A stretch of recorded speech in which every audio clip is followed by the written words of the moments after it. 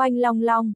Sơn băng địa liệt, tiếng nổ thật lớn truyền ra, cả ngọn núi đều sụp đổ, những ngọn núi xung quanh bị lan tới đều nứt vỡ đổ sụp xuống. Thật mạnh. Những người đang chiến đấu kịch liệt nhìn thấy một màn này không khỏi khựng lại. Thiểm điện, quy nhất, liệt không vừa nhìn thấy kim ảnh cùng bạch ảnh xuất hiện thân ảnh thoáng khựng lại, ngay sau đó lại chứng kiến long ảnh bị nện vào dưới núi, khuôn mặt rung động. Một màn đột nhiên xuất hiện khiến ánh mắt người độc cô ra cùng bắc cung ra không khỏi co rụt lại, đặc biệt là kim ảnh chỉ dùng một quyền đã nện long ảnh rơi xuống núi, trong lòng vô cùng kinh hãi. Tiểu Long. Lục tâm đồng nhìn thấy kim ảnh liền vui mừng hô. Tâm đồng, người không sao chứ? Giữa không trung, kim ảnh thu liễm quang mang, đi tới bên cạnh lục tâm đồng, chính là Tiểu Long. Ta không sao. Lục tâm đồng lộ ra ý cười, lập tức ra vẻ tức giận nói. Người đó, sao hiện tại mới tới, còn tới trễ một chút sau này ngươi sẽ không thấy được ta. Ta vừa nghe nói mọi người ở cổ vực, thì lập tức chạy tới thôi. Tiểu Long có chút ủy khuất nói. Mau đi xem ca ca đi. Lục tâm đồng đột nhiên nhớ tới đại ca, vừa nhìn qua liền thấy bạch ảnh bên cạnh ca ca. Bạch Linh tỷ, yên tâm, chúng tôi đều đã tới. Thân ảnh Tiểu Long chợt lóe, mang theo lục tâm đồng đi tới bên người lục lâm thiên. Tiểu Long, nhìn thấy thiếu niên, trong lòng lục lâm thiên vui mừng, khí huyết sôi trào liền phun ra máu tươi, đan điền khí hải càng cuồn cuộn kịch liệt, không cách nào bình tĩnh trở lại. Di, đan điền khí hải trao đảo, sau khi lục lâm thiên phun máu tươi, sắc mặt lập tức kinh dị. Tiểu Long, Bạch Linh tỷ, ba người dương quá, độc cô cảnh văn cùng Bắc Cung vô song đang kịch chiến, nhìn thấy Tiểu Long, lập tức mừng rỡ, vừa rồi nhìn thấy Tiểu Long cùng Bạch Linh đều có thể đối kháng chuẩn đế. Có hai người tới, áp lực của ba người họ giảm nhiều, ra tay càng thêm sắc bén, tuy dương quá luôn phun máu, nhưng có xu thế càng đánh càng hăng, nhờ vào chấn thiên trong tay hơn nữa có không gian của thời gian cùng thổ hệ dung hợp, tuy hóa hổ chiếm cứ thượng phong nhưng nhất thời cũng không làm gì được dương quá. Sinh sinh bất tức, Bắc cung vô song hét lớn một tiếng, thủ ấn biến hóa, trong mắt tràn ngập lục sắc quang mang, đột nhiên trước người hiện ra đạo lục sắc quang quyển, bao phủ khắp cả không gian. Chu hồn bị không gian sinh sinh bất tức bao vây, vừa rồi còn chiếm cứ thượng phong tuyệt đối nhưng nhất thời đã không còn ưu thế, sắc mặt khó xem, linh lực cấp tốc tiêu hao, làm cho hắn có cảm giác sinh cơ không ngừng trôi qua. Một hoàng khí của thần nữ đã siêu việt thiên cấp A. Người Bắc cung ra khiếp sợ, bị áp chế cả người run rẩy. Phanh phanh phanh. Lão đại, người thế nào? Tiểu Long đi tới bên người Lục Lâm Thiên, nhìn thấy lão đại trọng thương, ánh mắt vô cùng lo lắng. Tiểu Long, người tới vừa lúc, thay lão đại hộ pháp một lát, một lát là tốt rồi. Đan điền khí hải không ngừng trao đảo, ánh mắt kinh dị của Lục Lâm Thiên đổi thành sợ hãi lẫn vui mừng. Được, không thành vấn đề, hết thảy có ta. Tiểu Long gật đầu. Là ai đã tới, chuyện của thiên địa minh đừng nhúng tay tốt hơn. Thiểm điện phục hồi tinh thần hét lớn một tiếng, lập tức cảm giác hai người vừa tới không dễ chọc, khí tức trên thân không phải yêu thú bình thường. Thiên địa minh tạp toái, Tiểu Long ra nói cho các người biết, đám tạp toái các người cần xui xẻo. Trong mắt lộ sát ý, thanh âm cuồn cuộn truyền ra, trong lòng Tiểu Long vô cùng tức giận, người bị vây công đều là người thân nhất của hắn. Thiểm điện, nhiệt xúc kia hẳn là yêu thú quỷ dị luôn đi cạnh lục lâm thiên. Bên dưới đống đá vụn đổ nát, toàn thân long ảnh loang lổ vết máu lao lên giữa không trung, một quyền của tiểu long làm bà ta bị trọng thương, ánh mắt nhìn tiểu long vừa sợ lẫn tức giận còn kinh hoàng. Nguyên lai là một con nghiệt xúc mà thôi, ta ngăn lại, các người mau giết lục lâm thiên. Liệt không tức giận quát, chân dẫm hư không, thân ảnh hóa thành bạch quang lao tới. Dám đỡ upsilon.ng tới người của ta, chết. Một thanh âm yêu kiều băng xương tràn ngập sát ý truyền ra, cả không gian như bị động lại, trong tích tắc khi liệt không mới xuất hiện trước người tiểu long, không gian ba văn trước mặt tiểu long chợt nhoáng lên, một thân ảnh xinh đẹp vượt qua khe không gian bước ra. Đó là một đạo thanh ảnh uyển chuyển, một cỗ uy áp buông xuống, dưới uy áp cả thiên địa đều run lên, linh hồn không khỏi chấn động. Ai dám ngăn ta? Liệt không phất tay đánh ra chảo ấn và chạm thẳng vào thanh ảnh kia. Két! Chuẩn đế thì thế nào, cút ngay. Chỉ thấy thanh ảnh vung tay, không gian run lên, nhất thời gió dục mây vần. Ngao! Một tiếng long ngâm thật lớn vang vọng bầu trời, trong tay thanh ảnh bay ra một đạo thanh sắc lưu quang, nháy mắt hóa thành ngũ trảo thanh long rít gào bay tới, long uy lan tràn như vật còn sống. Hư ảnh thanh long vừa ra, cả không gian đều rung động, thậm chí Kim Huyền cũng phải nhìn qua, khí thức kia làm hắn bị ảnh hưởng không ít, trong lòng liền biết người vừa tới là ai. Chỉ nháy mắt hư ảnh thanh long va chạm vào chảo ấn, cũng không nghe thanh âm tiếng nổ tung kinh thiên động địa như trong tưởng tượng. Chỉ thấy chảo ấn tản ra hào quang chói mắt, không gian động sâu liền xuất hiện. Đặng đặng, năng lượng lập tức bị hút vào trong động sâu biến mất, dư kình tràn vào thân thể liệt không, khiến cho hắn lảo đảo thối lui hơn 10 bước, mỗi bước đều đạp vỡ không gian, sắc mặt càng thêm tái nhợt, khóe môi tràn vết máu. Linh thú chuẩn đế, đây là linh thú chuẩn đế. Đám người liệt không kinh ngạc hô.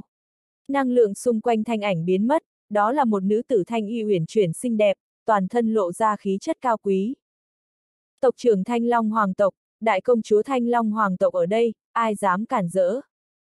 Xa giữa không trung vang lên tiếng rít gào cuồn cuộn truyền tới, hơn 10 thân ảnh xuất hiện, linh hoàng khí lan tràn khắp không gian.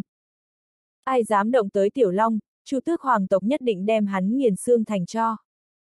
Ai động Tiểu Long, Bạch Hổ hoàng tộc nhất định đem hắn xé thành mảnh nhỏ. Sóng âm cuồn cuộn rơi xuống, một đạo bạch ảnh cùng xích ảnh rơi xuống bên cạnh Tiểu Long, linh hoàng khí Chu tước cùng yêu hoàng khí Bạch Hổ lan tràn, không gian trao đảo không ngớt, chính là Chu Thần Hy cùng Hổ Y. Trong chớp mắt nhìn thấy không trung xuất hiện hơn 10 thân ảnh, 12 chuẩn đế càng thêm kinh ngạc. Thanh Long Hoàng tộc, Chu Tước Hoàng tộc, Bạch Hổ Hoàng tộc, những lời này vừa truyền ra, mọi người đều biết đại biểu cho điều gì, tâm tình người thiên địa minh càng có thể nghĩ. Trời ạ, người của ba đại thú hoàng tộc đều đã tới. Lục Lâm Thiên là ai, sao ba đại thú hoàng tộc đều tới tương trợ? Xa xa chân trời, vô số ánh mắt nhìn chăm chú vào không gian hôn ám phía trước, nghe tiếng hét lớn truyền ra, không khỏi nghẹn họng nhìn chân chối. Ngay trong ánh mắt kinh ngạc của mọi người, ở viễn không xa xa xuất hiện không ít điểm đen bay tới. Thiên địa minh ám toán phi linh môn, huyền vũ hoàng tộc đặc biệt tới tương trợ. Một tiếng quát thật lớn truyền ra, sóng âm cuồn cuộn khắp không trung. Trời ạ, ngay cả huyền vũ hoàng tộc cũng tới. Là thật hay giả vậy, tứ đại thú hoàng tộc đều tới đông đủ. Tử Yên cùng Lam Thập Tam đưa mắt nhìn nhau, ánh mắt không ngừng biến hóa. Bên trong càn khôn thiên nguyệt đại trận, tiếng quát vang vọng chân trời, gần 50 thân ảnh lao vào trong trận, lăng không đứng thẳng, yêu hoàng khí huyền vũ hoàng tộc lan tràn, không gian gió dục mây vần. Phía trước có bốn người lăng không mà đứng, khí thế càng thêm ngút trời. Người đứng đầu thân hình hùng vĩ, thân mặc hắc bào, khoảng 40 tuổi, bộ dáng tuấn lãng, người này vừa xuất hiện thiên địa năng lượng hội tụ, khí thế bàng bạc. Người thứ hai là Lam Bào Nam Tử, thân hình cao ngất khôi ngô, 28-29 tuổi, khí chất bất phàm, trên người có khí thế hoàng giả, ánh mắt sáng như sao. Bên cạnh hắn là một lam y nữ tử, thân thể nóng bỏng tuyệt đẹp, hấp dẫn tới trí mạng.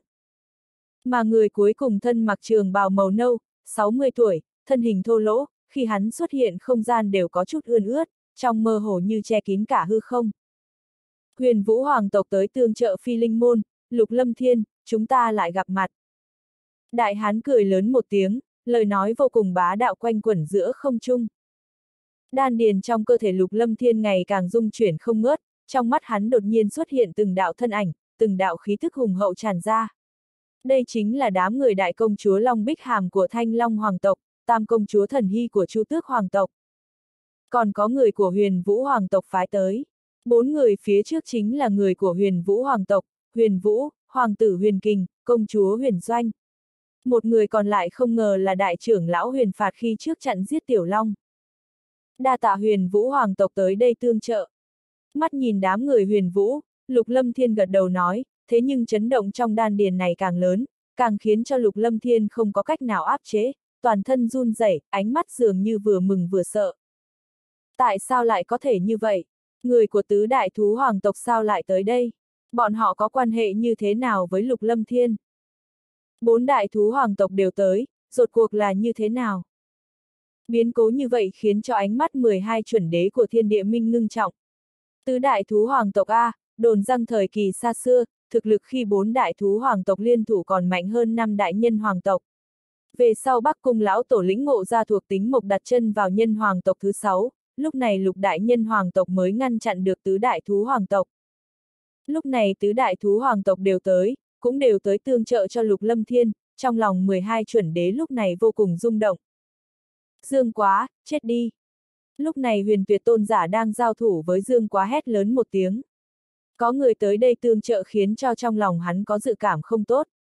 Tiên hạ thủ vi cường, thừa dịp Dương quá đang đau khổ chống đỡ, hung hăng chụp một trưởng về phía trước. Không gian chung quanh trưởng ấn vặn vẹo. Ông! Chấn thiên trong tay Dương quá kêu ông ông một tiếng, một đạo kiếm quang bắn ra, xé rách không gian bổ về phía trên trưởng ấn của huyền tuyệt tôn giả trường ấn của huyền tuyệt tôn giả bắt đầu giãn nứt. Siêu!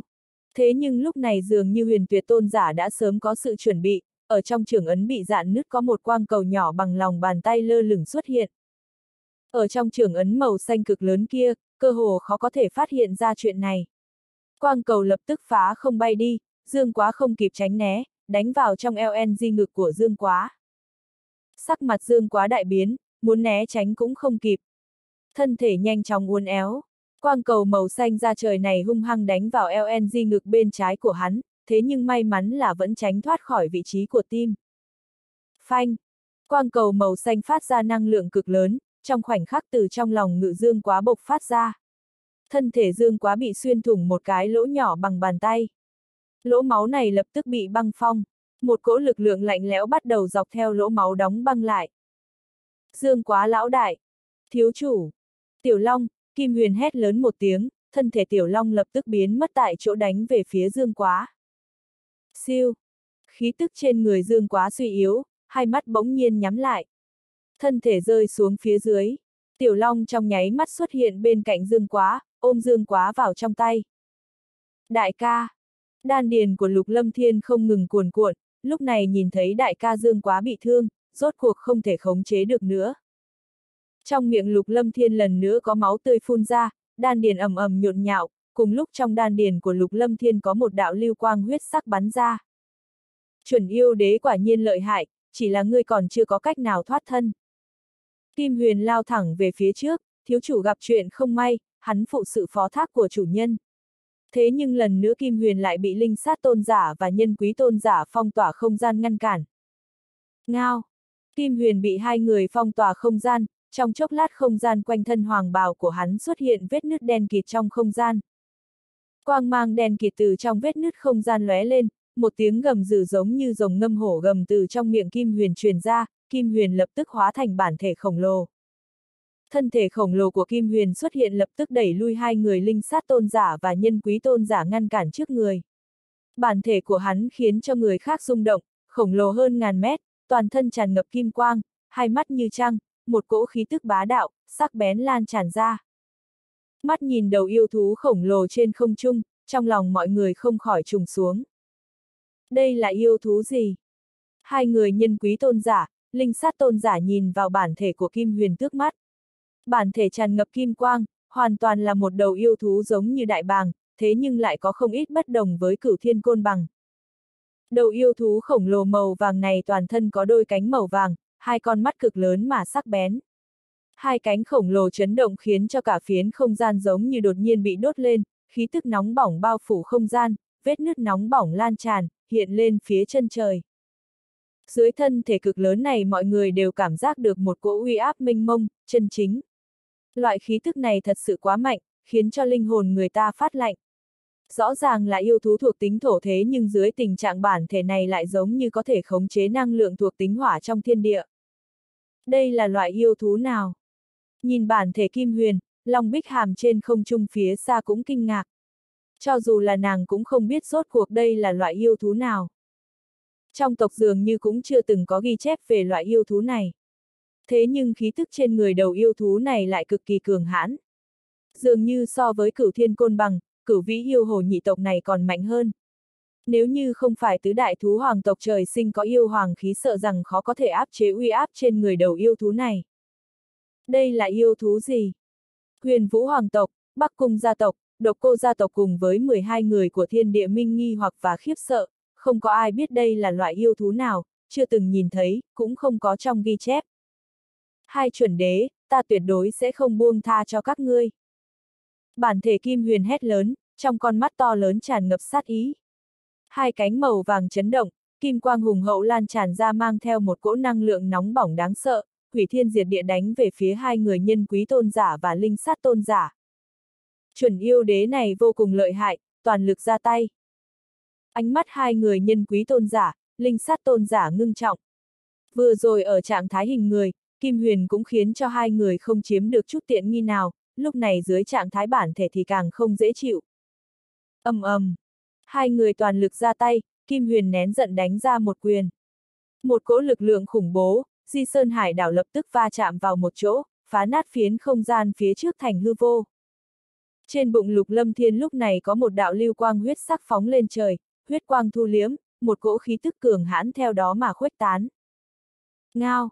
Một tiếng đao minh giống như rồng ngâm quanh quẩn giữa không trung.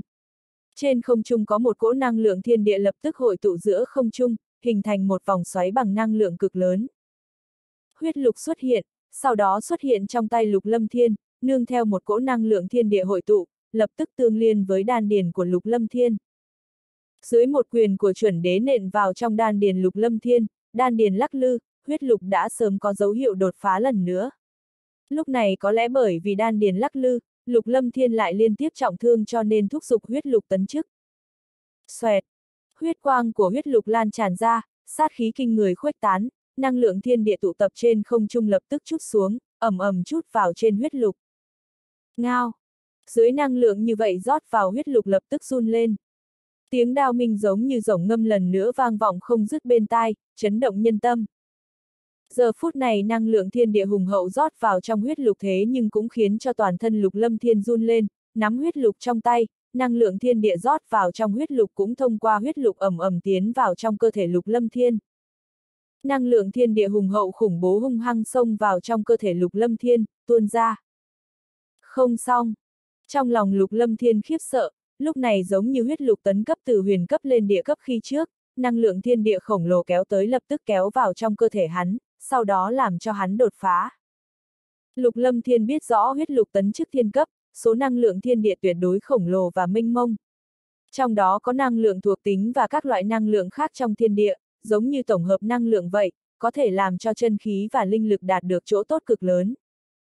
Đột phá vốn là chuyện tốt, thế nhưng hiện tại Lục Lâm Thiên lại không dám đột phá chút nào, cấp độ linh lực đột phá là chuyện tốt, thế nhưng cấp độ vũ giả của hắn hiện tại đã là vũ tôn cửu trọng đỉnh phong, nếu như đột phá, vạn nhất thành đế thì thảm rồi. Âm dương linh vũ quyết phải đồng thời đột phá mới được, đột phá vũ giả, Lục Lâm Thiên cũng không có lá gan này. Bởi vậy năng lượng hùng hậu trong thiên địa thông qua huyết lục rót vào, Lục Lâm Thiên muốn thoát khỏi huyết lục, thế nhưng cũng giống như lần trước, huyết lục này dính vào trong tay Lục Lâm Thiên, làm cho Lục Lâm Thiên không thể nào thoát khỏi huyết lục.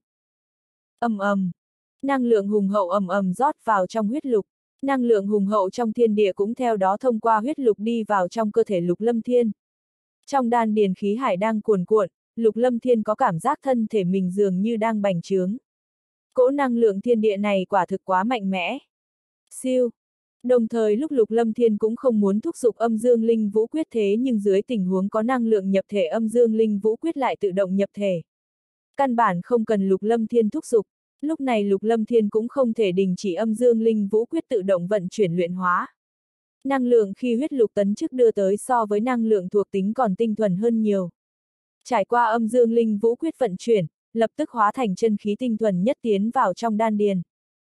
Cùng lúc cũng có một cỗ năng lượng hóa thành linh lực tiến vào không gian trong đầu hắn. Trong nháy mắt, thấy động tĩnh quỷ dị của Lục Lâm Thiên lập tức thu hút vô số ánh mắt kinh ngạc. Tiểu Long, đại ca thế nào rồi? Lục Tâm Đồng đi tới bên cạnh Tiểu Long, nhìn qua thân thể đại ca bị băng phong từ LNG ngực, sắc mặt đại biến. Nàng có thể cảm giác ra được khí tức trong người đại ca càng ngày càng yếu. Rất nghiêm trọng. Ánh mắt Tiểu Long lúc này cũng ngưng trọng, thương thế của Dương quá lão đại quá nghiêm trọng. Siêu. Huyền tuyệt tôn giả thu thủ ấn lại, quang cầu vừa mới đỡ Upsilon, C một lỗ máu trên LNG ngực Dương quá được thu lại cơ thể, ánh mắt lạnh lẽo, nở nụ cười lạnh. Bị huyền tuyệt băng hải châu của hắn đánh trúng, Dương quá này chết chắc rồi. Trong lúc huyền tuyệt tôn giả cười lạnh, ánh mắt mang theo sự nghi hoặc nhìn về phía trước. Hắn cảm giác được có một cỗ lực lượng kinh khủng đang tăng cường, lực lượng này khiến cho tim hắn bắt đầu đập nhanh. Ông ông! Ngay dưới ánh mắt của huyền tuyệt tôn giả, hắn nhìn thấy thanh kiếm màu vàng quái dị của Dương Quá kêu ông ông một tiếng, tiếng kiếm minh giống như tiếng sấm sét vang vọng giống như rít gào mang theo sự giận dữ, thậm chí còn có sát khí lan tràn ra. Trong sát na, thanh kiếm rộng bản màu vàng này giống như có linh trí của chính mình, rung rung trên không trung. Mũi kiếm chỉ trời xanh, thân kiếm rung rung tựa như sống lại. Kim quang trên thân kiếm rộng bản màu vàng bắn tứ phía, giống như mặt trời lên cao. Khí thế kinh người tràn ngập thiên địa, chấn thiên nổ vang, trên mũi kiếm lập tức có một cỗ khí tức minh mông lan tràn ra. Cả không trung gió nổi mây phun, thậm chí còn mang theo tiếng sấm sét. Kiếm thật mạnh, đây là linh khí gì? Sợ rằng ngay cả thần khí bình thường cũng không có uy áp như vậy a. À. Biến hóa của thanh kiếm rộng bản màu vàng này khiến cho mọi người khiếp sợ. Cỗ khí thức uy áp này khiến cho tất cả mọi người trong mấy đại hoàng tộc cũng chịu uy áp. Ông, huyền tuyệt tôn giả cũng kinh ngạc, hắn có thể cảm giác được trên thân kiếm quỷ dị màu vàng này có một cỗ sát khí ngập trời bao phủ lấy hắn. Cỗ sát khí này khiến cho tim hắn đập nhanh hơn. Trong nháy mắt, khi tim hắn đang đập nhanh thì đồng tử đột nhiên co rút lại. Hắn nhìn thấy thanh kiếm rộng bản màu vàng kia lướt tới, phá không bổ về phía hắn. Dưới một kiếm này sát ý ngập trời đều bao phủ trên người hắn. Đi! Ánh mắt huyền tuyệt tôn giả hoảng hốt, trong lúc đó chân khí thuộc tính thủy phô thiên cái địa rót vào trong huyền tuyệt băng Hải Châu, sau đó ném huyền tuyệt băng Hải Châu trong tay ra ngoài. Ken két! Một cỗ khí thức lạnh lẽo kinh khủng lan tràn, lập tức băng phong không gian to lớn trước mắt. Khí tức lạnh lẽo khiến cho người ta có cảm giác giống như rơi vào hầm băng, tầng tầng lớp lớp băng xương lan tràn, khuếch tán. Không gian bị băng phong, không gian trước người huyền tuyệt tôn giả lập tức bị hàn băng dày đặc ngăn cản. Phanh! Cũng trong nháy mắt này thanh kiếm rộng bản màu vàng bổ vào trong không gian bị hàn băng bao phủ. Một mảnh hàn băng dưới kiếm quang lập tức bị cắt đứt giống như đậu hũ. Siêu! Một đạo kiếm quang từ trong thanh kiếm rộng bản màu vàng bắn ra. Dễ dàng cắt vỡ không gian bị băng phong, dùng xu thế như sám xét đánh tới trước mặt huyền tuyệt tôn giả. Huyền tuyệt tôn giả hoảng hốt, cấp tốc bố trí một kiện khải giáp bằng linh khí màu xanh, sau đó quay đầu xé rách không gian để chạy trốn. Dưới một kiếm này hắn có cảm giác có sát ý cực lớn, trong lòng tim càng đập nhanh hơn, cảm giác này là thứ mà hắn chưa bao giờ nhận thấy. Chỉ là huyền tuyệt tôn giả vừa mới xoay người xé rách không gian thì trong nháy mắt đạo kiếm quang màu vàng kia đã bắn tới người hắn. Đao mang dễ như trở bàn tay cắt vỡ khải giáp hộ thân của hắn. Từ đỉnh đầu tới chân, thân thể bị một đao chém thành hai nửa, không có một chút dư lực nào chạy trốn, thậm chí ngay cả hồn anh cũng chưa kịp chạy ra. Máu tươi của huyền tuyệt tôn giả rơi xuống, thân thể hóa thành mảnh vỡ. Một màn này rung động toàn trường. Hít! Mọi người có mặt ở đây đều hít sâu một ngụm khí lạnh, huyền tuyệt tôn giả là cường giả chuẩn đế, thế nhưng không ngờ lại bị một thanh kiếm tự chủ đánh chết. Một màn quái dị như vậy khiến cho cơ hồ tất cả mọi người nghẹn họng nhìn chân chối. Siêu! Sau khi đánh chết huyền tuyệt tôn giả, Trấn Thiên lập tức xoay vòng chung quanh thân thể huyền tuyệt tôn giả hóa thành huyết phụ, sau đó hóa thành một đạo quang mang trở lại trong cơ thể dương quá. Trấn Thiên tiến vào trong cơ thể dương quá, xu thế đóng băng của thân thể dương quá lập tức bị khống chế. Một cỗ quang mang màu vàng nhàn nhạt từ trong cơ thể dương quá lan tràn ra. Dần dần đem khí tức lạnh lẽo trong cơ thể dương quá khu trừ. Huyền tuyệt tôn giả chết rồi. Không ngờ huyền tuyệt tôn giả lại vẫn lạc. 11 người thiên địa minh còn lại lúc này trong lòng không khỏi rung động. Lúc này bọn họ mới chính thức ý thức được sự nghiêm trọng của vấn đề.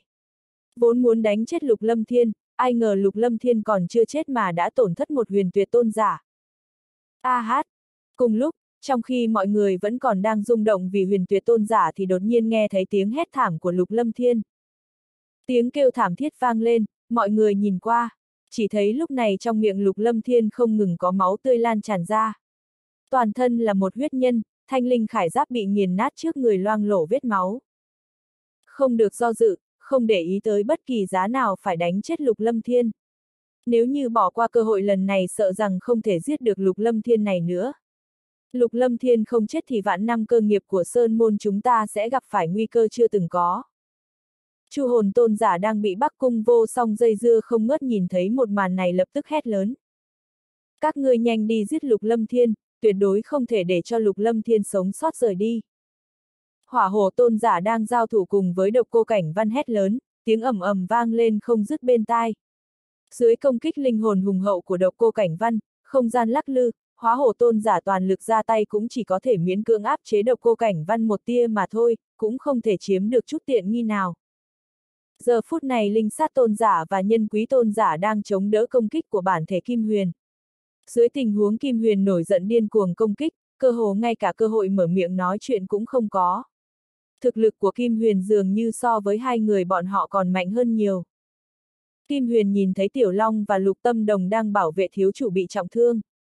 Thiếu chủ bị trọng thương, khí tức suy yếu. Trong lòng Kim Huyền giận dữ, cơ hồ bắt đầu bộc phát. Kim Huyền vỗ cánh, không gian giống như có ngàn vạn hỏa diễm bắn ra. Tăng thêm công kích của yêu nguyên thuộc tính thổ cực kỳ khủng bố và bá đạo khiến cho nhân quý tôn giả và linh sát tôn giả chỉ có thể chạy trối chết, không có sức hoàn thủ. Vì cơ nghiệp vạn năm của tất cả các sơn môn lớn, lục lâm thiên không chết, cơ nghiệp vạn năm của chúng ta sẽ lung lay. Giết! Đám người thiểm điện kiếm tôn, liệt không tôn giả, diệu nhật tôn giả, quy nhất tôn giả, long ảnh tôn giả hét lớn một tiếng, nhìn thấy lục lâm thiên toàn thân là máu đang ở trên không trung, ánh mắt tràn ngập sát ý tới tận cùng. Hai đại nhân hoàng tộc cùng với tứ đại thú hoàng tộc ngày hôm nay đều tới, nếu như ngày hôm nay lục lâm thiên không chết thì tất cả các sơn môn lớn trong thiên địa minh sẽ lâm vào nguy cơ, tên đã lên dây không thể không bắn, bọn họ đã không còn đường lui. Siêu siêu. Năm người cắn răng lần nữa đánh về phía lục lâm thiên. Nhìn thấy tình huống của lục lâm thiên hiện tại, tuy rằng máu tươi đầm đìa, thế nhưng trong lúc mơ hồ lại khiến cho bọn họ cảm thấy bất an. Năm người hóa thành năm đạo lưu quang, mà ngay cả long ảnh tôn giả đang bị trọng thương cùng diệu nhật tôn giả có thương thế không nhẹ cũng không chịu thua kém. Năm người hóa thành năm đạo lưu quang bắn về phía lục lâm thiên. Nhìn năm người tới, đôi mắt xinh đẹp của Bạch Linh nheo lại, một cỗ lưu quang màu trắng quanh thân run run, cả không gian chung quanh đột nhiên hung hăng run rẩy. Quang mang ngày càng chói mắt. Ngao! Tiếp đó một tiếng rít gào giống như sói chu từ trong miệng Bạch Linh mang theo một cỗ uy thế vang lên. Thân thể hóa thành một đầu cửu vĩ yêu hồ, toàn thân trắng như tuyết. Sau lưng có tám cái đuôi vài trăm thước xuyên thấu không gian. Trong tám cái đuôi lớn có một cái đuôi như ẩn như hiện sắp được diễn sinh ra. Thế nhưng còn cực kỳ hư ảo, chưa giống thực chất. Là cửu vĩ thiên hồ bát giai hậu kỳ đỉnh phong. Không ít ánh mắt kinh ngạc, cả không trung chung quanh thú thể cửu vĩ yêu hồ của Bạch Linh gió nổi mây phun. Cả không gian giống như tối lại, uy thế che khuất bầu trời. Cái đuôi lớn lập tức đánh về phía diệu nhật tôn giả. Thần hy, hổ y, giúp tâm đồng bảo vệ dương quá lão đại. Nhìn thấy năm người vây công lão đại, tiểu long hét lớn một tiếng, giao dương quá trong tay cho lục tâm đồng, thân ảnh biến mất tại chỗ. Mẫu thân, giúp con giết bọn họ. Tiểu long nói xong, thân ảnh đã phá không xuất hiện trước mặt một người. Một đạo quyền ấn xé rách không gian không chút do dự đánh về phía trước. Thần Hy cùng với hổ y nghe thầy Tiểu Long phân phó, thân ảnh xinh đẹp của hai người lóe lên, lập tức đi tới bên người lục tâm đồng, để phòng có người thừa cơ ra tay với Dương Quá và lục tâm đồng. Long Bích Hàm đã sớm có chuẩn bị, thân ảnh xinh đẹp lóe lên, lập tức xuất hiện trước mặt liệt không tôn giả, yêu nguyên tuôn ra. Bao phủ liệt không tôn giả vào bên trong, khiến cho liệt không tôn giả không thể thoát khỏi yêu nguyên nửa bước. Siêu! Cùng một lúc, một cỗ yêu hoàng khí hùng hậu lan tràn. Một đạo thân ảnh màu nâu trong sát na xuất hiện trước người thiểm điện kiếm tôn, mang theo hơi nước ngập trời. Khí tức hùng hậu lan tràn, cỗ khí tức này cũng đạt tới chuẩn yêu đế. Chuẩn yêu đế huyền vũ hoàng tộc.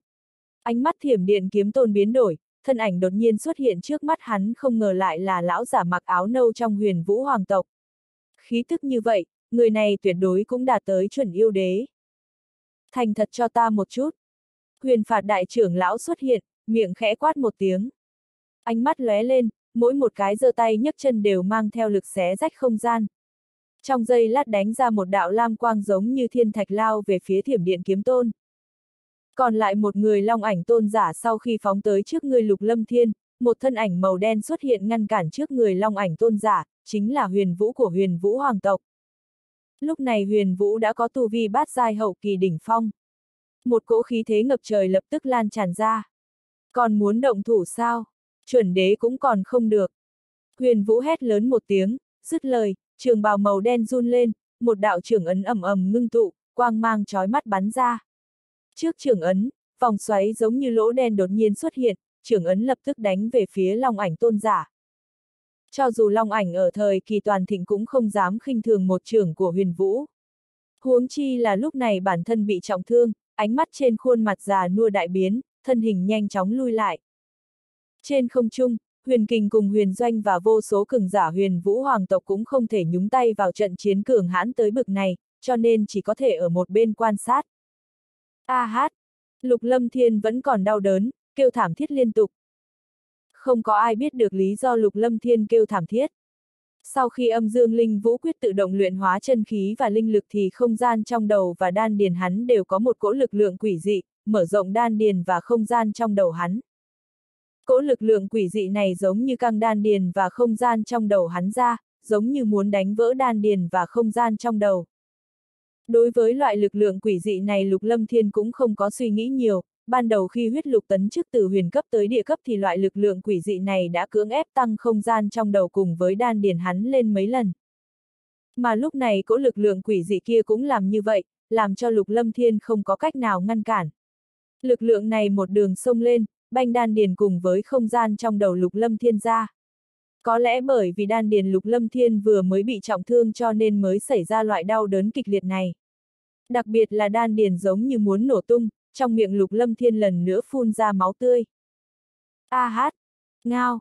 Lục Lâm Thiên kêu thảm, tiếng đao minh giống như rồng ngâm của huyết lục vang lên không ngừng, tăng thêm năng lượng hùng hậu không ngừng rót vào tạo thành cảnh tượng khiến cho trong lòng người ta rung động.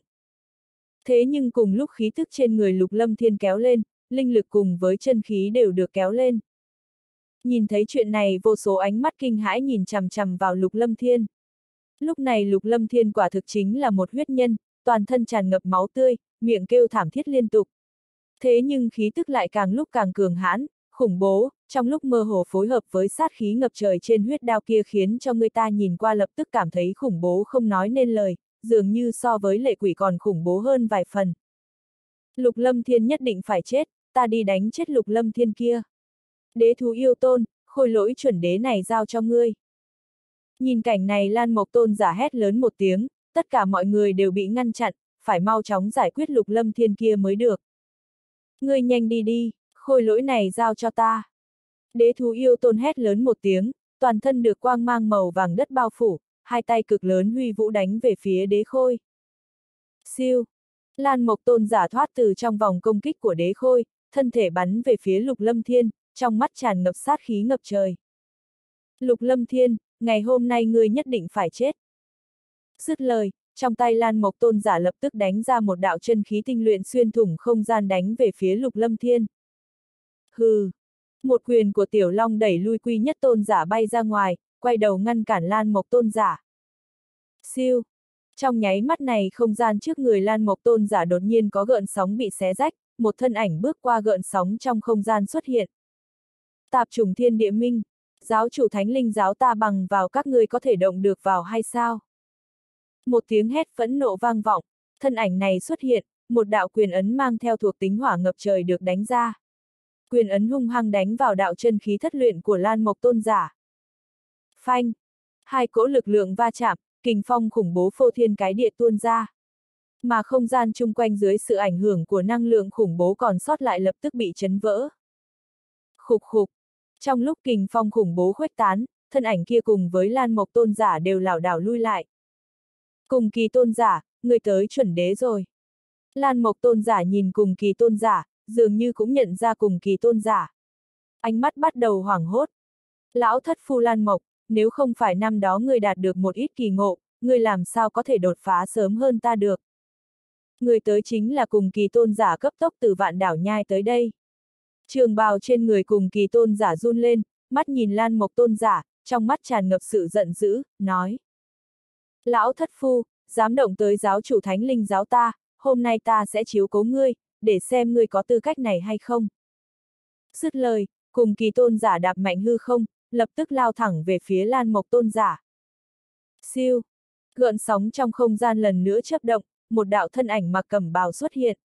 Một cỗ uy áp cực lớn lan tràn. Khổng tước tôn giả xuất hiện giữa không trung. Đôi mắt sáng rõ đảo qua toàn trường, cuối cùng nhìn chăm chú lên trên người lục lâm thiên, trong mắt hiện lên sự nghi hoặc. Lại tới hai chuẩn đế. Đám người đứng ngoài triệt để rung động, cùng kỳ tôn giả và khổng tước tôn giả xuất hiện, khí tức chuẩn đế không có chút thu liễm nào.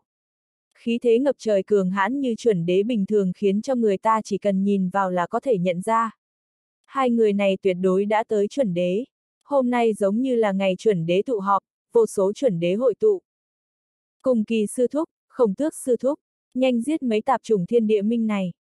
Lục tâm đồng nhìn thấy cùng kỳ tôn giả và khổng Thước tôn giả tới lập tức lớn tiếng nói với cùng kỳ tôn giả và khổng Thước tôn giả. Bản thân nàng bị trọng thương, ca ca không biết thế nào, đại ca cũng bị trọng thương mà hôn mê. Nhà đầu, nhanh ăn vào khỏa đan dược này. Thân ảnh khổng Thước tôn giả lóe lên, nghe vậy lập tức xuất hiện bên người lục tâm đồng, nhét một khỏa đan dược vào trong miệng lục tâm đồng. Lại nhìn lục lâm thiên và dương quá, từng đạo thủ ấn rơi vào trên người dương quá, sắc mặt nghi hoặc, lại nhét vào trong miệng dương quá mấy khỏa đan dược. ầm ầm, thanh âm bạo liệt vang vọng không gian, bản thể khổng lồ của Kim Huyền phóng tới trước mặt linh sát tôn giả, cả không gian tràn ngập nóng bỏng. Dưới cỗ lực lượng mạnh mẽ này linh sát tôn giả bị đánh bay xuống sơn mạch phía dưới. Một cây đại thụ che trời lập tức bị chấn thành mảnh vụn. Phụt! Linh sát tôn giả rơi xuống đất, mặt đất ầm âm dạn nứt. Không ít đại thụ che trời xung quanh đều sụp đổ. Đá vụn bắn tứ tung. Linh sát tôn giả lần nữa nhảy lên không trung, chỉ là lúc này miệng lại phun ra máu tươi. Nhà đầu, người tự bảo vệ mình cho tốt. Thân ảnh khổng tước tôn giả lập tức biến mất tại chỗ, thế nhưng khi thân ảnh xuất hiện đã ở trước mặt linh sát tôn giả, mở miệng nới với Kim Huyền. Người này giao cho ta, các hạ đối phó với lão thất phu nhân quý kia là được rồi. Ngao! Kim Huyền rít gào, ánh mắt run lên, toàn lực công kích về phía nhân quy tôn giả. Hai người nhân quy tôn giả và linh sát tôn giả vây công bản thể Kim Huyền đều liên tiếp bị đẩy lui, chật vật không chịu nổi. Lúc này một mình chống lại Kim Huyền, nhân quý tôn giả lập tức thê thảm, không phải là đối thủ của Kim Huyền, lập tức bị đẩy lui. Thật nhiều trưởng giả, thật nhiều chuẩn đế A. Độc cô gia tộc, Bắc cung gia tộc, tứ đại thú hoàng tộc, thiên địa minh, phi linh môn, thánh linh giáo. Náo nhiệt A. Đại lục biến động rồi, thiên địa minh không ngờ lại xuất động 12 chuẩn để tới giết lục lâm thiên. 12 chuẩn đế của thiên địa minh thì làm sao, không thấy bây giờ đều bị ngăn cản sao. Dường như kẻ bị giết mới là đám người thiên địa minh này. Trên đại lục này đã rất lâu không có nhìn thấy nhiều cường giả chuẩn đế như vậy giao thủ rồi. Thật sự là rung động, không biết lúc nào ta mới có thực lực cường hãn như vậy. Phía chân trời xa xa, trong đám người đông nghịt vây xem, ở phía trước là một ít người có thực lực cao nhất, trong đó thậm chí còn có một ít cường giả tôn cấp đê giai, cùng không ít cường giả vương cấp đang thấp giọng nghị luận, cả đám cực kỳ rung động. Huyết lục khiến cho năng lượng thiên địa rót vào trong cơ thể, khí tức lục lâm thiên tăng vọt. Chỉ là đan điền và không gian trong đầu lần nữa mở rộng cho nên cỗ khí thế này giống như vĩnh viễn không thấy điểm cuối. Đan điền cùng với không gian trong đầu cơ hồ khuếch trương lên gấp mấy lần. Không gian khổng lồ, chỉ sợ nếu như người khác nhìn vào tuyệt đối sẽ kinh hãi. Cũng không biết từ khi nào trong miệng lục lâm thiên không phun ra máu tươi nữa. Đan điền đang lắc lư dưới năng lượng thiên địa hùng hậu hóa thành chân khí rót vào dần dần ổn định. Năng lượng thiên địa rót vào, huyết lục nổ vang không ngớt. Năng lượng thiên địa quanh quẩn, huyết sắc quang mang đại thịnh, sát khí ngút trời lan tràn. Một cỗ khí tức hùng hậu, lạnh lẽo ngày càng nồng đậm lan tràn ra. Mà lúc này theo khí tức trên người huyết lục ngày càng mạnh, không trung chấn động ngày càng kịch liệt. Năng lượng kinh người trong khoảnh khắc chiếm giữ không trung. Chỉ một thoáng mây đen kéo tới, bao phủ không gian. Che đậy mắt trận của càn khôn thiên nguyệt đại trận, ánh sáng trong thiên địa lúc này cũng lu mờ. Cùng lúc, mảnh thiên địa nơi này dường như có thứ gì đó hấp dẫn khiến cho năng lượng khủng bố cùng với mây đen từ bốn phương tám hướng kéo tới.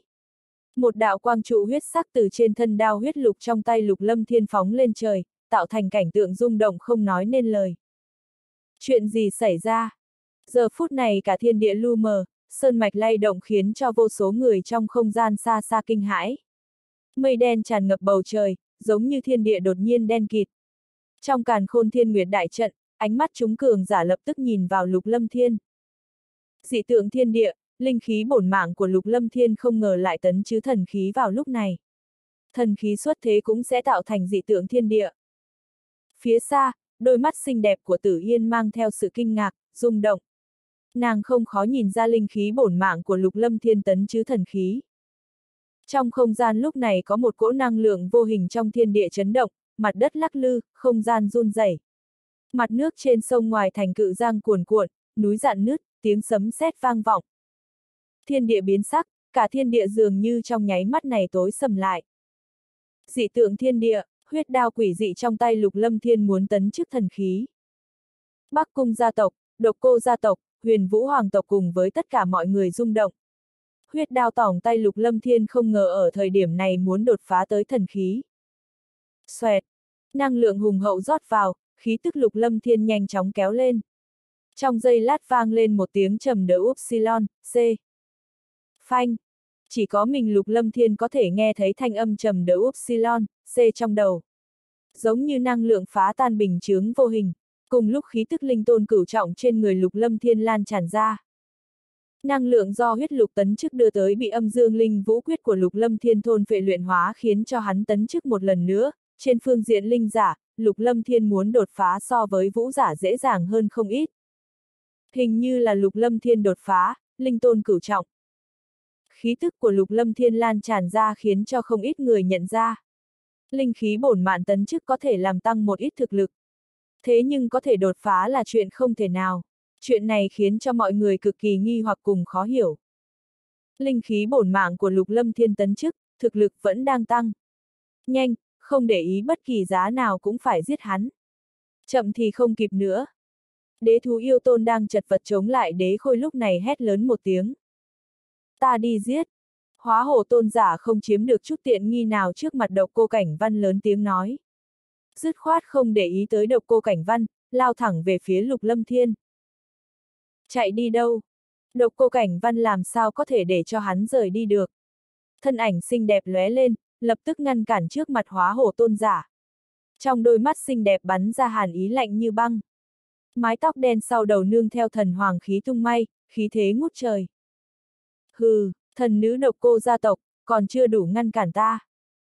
Hóa hổ tôn giả khẽ hừ một tiếng, tuy rằng biết rõ trước mặt hắn là thần nữ độc cô gia tộc, tu vi của hắn là chuẩn đế mà một nha đầu linh tôn cửu trọng đỉnh phong cũng không làm được. Tăng thêm bản thân phải mau chóng đánh chết lục lâm thiên khiến cho hắn triệt để giận dữ. Thủ ấn trong tay hóa hổ tôn giả biến hóa quỷ dị. Chân khí thuộc tính phong trên người phô thiên cái địa tuôn ra, trước người lập tức vang lên tiếng ô ô không ngừng, năng lượng hội tụ. Giống. Chỉ trong nháy mắt trước người hóa hổ tôn giả xuất hiện một đầu cự hổ màu trắng do năng lượng thuộc tính phong cùng với chân khí hội tụ thành.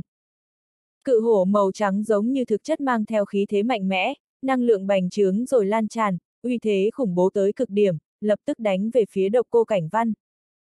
Đoạn hồn thiên diệt trưởng. Bạch hổ kia đá tới, sắc mặt độc cô cảnh văn ngày càng lạnh lẽo. Đồng thời thủ ấn biến hóa, trên người lập tức được bao phủ bởi một kiện hồn linh khải giáp, từng sợi tóc sau lưng bay múa. Tiếp đó trong nháy mắt thần hoàng khí được độc cô cảnh văn thúc dục tới mức tập Encanfeze. Gợn sóng không gian bắn tứ tung. Vô số đạo gợn sóng trong không gian giống như sóng trong biển lời, từng đợt từng đợt cuồng bạo khuếch tán. Xa xa, tất cả mọi người đều cảm giác linh hồn đau đớn. Bên trong gợn sóng trong không gian đang khuếch tán có một cỗ công kích linh hồn cuồng bạo. Năng lượng cuồng bạo tuôn ra, không gian vốn đã lờ mờ nay càng thêm lờ mờ. Sau lưng độc cô cảnh văn gió nổi mây phun, không ngờ lúc này nàng lại thúc giục linh kỹ thiên cấp. Siêu! Trong chớp mắt ngắn ngủi, thủ ấn trong tay độc cô cảnh văn trầm xuống, ở trong năng lượng hùng hậu có một đạo trưởng ấn màu trắng chói mắt ở trong không gian gió nổi mây phun bắn ra. Trưởng ấn trắng như ngọc khiến cho linh hồn người ta phủ phục. Người độc cô gia tộc thì không có cách nào chống cự uy áp linh hồn đến từ huyết mạch. Những người khác thì linh hồn đau đớn, bị thần hoàng khí gây ảnh hưởng. Phanh! trường ấn cực lớn như ngọc vỗ vào trên người đầu cự hổ màu trắng kia. Cự hổ màu trắng vỡ vụn, lực lượng ngập trời khuếch tán. Khục khục. Dưới cỗ lực lượng mạnh mẽ này thân thể mềm mại của độc cô cảnh văn lui lại. Hồn linh khải giáp màu trắng xanh trên người cũng ảm đạm đi một chút, mà lúc này thân thể hóa hổ tôn giả sau khi trì trệ một lát lập tức đánh về phía lục lâm thiên. Hóa hổ tôn giả nóng lòng thoát thân, vừa rồi trong tay độc cô cảnh văn cũng chịu ảnh hưởng, sắc mặt tái nhợt không ít. Sau khi khôi phục lập tức đánh về phía lục lâm thiên. Đồng thời một đạo trưởng ấn chụp vào lục lâm thiên đang thôn phệ năng lượng thiên địa. Ngao! Một tiếng long ngâm vang lên, đại công chúa Long Bích Hàm đang bị liệt không tôn giả đẩy lui đột nhiên khôi phục bản thể thanh long. Bản thể cực lớn hơn ngàn thước, toàn thân có lân phiến màu xanh che đậy, quang mang đại thịnh, dưới bụng là ngũ trảo không ngừng có uy áp lan tràn ra. Linh hoàng khí của thanh long hoàng tộc tuôn ra cùng với một cỗ long uy mạnh mẽ. Siêu! Cơ hồ trong sát na cái đuôi khổng lồ của đại công chúa Long Bích Hàm xuất hiện trước người hóa hồ tôn giả, cái đuôi lớn đánh vỡ không gian đập nát trưởng ấn của hóa hồ tôn giả. Phanh! Kình phong đáng sợ lập tức bộc phát, tiếp đó cái đuôi cực lớn kia đánh vào trên người hóa hồ tôn giả. Lực lượng mạnh mẽ chút cuống, gợn sóng không gian quanh thân hóa hồ tôn giả bị đánh nát, chấn động cực lớn khuếch tán. Phanh! Không có chút phản kháng nào, hóa hồ tôn giả bị quật bay từ trên không trung rơi xuống mặt đất. Hung hăng đập vào trên sơn mạch, mặt đất ầm ầm run rẩy. Ngao! Bản thể thanh long khổng lồ của đại công chúa Long Bích Hàm vặn vẹo mang theo vết nứt đen kịt trong không gian chung quanh, một đạo long chảo mang theo năm vết nứt không gian đen kịt chụp về phía liệt không tôn giả. Liệt không tôn giả biến sắc, lập tức tránh đi. Dưới hình dạng nhân loại của đại công chúa Long Bích Hàm hắn cũng đã không chịu đựng nổi, đã chịu mấy trường. Lúc này đại công chúa Long Bích Hàm lại hóa thành bản thể thanh long. Liệt không tôn giả làm sao có thể chịu được, tuy rằng cùng là cấp độ chuẩn đế thế nhưng vẫn có khác biệt cực lớn. Yêu thú và linh thú bình thường so sánh với nhân loại, nếu như có tu vi đồng cấp thì cũng mạnh hơn vũ giả, linh giả của nhân loại không ít. Mà thanh long hoàng tộc trong đám yêu thú, linh thú tuyệt đối là tồn tại hoàng giả. Yêu thú, linh thú bình thường còn xa mới có thể so sánh được. Thực lực bản thân phối hợp với linh hoàng khí cực kỳ mạnh mẽ. Chân khí thuộc tính phong phô thiên cái địa của liệt không tôn giả tuôn ra, thân thể cấp tốc lùi lại, chật vật tránh khỏi một kích của đại công chúa Long Bích Hàm. Siêu! Chỉ là liệt không tôn giả cũng không nghĩ tới cái đuôi lớn của đại công chúa Long Bích Hàm lại một lần nữa cuồn cuộn đánh tới, từ phía sau hung hăng quất vào trên lưng hắn. Phụt!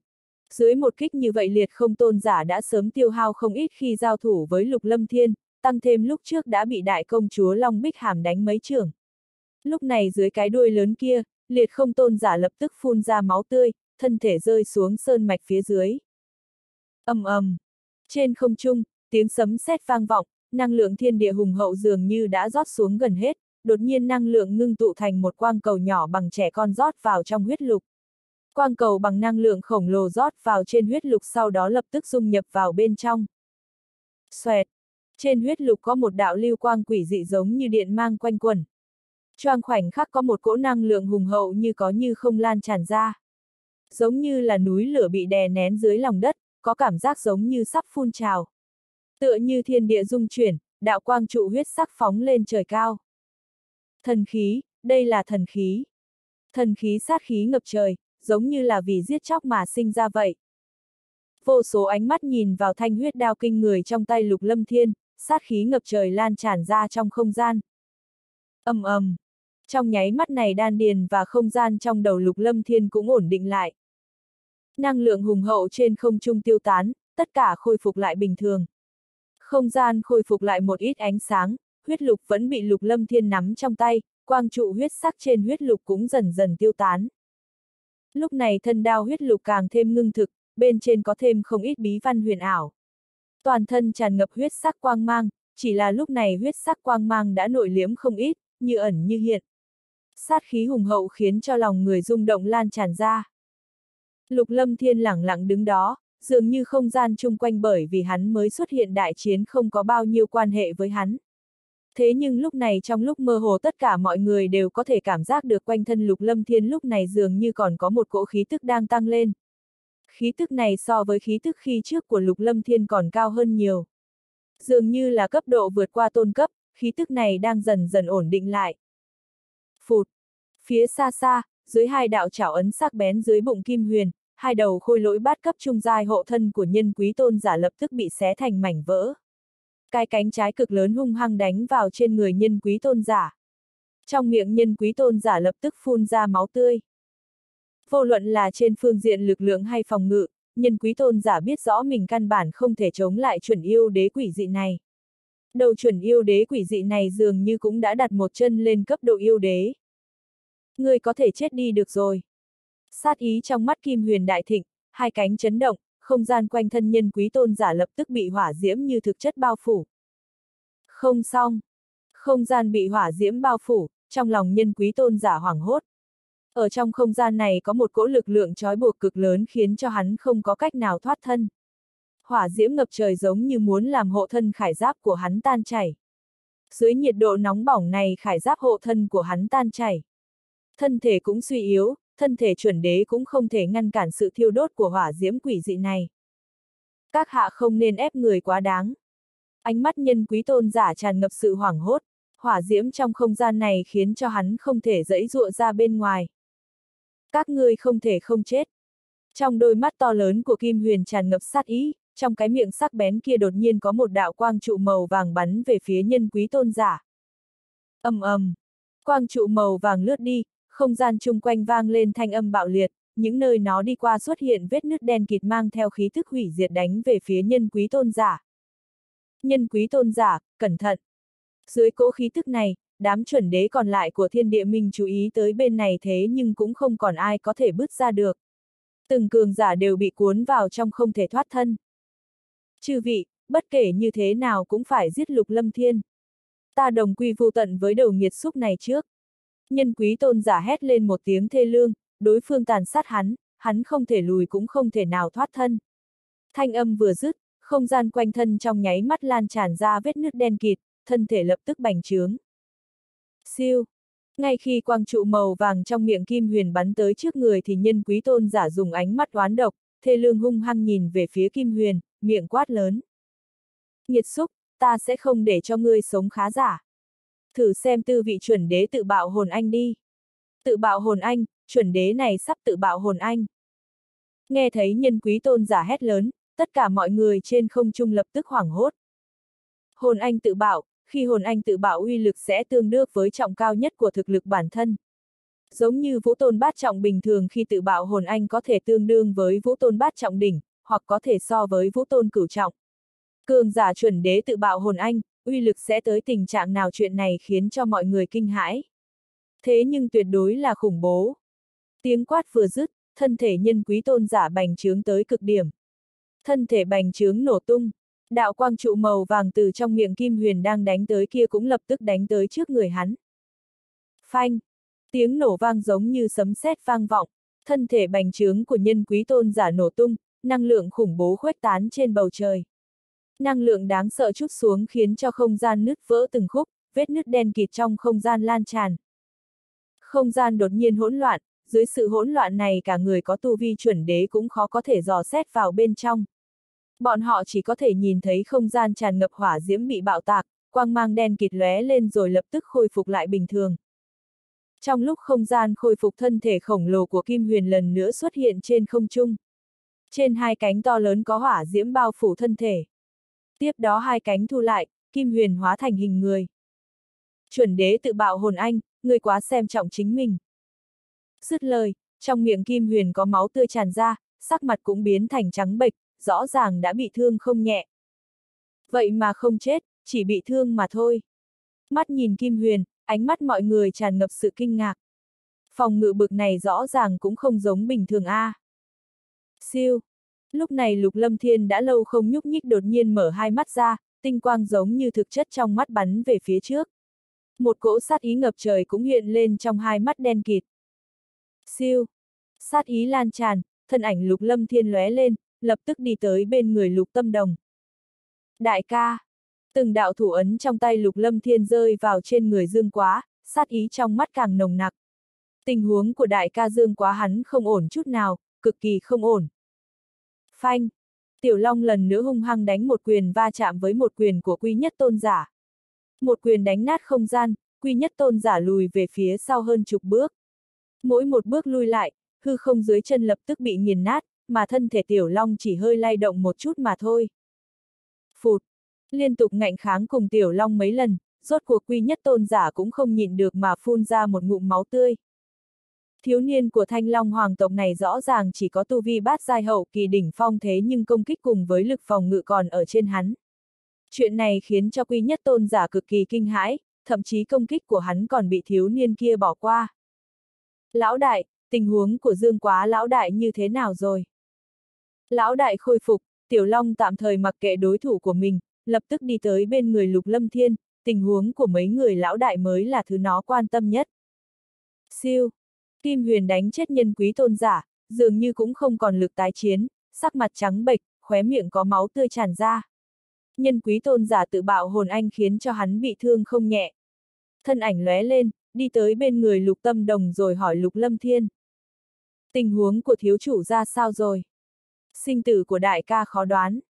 Trong kẽ răng của lục lâm thiên bắn ra sát ý lạnh lẽo. Thiếu chủ. Sắc mặt Kim Huyền lập tức biến sắc. Kim Huyền thúc, thúc bảo vệ đại ca. Còn lại giao cho ta đi. Lục lâm thiên đảo qua toàn trường, trong mắt hiện lên sát ý. Sát khí quanh thân khuếch tán. Những nơi sát ý đi qua khiến cho trong lòng người khác lạnh lẽo, mà ngay cả linh hồn cũng phải run rẩy. Lão đại, còn có đệ, hôm nay đệ cũng muốn đại khai sát giới. Trường bào màu vàng trên người tiểu long tung bay, trong đôi mắt đen kịt bắn ra sát ý ngập trời. Con mắt thứ ba trên mi tâm lập lòe khiến cho linh hồn người ta rung động. Lúc này tiểu long cũng tức giận. Tốt, ngày hôm nay chúng ta sẽ đại khai sát giới. Đám tạp chủng thiên địa minh phải trả giá thật nhiều. Hàn ý trong mắt lục lâm thiên tuôn ra, thanh âm lạnh lẽo như băng, ánh mắt lạnh lùng mà đỏ rực. Huyết lục trên tay không ngừng lan tràn ra huyết quang bắn về bốn phía. Nhân quý tôn giả đã chết, lục lâm thiên cũng đã khôi phục. Không còn cách nào có thể giết chết lục lâm thiên này nữa, trước tiên mau lui lại. Long ảnh tôn giả, mau mở ra càn khôn thiên nguyệt đại trận, chúng ta mau lui lại. Những chuẩn đế của thiên địa minh đang chật vật chống đỡ tuyệt vọng. 12 chuẩn đế tơi giết lục lâm thiên, vậy mà không có cách nào thành công, ngược lại còn bị đánh chết mất hai người, hồn anh không thể chạy thoát. Có chuẩn yêu đế của huyền vũ hoàng tộc và thanh long hoàng tộc ở đây lại thêm cùng kỳ tôn giả và khổng tước tôn giả đạt tới chuẩn đế, muốn giết lục lâm thiên đã không còn khả năng. Chỉ có thể nghĩ biện pháp, mọi người đã có ý định thối lui. Được. Trong miệng long ảnh tôn giả không ngừng có máu tươi tràn ra, dưới sự công kích điên cuồng của huyền vũ mà chật vật trèo trống. Tu vi chuẩn đế cũng bị áp chế, chuẩn đế dù sao cũng không phải là đế giả thực thụ. Chỉ là đẳng cấp vô hình giữa tôn cấp và đế cấp mà thôi. Tuyệt đại bộ phận người có tu vi chuẩn đế kỳ thật đều thất bại, không có cách nào vượt qua khoảng cách trở thành đế giả cho nên mới dừng lại ở cái cấp độ xấu hổ này. Tu vi của huyền vũ chính là bát giai hậu kỳ đỉnh phong, long ảnh tôn giả chính là chuẩn đế, tuy rằng bị trọng thương, thế nhưng nếu như huyền vũ muốn đánh chết hắn cũng vô cùng khó khăn. Người có tu vi chuẩn đế như long ảnh, tuy rằng so với hai kẻ biến thái như lục lâm thiên và tiểu long không là gì, thế nhưng cũng có thiên phú không tồi. Mà không nói tới chuyện này, lòng ảnh tôn giả dù sao cũng là chuẩn đế, ai không phải là nhân vật phong vân trên đại lục này, mỗi một người đều là tồn tại giống như lông phượng sừng lân. Tuy rằng nói có nội tình của các sơn môn lớn trèo trống, thế nhưng bản thân họ cũng phải trải qua vô số lần tôi luyện sinh tử mới có thể đạt tới một bước này. Muốn đánh chết chuẩn đế tuyệt đối không phải là chuyện dễ dàng, mỗi người đều không phải là kẻ bình thường. Ngao! Một tiếng gầm gừ cực lớn vang vọng, tuy rằng huyền vũ dựa vào lực phòng ngự mạnh mẽ cùng với ưu thế của huyền vũ hoàng tộc có thể áp chế long ảnh tôn giả đang bị trọng thương xuống thế hạ phong. Thế nhưng muốn giết chết hắn thì không thể. Huyền vũ lập tức hóa thành bản thể khổng lồ hơn ngàn mét, uy áp cực lớn khuếch tán. Dưới cô uy áp cực lớn này, cho dù không phải người thường cũng đều bị ảnh hưởng. Long ảnh tôn giả đang muốn mở ra càn khôn thiên nguyệt đại trận, đột nhiên nhìn thấy huyền vũ thúc dục bản thể, uy áp cực lớn lan tràn, khuôn mặt già nua biến sắc. Muốn trốn sao? Không dễ vậy đâu. Huyền vũ thấy đám người long ảnh tôn giả dường như muốn mở ra đại trận chạy trốn cho nên hắn sẽ không để cho đám người này từ bỏ ý đồ. Bản thể xuất hiện, uy năng lập tức tăng cao. Huyền vũ nộ. Một tiếng hét lớn vang vọng, trong sát na, phía trên mai rùa cực lớn của huyền vũ đột nhiên có một hư ảnh cự thú màu đen xuất hiện. Hư ảnh cự thú này giống như bản thể huyền vũ, toàn thân màu đen giống như mức, thân thể giống rùa mà không phải là rùa, quy xà tương giao, giống như vật còn sống, mang theo một cỗ uy áp cực lớn. Đây là công kích thiên phúc của huyền vũ hoàng tộc. Long ảnh tôn giả đâu còn thời gian mở càn khôn thiên nguyệt đại trận. Công kích thiên phú của huyền vũ hoàng tộc khiến cho bản thân nàng đã bắt đầu run sợ khuôn mặt già nua biến sắc, thủ ấn trong tay nhanh chóng biến hóa quỷ dị. Trong nghi tâm có một đạo lưu quang màu trắng bắn ra, hóa thành một hư ảnh cự long màu trắng. Ngao! Đầu cự long màu trắng này sau khi gầm lên một tiếng giống như rồng ngâm lập tức bắn về phía huyền vũ. Trong ánh mắt kinh ngạc của không ít người, hai đạo hư ảnh của huyền vũ và cự long màu trắng hung hăng va chạm trên không trung. Siêu! Hai đầu thú ảnh khổng lồ va chạm thế nhưng lại không phát ra thanh âm bạo liệt gì. Chỉ có không gian chung quanh sụp đổ từng khúc, nơi hai đạo hư ảnh va chạm, quang mang mạnh mẽ khuếch tán giống như mặt trời ban trưa vậy. Trong chớp mắt này trong không gian, gợn sóng chung quanh bị gạt ra, vết nứt không gian bốn phía lan tràn. Năng lượng khủng bố lan tràn ra không trung. Khục khục. Dưới va chạm như vậy, bản thể khổng lồ của huyền vũ bị đẩy lui. Hung hăng đánh vỡ hư không. Thế nhưng có bản thể cường hãn của huyền vũ hoàng tộc cho nên cũng không có chuyện gì quá lớn. Phụt. Long ảnh tôn giả thì ngược lại, trong miệng phun ra một ngụm máu tươi. Hư ảnh cự long màu trắng kia dường như có liên quan tới linh hồn lực của hắn. Cự long màu trắng bị phá hủy khiến cho linh hồn của hắn bị trọng thương. Đám tạp chủng các ngươi nên trả giá. Ngao. Vào lúc này thân ảnh lục lâm thiên xuất hiện trước người long ảnh tôn giả. Trên huyết đao vang lên một tiếng đao minh giống như tiếng rồng ngâm, huyết sắc quang mang ngập trời. Thân ảnh lục lâm thiên rõ ràng còn cách đó vài trăm thước, thế nhưng trong sát na đã xuất hiện trước người long ảnh tôn giả. Huyễn ảnh thanh vũ khẽ vỗ, lực lượng thời gian được thúc giục gấp 30 lần, lực lượng quỷ dị đồng hóa gợn sóng trong không gian. Trong sát na này long ảnh tôn giả không kịp phản ứng, tốc độ của lục lâm thiên như vậy, long ảnh tôn giả không thể tưởng tượng nổi, làm sao có thể nhanh bằng lục lâm thiên thúc dục huyễn ảnh thanh vũ tăng thêm lực lượng thời gian cơ chứ. Duệ kim hồn đao. Không có chút trần chờ nào, kim quang quanh thân lục lâm thiên đại thịnh. Huyết lục trong tay kéo theo một đường vòng cung huyền ảo. Một đạo quang mang màu vàng mang theo khí tức sắc bén ẩn trước linh hồn lực vô hình bắn về phía trước. Những nơi nó đi qua, gợn sóng trong không gian hóa thành cho tàn. Vết nứt không gian đen kịt xuất hiện. Long ảnh tôn giả ngốc trệ, nàng có thể cảm giác được sự khủng bố của một đao kia. Khí tức sắc bén kia cùng với công kích linh hồn khiến cho nàng run sợ. Thế nhưng hết lần này tới lần khác lại không kịp ngăn cản. Càng khiến cho nàng khiếp sợ chính là thực lực của Lục Lâm Thiên lúc này so với lúc đầu tăng vọt không ít, không phải là thực lực ban đầu có thể so sánh. Dưới đao mang tràn ngập kim quang mang theo vết nứt không gian đen kịt. Dưới vô số ánh mắt chăm chú nhìn vào, đao mang lập tức đánh tới trước người long ảnh tôn giả. Tất cả chỉ trong nháy mắt, đao mang dùng xu thế như trẻ che bổ vào trên người long ảnh tôn giả. Sát khí ngập trời khuếch tán, không gian đột nhiên run lên, khiến cho trong lòng người ta không nhịn được mà bị dọa nhảy dựng lên. Siêu! Ngay lập tức dưới ánh mắt kinh hãi của vô số người, đao mang màu vàng bổ vào trên người long ảnh tôn giả. Từ trên đỉnh đầu long ảnh tôn giả, đao mang dùng xu thế cường hãn chém thân thể long ảnh tôn giả thành hai khúc. ầm ầm, đao mang còn dư lực từ trên không trung chém xuống sơn mạch phía dưới. Sơn mạch phía dưới bị bổ ra một cái khe sâu, một ngọn núi khổng lồ bị bổ thành hai nửa. Long ảnh tôn giả dưới một đao bị bổ thành hai nửa, thân thể hóa thành cho tàn rơi xuống phía dưới. Hồn anh cũng không kịp chạy thoát. Hít. Trong không trung, tất cả mọi người hít sâu một ngụm khí lạnh, gian nan nuốt nước miếng. Vừa rồi long ảnh tôn giả dường như hoàn toàn không có lực chống lại đã bị lục lâm thiên chém chết. Thần khí của cô ra quả nhiên là hung khí giết chóc, sát khí có thể ảnh hưởng tới linh hồn. Đám người độc cô gia tộc kinh hãi. Tu vi của cô gia đã vượt qua tôn cấp, tuyệt đối đã một chân bước ra khỏi tôn cấp. Tu vi giống như đại trưởng lão, thế nhưng mà thực lực còn mạnh mẽ hơn đại trưởng lão nhiều. Tộc nhân Bắc Cung gia tộc lúc này cũng rung động không thôi. Thực lực thật mạnh, đồ sát chuẩn đế như chơi. Đám người huyền kình, huyền doanh cùng người của huyền vũ hoàng tộc và thanh long hoàng tộc kinh ngạc. Trong lòng đám người đại công chúa Long Bích Hàm, đại trưởng lão huyền phạt, cùng với huyền vũ, khổng tước tôn giả, cùng kỳ tôn giả, kim huyền, độc cô cảnh văn không khỏi run lên. Mặc dù nói long ảnh tôn giả bị trọng thương, thế nhưng uy lực một đao kia mọi người đều có thể cảm nhận được. Một đao này dường như không nên tồn tại, quá mức sắc bén. Mấy chuẩn đế còn lại của thiên địa minh rung động, bọn họ cũng nhìn ra thực lực của lục lâm thiên đã tăng lên.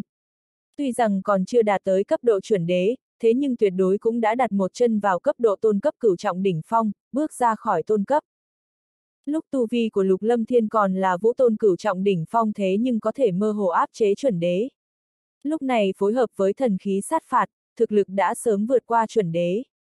Trong lúc mơ hồ bọn họ có thể cảm nhận được một cỗ khí tức đế giả như ẩn như hiện trên người lục lâm thiên. Những chuẩn đế còn lại không còn tâm chống lại nữa, hôm nay bọn họ đã không có cách nào có thể đánh chết được lục lâm thiên này. Hiện tại bọn họ còn lâm vào cảnh phiền phức. Không tốt, long ảnh tôn giả vẫn lạc rồi. Càn khôn thiên nguyệt đại trận không có cách nào mở ra, cho dù là ai trong chúng ta cũng không có cách nào chạy ra.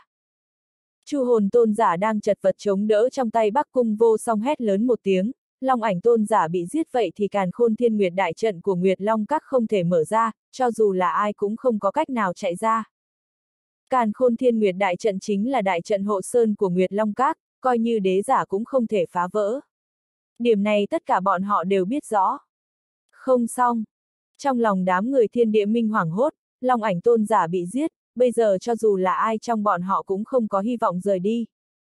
Cùng một lúc, trên bản thể thanh long khổng lồ của đại công chúa Long Bích Hàm có một cỗ uy áp nồng đậm lan tràn ra chung quanh. Cả không trung lúc này run rẩy, gió nổi mây phun, chấn động nhân tâm. Khí tức như vậy khiến cho máu trong cơ thể mấy người có cảm giác sôi trào. Linh hồn run rẩy, thanh long hồn. Tiếp đó, bản thể thanh long khổng lồ của đại công chúa Long Bích Hàm lập tức dựng đứng lên. Dùng xu thế kinh người, trong mi tâm xuất hiện con mắt thứ ba. Trong mắt có một đạo quang trụ hùng hậu bắn ra. Đạo quang trụ màu trắng này tựa như màn sáng, bao phủ lấy thân thể tràn ngập vết thương của hóa hổ tôn giả. Uy áp kinh người cùng với công kích linh hồn khiến cho ánh mắt hóa hổ tôn giả ngốc trệ. Linh dồn run rẩy, máu tươi sôi trào, toàn thân căn bản không có cách nào nhúc nhích. Hóa hổ tôn giả, coi chừng. Lúc này liệt không tôn giả cùng với quy nhất tôn giả hét lớn một tiếng, sắc mặt đại biến.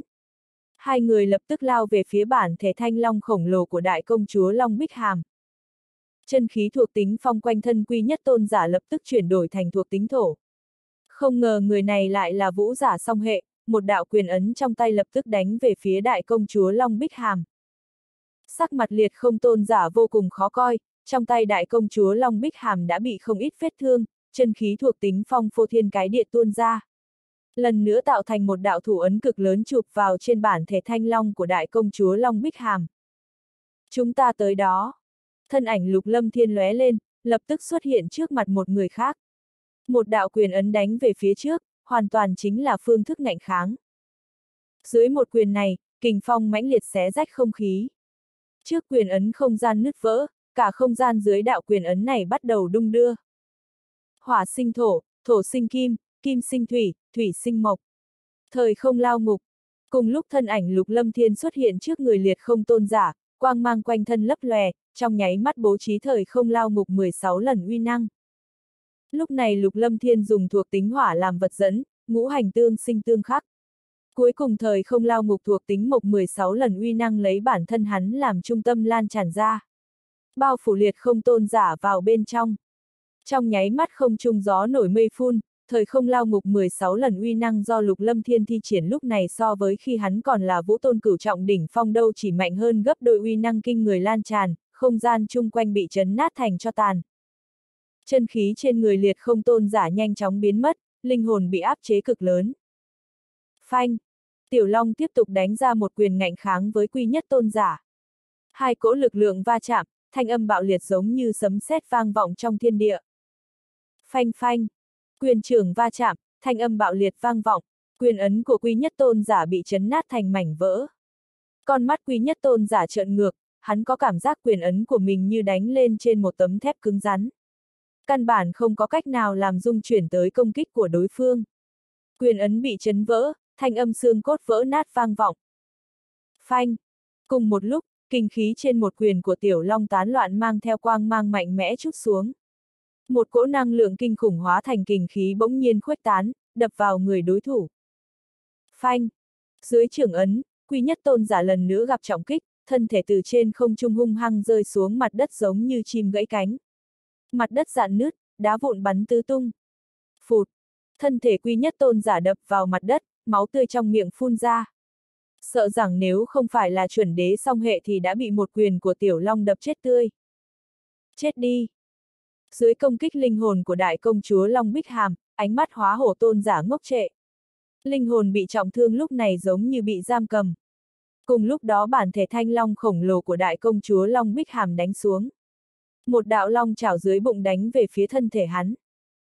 Ken két. Dưới long chảo, thân thể hóa hồ tôn giả hóa thành mảnh vỡ cùng với máu tươi, hồn anh cũng không kịp chạy ra. Tiểu tạp trùng, cho dù chết ta cũng phải kéo theo người đệm lưng. Trừ mối họa như nhà ngươi. Trong thời không lao ngục thuộc tính thổ, liệt không tôn giả nhìn thấy hóa hổ tôn giả bị đánh chết. Quy nhất tôn giả bị trọng thương. Ở trong vũ kỹ thiên cấp quỷ dị của lục lâm thiên, hắn muốn thoát thân dường như là điều không thể nào. Đến thời điểm này hắn sẽ không từ bất kỳ giá nào cũng phải kéo theo lục lâm thiên này đệm lưng. Lão cẩu, ngày hôm nay ngươi nhất định sẽ chết.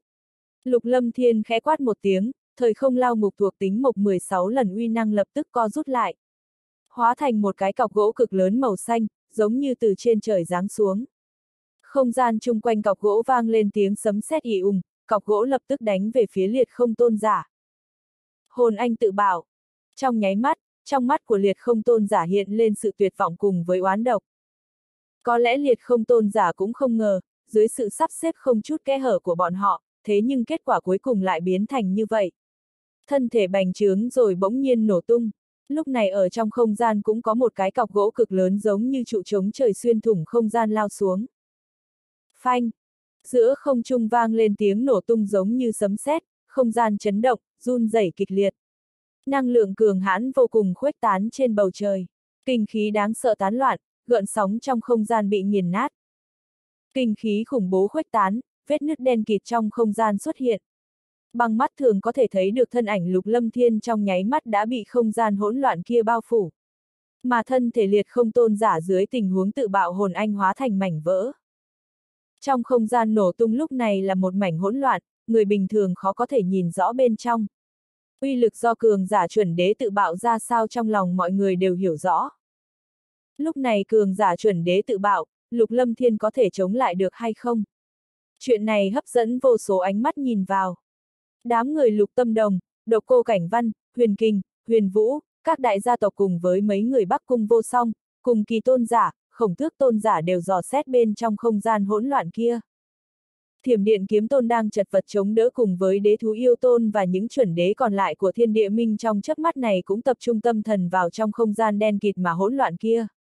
Nếu như liệt không tôn giả tự bạo hồn anh có thể đánh chết được lục lâm thiên thì cũng coi như cái chết có ý nghĩa. Trong lúc chúng cường giả thiên địa minh thương nghị có nói tới nếu như dưới tình huống vạn nhất, coi như là liều mạng tự bạo hồn anh cũng phải đánh chết lục lâm thiên này ngoài thành cự giang. Ngay trong sự dò xét của mọi người, không trung hỗn loạn dần dần khôi phục. Trong ánh mắt trợn trừng kinh hãi của mọi người, từng vết nứt đen kịt trong không gian lúc này đang chậm rãi khôi phục. Mà trong lúc những vết nứt đen kịt này khôi phục, một đạo quang cầu màu xanh chừng 300 thước xuất hiện. Bên trên quang cầu màu snơ tràn ngập lưu quang giống như điện mang lưu chuyển. Trung quanh quang cầu, gợn sóng trong không gian vặn vẹo. Trên quang cầu màu xanh, uy áp thần khí tràn ngập không gian trong lúc vô hình khiến cho lòng người run rẩy. Người hôm nay phạm bản tôn chắc chắn sẽ trở thành cho bụi. Dưới ánh mắt kinh ngạc của tất cả mọi người, một thanh âm lạnh lẽo như băng từ trong quang cầu màu xanh này truyền ra. Ngay lúc đó quang cầu màu xanh đột nhiên chấn động, tách ra làm hai thành một đôi cánh màu xanh hoàn mỹ. Khí tức khiến cho tim đập nhanh từ đôi cánh này không ngừng lan tràn ra. Dưới hai cánh, gợn sóng lan tràn về bốn phía. Đôi cánh màu xanh xuất hiện, khi đôi cánh hoàn toàn mở rộng, tiếng sấm nổ lập tức vang vọng. Một cỗ năng lượng hùng hậu khiến cho người ta kinh hãi tăng vọt. Khí tức hùng hậu khiến cho chúng cường giả phát lạnh. Dưới huyễn ảnh thanh vũ bành trướng tới mấy trăm trượng, thân ảnh lục lâm thiên biến mất không thấy gì nữa. Mà ở giữa huyền ảnh thanh vũ chính là một đầu cự hổ màu trắng xanh cực lớn. Toàn thân có lân phiến bao trùm, thân thể bành trướng tới hơn 300 trượng. Cự hổ hung mãnh dị thường, quanh thân tràn ngập điện mang quanh quẩn mang theo một cỗ uy thế cực lớn khiến cho người ta hãi hùng, khiếp phía, trong lòng rung động không thôi. Sát ý trong đôi mắt đen kịt của cự hổ không ngừng lan tràn ra. Lục lâm thiên này không có việc gì, cường giả chuẩn đế tự bạo hồn anh cũng không thể làm gì được hắn. Lục lâm thiên tại sao lại trở thành cự hổ? Chẳng lẽ đây cũng là vũ kỹ sao? Tất cả mọi người nhìn đầu cự hổ khổng lồ trên không trung, trong mắt hiện lên sự rung động. Cường giả chuẩn đế tự bạo hồn anh, thế nhưng lục lâm thiên lại dường như không có ảnh hưởng gì. Lực phòng ngự khủng bố bực này khiến cho người ta nhìn tận mắt mà vẫn khó có thể tin tưởng. Tại sao lại mạnh như vậy, ngay cả tự bạo hồn anh cũng không bị ảnh hưởng. 12 cường giả chuẩn đế của thiên địa mình tới đây hiện tại chỉ còn 7. Chấn thiên đánh chết huyền tuyệt tôn giả, kim huyền thi triển thủ đoạn thiên phú đánh chết nhân quý tôn giả. Đại công chúa Long Bích Hàm thi triển thủ đoạn thiên phú đánh chết hóa hổ tôn giả. Lục Lâm Thiên cũng thừa cơ đánh chết Long ảnh tôn giả cùng liệt không tôn giả. 12 chuẩn đế chết mất năm, còn lại 7 người chật vật chống đỡ. Mắt thấy Lục Lâm Thiên dưới tình huống liệt không tôn giả tự bạo hồn anh mà không bị ảnh hưởng, đám người này càng thêm tuyệt vọng. Đại trưởng lão huyền phạt của huyền vũ hoàng tộc thừa dịp thiểm điện kiếm tôn vì lực phòng ngự của lục lâm thiên mà khiếp sợ, thân thể khổng lồ bao phủ không gian mang theo hơi nước ngập trời bao phủ về phía thiểm điện kiếm tôn. Nhiệt xúc, ta liều mạng với ngươi. Thiểm điện kiếm tôn lập tức phục hồi tinh thần lại. Đối mặt với chuẩn yêu đế của huyền vũ hoàng tộc, hắn không dám chủ quan một chút nào. Nhìn huyền phạt đánh tới, kiếm quang bất phàm trong tay mang theo điện mang cùng với thanh âm giống như sấm sét vang vọng trong thiên địa. Thiểm điện kiếm quyết. Thiểm điện kiếm tôn quát lên một tiếng trầm thấp, trên thân trường kiếm lập tức có vô số kiếm quang bắn ra, hóa thành ngàn vạn kiếm quang bao phủ bầu trời. Cả không gian vang vọng tiếng xé gió, không gian bạo liệt, từng đạo kiếm quang bổ ra vết nứt đen kịt trong không gian đánh về phía huyền phạt. Đem thân thể đại trưởng lão huyền phạt bao phủ vào bên trong. Ngao! Đại trưởng lão huyền phạt lập tức hóa thành bản thể cực lớn hơn ngàn thước, trên mai rùa cực lớn có quy xà tương giao, yêu hoàng khí trong nháy mắt tuôn ra. Phanh phanh! Cả không gian trong sát na bạo liệt, kinh khí khủng bố khuếch tán.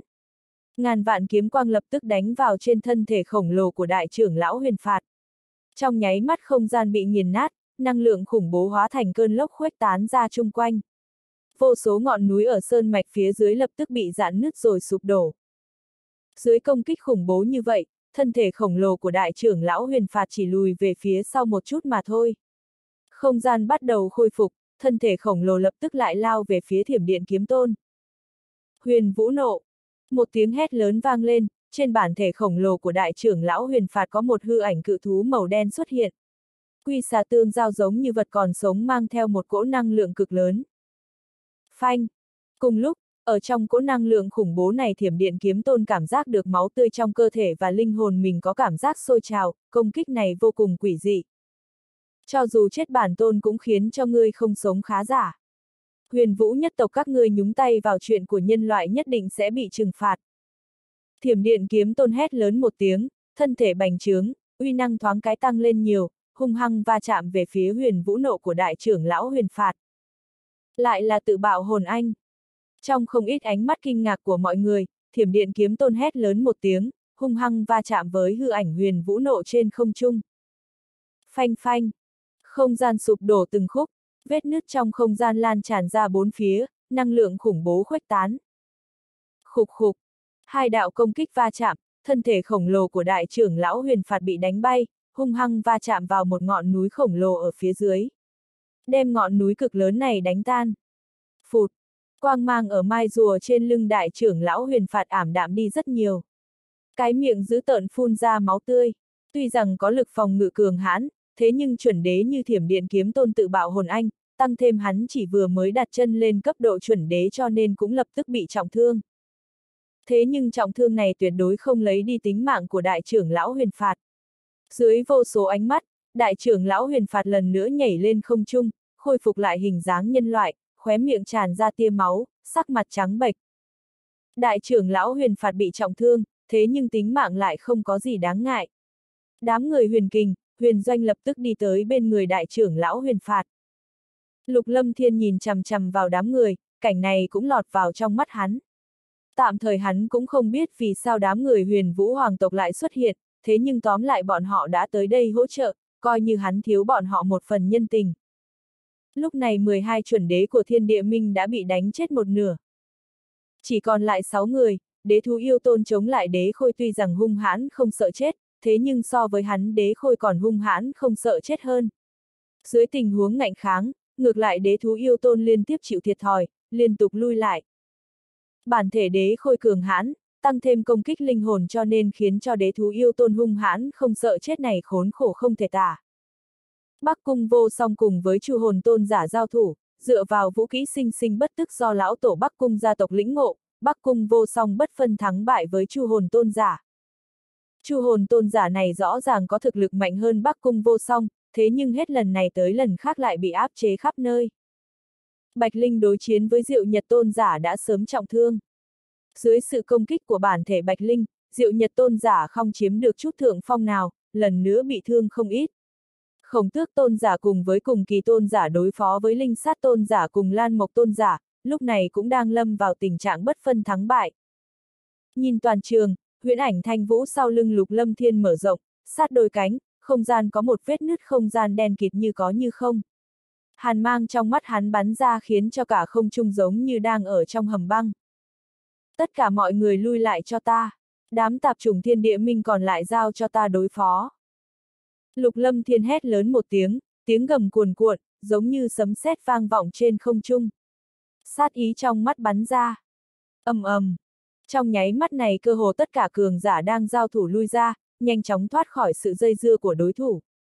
Sáu cường giả chuẩn đế còn lại của thiên địa minh cũng không ngăn cản. Bọn họ đã sớm ước gì thoát khỏi sự dây dưa của đối phương cho nên lúc này đối phương chủ động rời đi bọn họ cầu còn không được. Siêu siêu. Bạch Linh hóa thành hình người, y phục trắng như tuyết, sắc mặt có chút trắng bệch hộ tống đám người khổng tước tôn giả, cùng kỳ tôn giả lùi lại phái sau.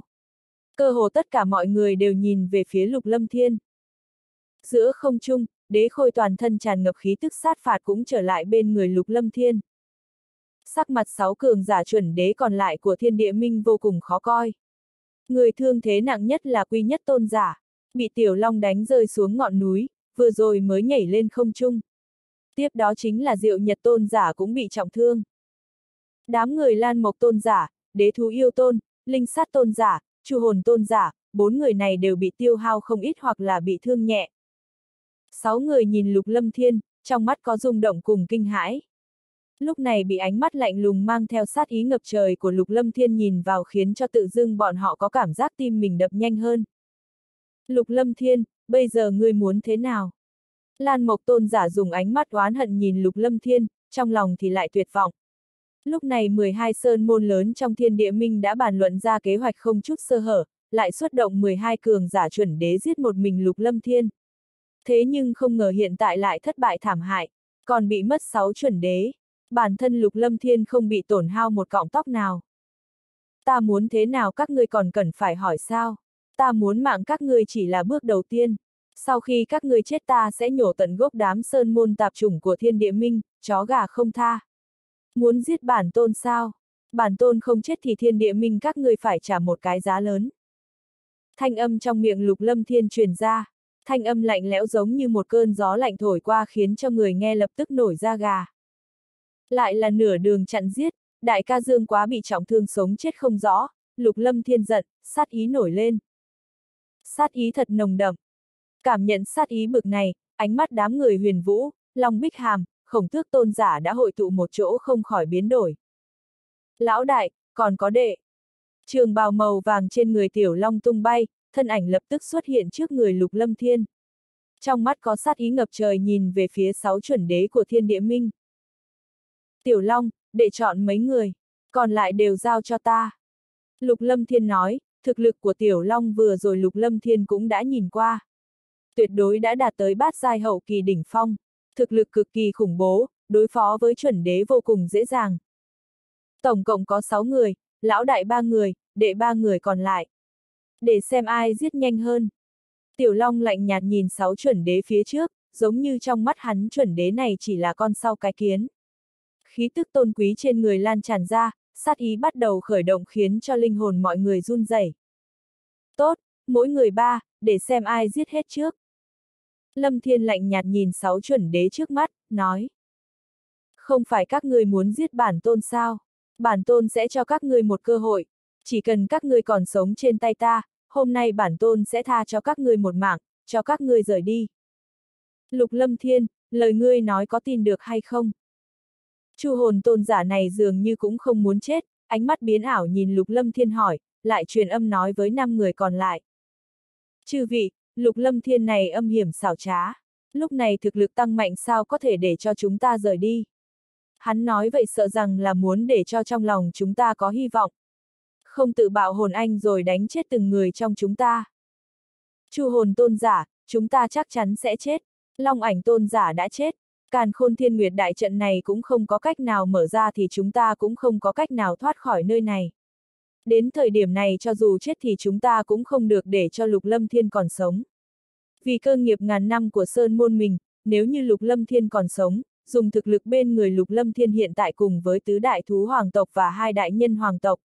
Thiên địa minh chúng ta tràn ngập nguy cơ, cho nên chúng ta phải đánh chết lục lâm thiên, cho dù là tự bạo hồn anh đồng quy vô tận cũng phải đánh chết tiểu tạp chủng này. Lan Mộc Tôn giả truyền âm nói với mọi người. Vậy thì tương kế tự kế, ba người tiêu hao ít thừa cơ tới gần lục lâm thiên thi triển tự bạo hồn anh. Ba người ở cùng một chỗ tự bạo hồn anh, cho dù lục lâm thiên có mạnh mẽ tới đâu ta không tin hắn không chết. Dù sao hôm nay chúng ta cũng không còn sống rời đi. Đế thú yêu tôn hung hăng truyền âm nói. Ta nói đương nhiên có thể tin được, ít nhất ta không vô sỉ như đám người thiên địa minh các ngươi. Hàn mang trong mắt lục lâm thiên bắn ra. Vậy thì một lời đã định. Đế thú yêu tôn khẽ quát một tiếng, thân ảnh nhảy ra, khí tức tập trung lên người lục lâm thiên. Siêu siêu. Cùng lúc linh sát tôn giả, lan mộc tôn giả, thân ảnh hai người này cũng rơi xuống bên cạnh đế thú yêu tôn. Khí tức của ba người cơ hồ cùng lúc rơi vào trên người lục lâm thiên, tập trung vào trên người hắn. Khí tức của ba người chu hồn tôn giả, diệu nhật tôn giả, quy nhất tôn giả còn lại cũng tập trung lên trên người tiểu long. Sự cường hãn của tiểu long, quy nhất tôn giả là người hiểu rõ nhất. Chu hồn tôn giả và diệu nhật tôn giả cũng đã nhìn thấy cho nên tuyệt đối không dám xem thường tiểu long. Ba người các ngươi sao? Tiểu long nhìn thấy trước mặt mình là ba người tiêu hao nhiều nhất, trong đó có một kẻ bị thương nặng nhất khi đối phó với hắn, trong lòng lập tức cảm thấy không vui. Rõ ràng là sáu người này coi thường hắn, ánh mắt trầm xuống, tiểu long không mặn không nhạt nói với ba người. Nếu như ba người các ngươi có thể trụ lại dưới tay ta một phút đồng hồ thì ta sẽ tha cho các ngươi. Ta cam đoan lão đại ta cũng sẽ tha cho các ngươi. Có bổn sự sống sót hay không thì phải xem thực lực các ngươi rồi. Hừ. Quy nhất tôn giả hừ lạnh một tiếng, ánh mắt nhìn về phía tiểu long chấp động. Trên không trung, ánh mắt mọi người biến ảo, Lục Lâm Thiên và Tiểu Long không ngờ lại muốn đối phó với sáu chuẩn đế. Rốt cuộc hai người này cuồng như thế nào a? À? Đây chính là sáu chuẩn đế, không phải là đơn giản như người có tu vi tôn cấp bình thường. Đám người Bạch Linh, Bắc Cung Vô Song, Độc Cô Cảnh Văn, Kim Huyền, Khổng Tước Tôn Giả, cùng kỳ tôn giả nhìn chăm chú vào Lục Lâm Thiên. Mọi người hiểu rất rõ thực lực của chuẩn đế thế nào. Long Bích Hàm, Thần Hy, Hổ Y, Huyền Vũ, Huyền Phạt, Huyền Kình, Huyền Doanh thì nhìn chằm chằm vào Tiểu Long. Đại trưởng lão Huyền Phạt nhìn Tiểu Long, ánh mắt chấp động, rõ ràng có thể nhìn thấy ánh mắt này không giống như khi trước. Lão đại, bắt đầu được chưa? Tiểu Long quay đầu hỏi Lục Lâm Thiên. Động thủ. Ngay khi Tiểu Long vừa mới dứt lời, ba người đế thú yêu tôn, Lan Mộc tôn giả, Linh sát tôn giả lập tức lao thẳng về phía Lục Lâm Thiên. Ba người hóa thành ba đạo lưu quang, chân khí, linh lực phô thiên cái địa tuôn ra câu dẫn năng lượng thiên địa hùng hậu hội tụ. Trong nháy mắt cả không trung gió nổi mây phun, ba đạo lưu quang mang theo không gian rung động đánh về phía lục lâm thiên. Tiểu Long, động thủ. Lục lâm thiên hét lớn một tiếng, trong đôi mắt hổ tràn ngập sát ý lạnh lẽo. Giết! Cùng một lúc, chu hồn tôn giả, diệu nhật tôn giả, quy nhất tôn giả lập tức đánh về phía Tiểu Long. Ba người cũng không có chút khách khí nào, đều toàn lực ứng phó. Chân khí linh lực phô thiên cái địa bộc phát, cả không gian ẩm ẩm vang vọng. Đại chiến kinh người lập tức nổ ra. Chu hồn tôn giả, diệu nhật tôn giả, quy nhất tôn giả lao thẳng về phía tiểu long.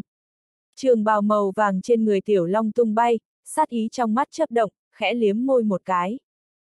Siêu. Đối mặt với công kích của ba người, trong giây lát thân thể của tiểu long không lùi mà còn tiến tới, bắn thẳng về phía ba người. Một tiếng long ngâm lập tức vang vọng.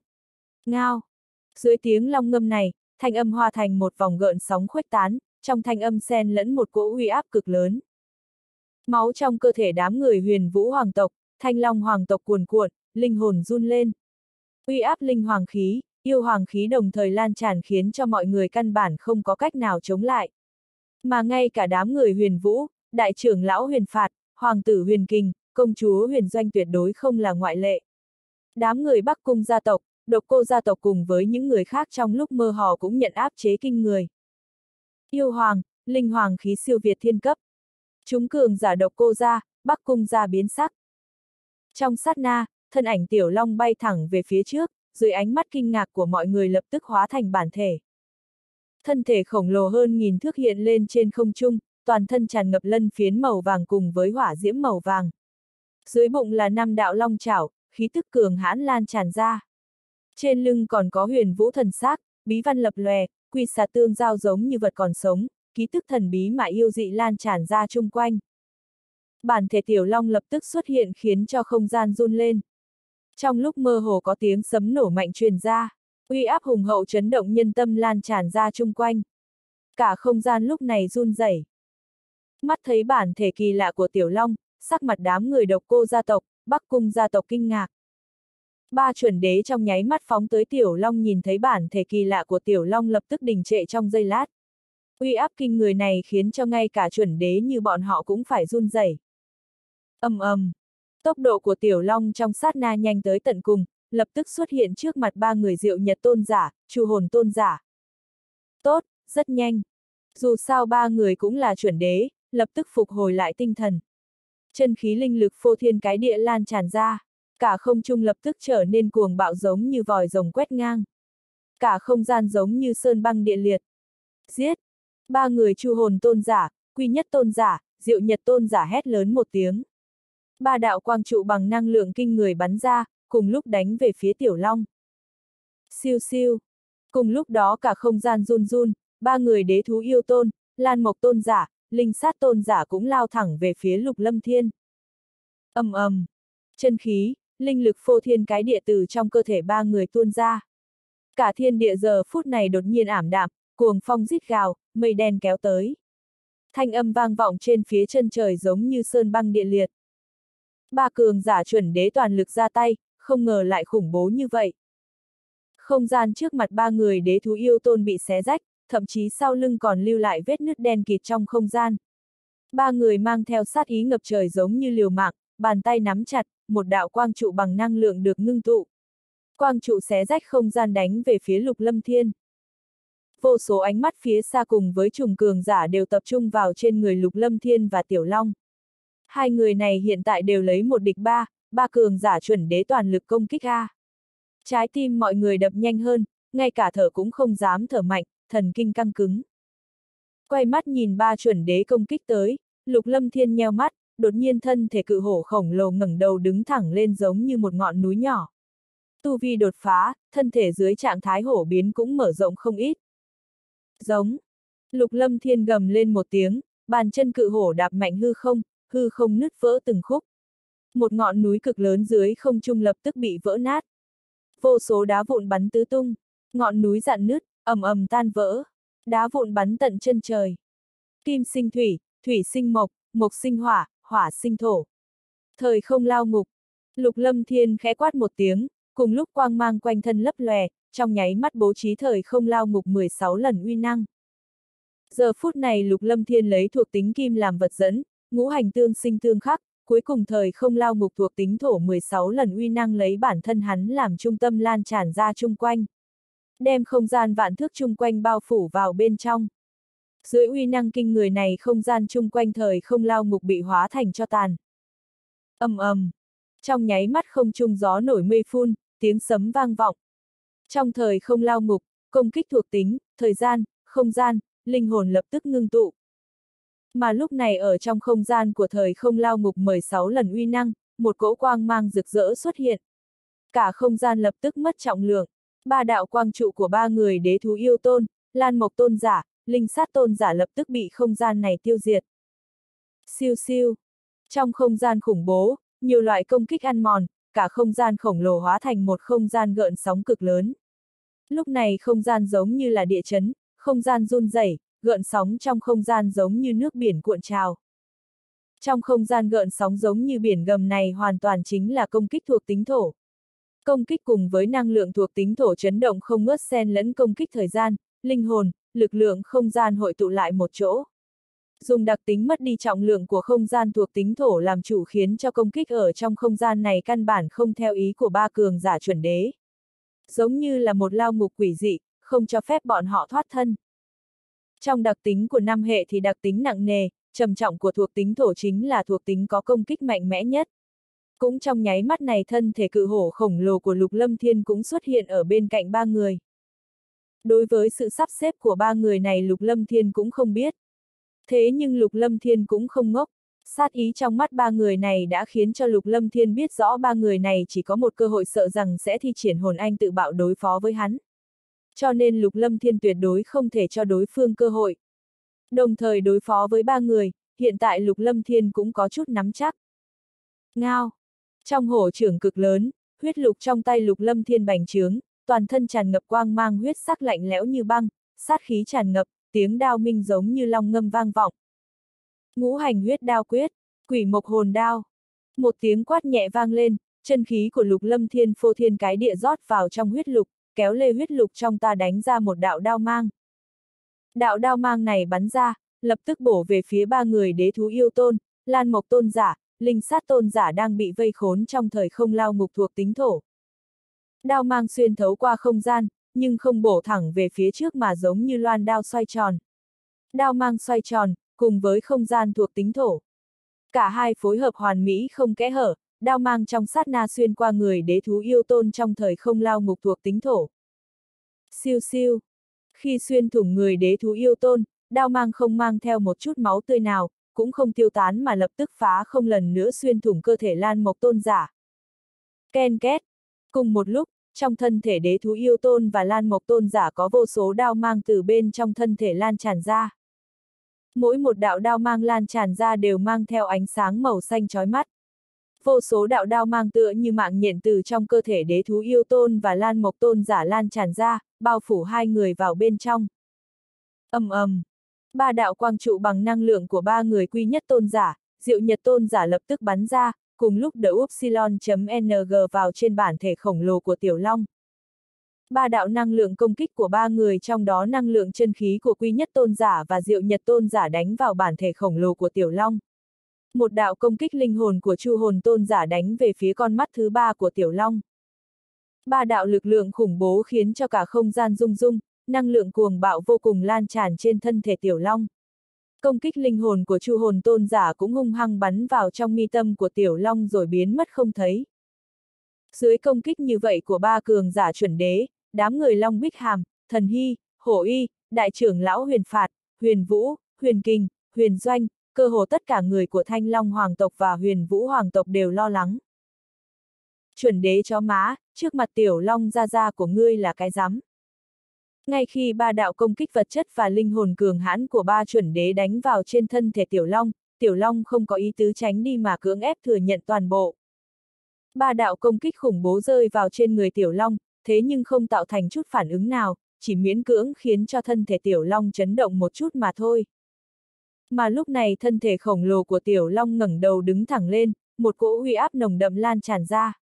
Cả không trung lúc này như run rẩy, miệng hét lớn một tiếng. Thanh Long hồn. Tiếng quát vừa dứt, trên mi tâm của Tiểu Long, ấn ký con mắt thứ ba đột nhiên mở ra. Một đạo quang trụ trong mắt bắn thẳng ra không trung, quang trụ khuếch tán giống như màn sáng bao phủ ba người diệu nhật tôn giả, chu hồn tôn giả, quy nhất tôn giả. Một cỗ công kích linh hồn che khuất bầu trời khuếch tán ở phía chân trời.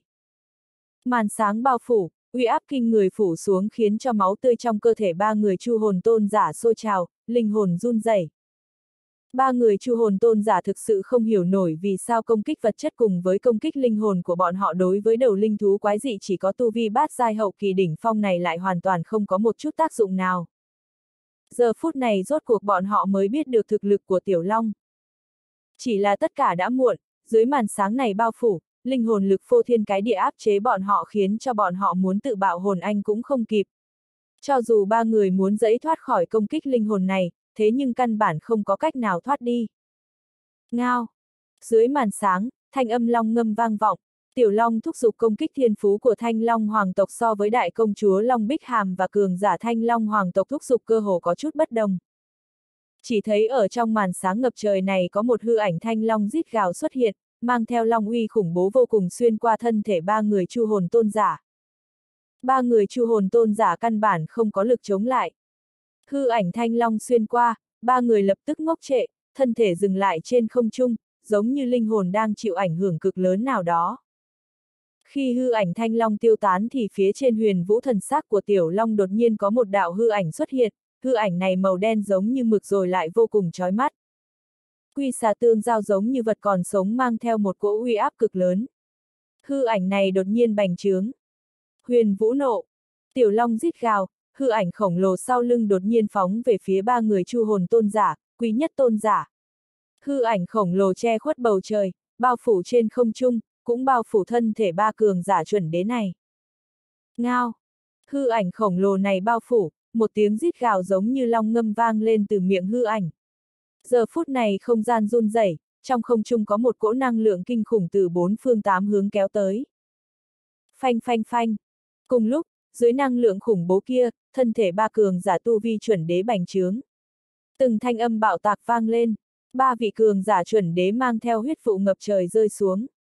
Huyết phụ rơi vãi, xương cốt không còn. Cùng một thời gian, ở gần đó đế thú yêu tôn, Lan Mộc Tôn giả bị đao mang nhập vào cơ thể, lập tức thân thể hai người bị lục quang trói mắt bao phủ. Tiếp đó quanh thân hai cường giả chuẩn đế này có một cỗ năng lượng thuộc tính mộc vô hình lan tràn về phía chân trời. Đây là đao kỹ gì? Mạng ta xong rồi.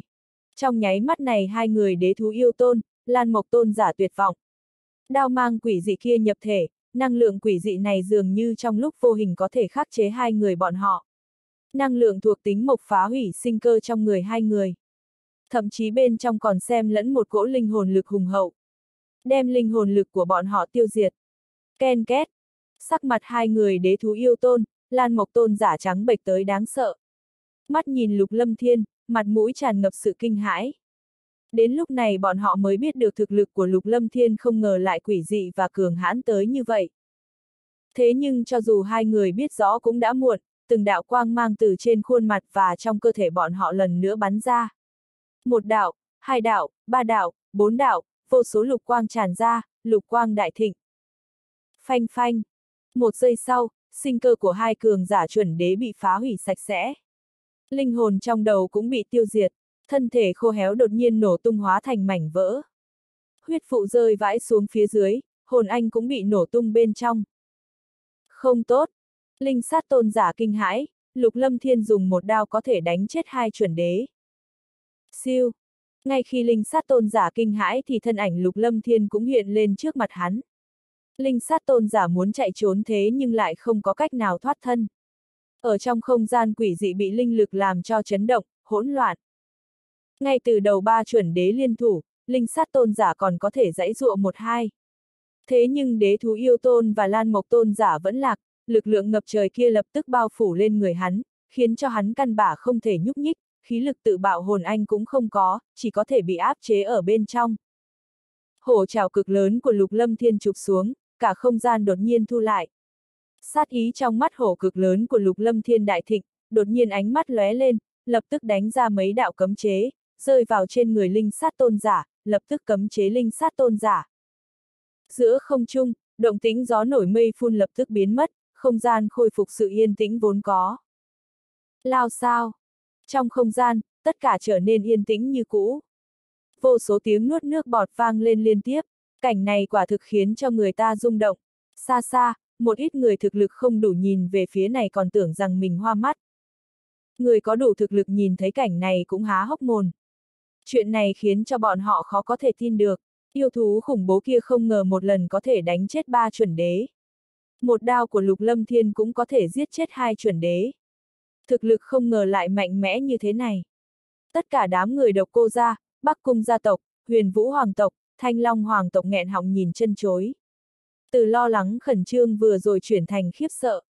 Mà ngay cả đám cường giả như Long Bích Hàm, Đại trưởng lão Huyền Phạt, Huyền Vũ, cùng kỳ tôn giả, khổng tước tôn giả cùng những người khác lúc này cũng nghẹn họng nhìn chân chối. Kết quả này hoàn toàn vượt quá dự kiến của bọn họ. Một người một thú đều là yêu nghiệt biến thái A. Cùng kỳ tôn giả không nhịn được sợ hãi than, thực lực như vậy xa không phải là thứ hắn có thể đạt được. Bạch Linh, Bắc Cung Vô Song, Độc Cô Cảnh Văn, Huyền Doanh, chúng nữ chấn động vì thực của Lục Lâm Thiên và Tiểu Long. Bọn họ cũng thật không ngờ thực lực của hai người này lại mạnh tới như vậy. Thân hình cự hổ khổng lồ của Lục Lâm Thiên khôi phục lại hình dáng nhân loại. Thần khí huyết lục và huyễn ảnh thanh vũ cũng thu vào trong cơ thể, tay nắm linh sát tôn giả đang không cách nào nhúc nhích. Lão đại, huynh chậm vài giây a.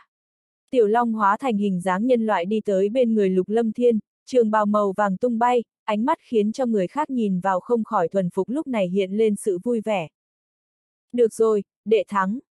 Lục Lâm Thiên mỉm cười, đối với thực lực của Tiểu Long vẫn còn nằm trong suy đoán của Lục Lâm Thiên, cũng chỉ làm hắn hơi ngạc nhiên chút thôi. Miễn dịch với công kích linh hồn, miễn dịch với công kích vật chất. Thiên phú khủng bố như vậy tăng thêm tu vi của Tiểu Long hiện tại, ba chuẩn đế này hoàn toàn là đi chịu chết. Kỳ thật cũng không phải, ba người đối phó với huynh mạnh hơn một chút. Coi như chúng ta ngang tay, lần sau lại so tiếp. Tiểu Long cười hắc hắc, dường như việc đánh chết chuẩn đế nó hoàn toàn không để vào trong lòng. Linh sát tôn giả bị lục lâm thiên nắm trong tay vẻ mặt xám như cho tàn. Tất cả các sơn môn thương nghị sắp xếp, 12 chuẩn đế mất mấy tháng sắp xếp giết lục lâm thiên, còn tưởng rằng không sơ hở tí nào, như vậy đã quá coi trọng lục lâm thiên này rồi. Ai ngờ 12 chuẩn đế của thiên địa minh thì 11 người chết, hắn bị bắt giữ. Kết quả như vậy chính là thứ mà tất cả bọn họ đều không nghĩ tới. Thế nhưng kết quả bây giờ đã hiện lên trước mắt. Lâm Thiên, chúng ta vẫn còn ở trong càn khôn thiên nguyệt đại trận, vẫn nên đi ra ngoài trước thì tốt hơn. Độc cô Cảnh Văn đi tới bên người rồi nói. Lúc này mọi người còn đang ở trong càn khôn thiên nguyệt đại trận, độc cô Cảnh Văn có chút bận tâm. Nếu như thiên địa minh lại phái cường giả tới, thậm chí không để ý tới tất cả mà phái đế giả tới, hậu quả cực kỳ nghiêm trọng.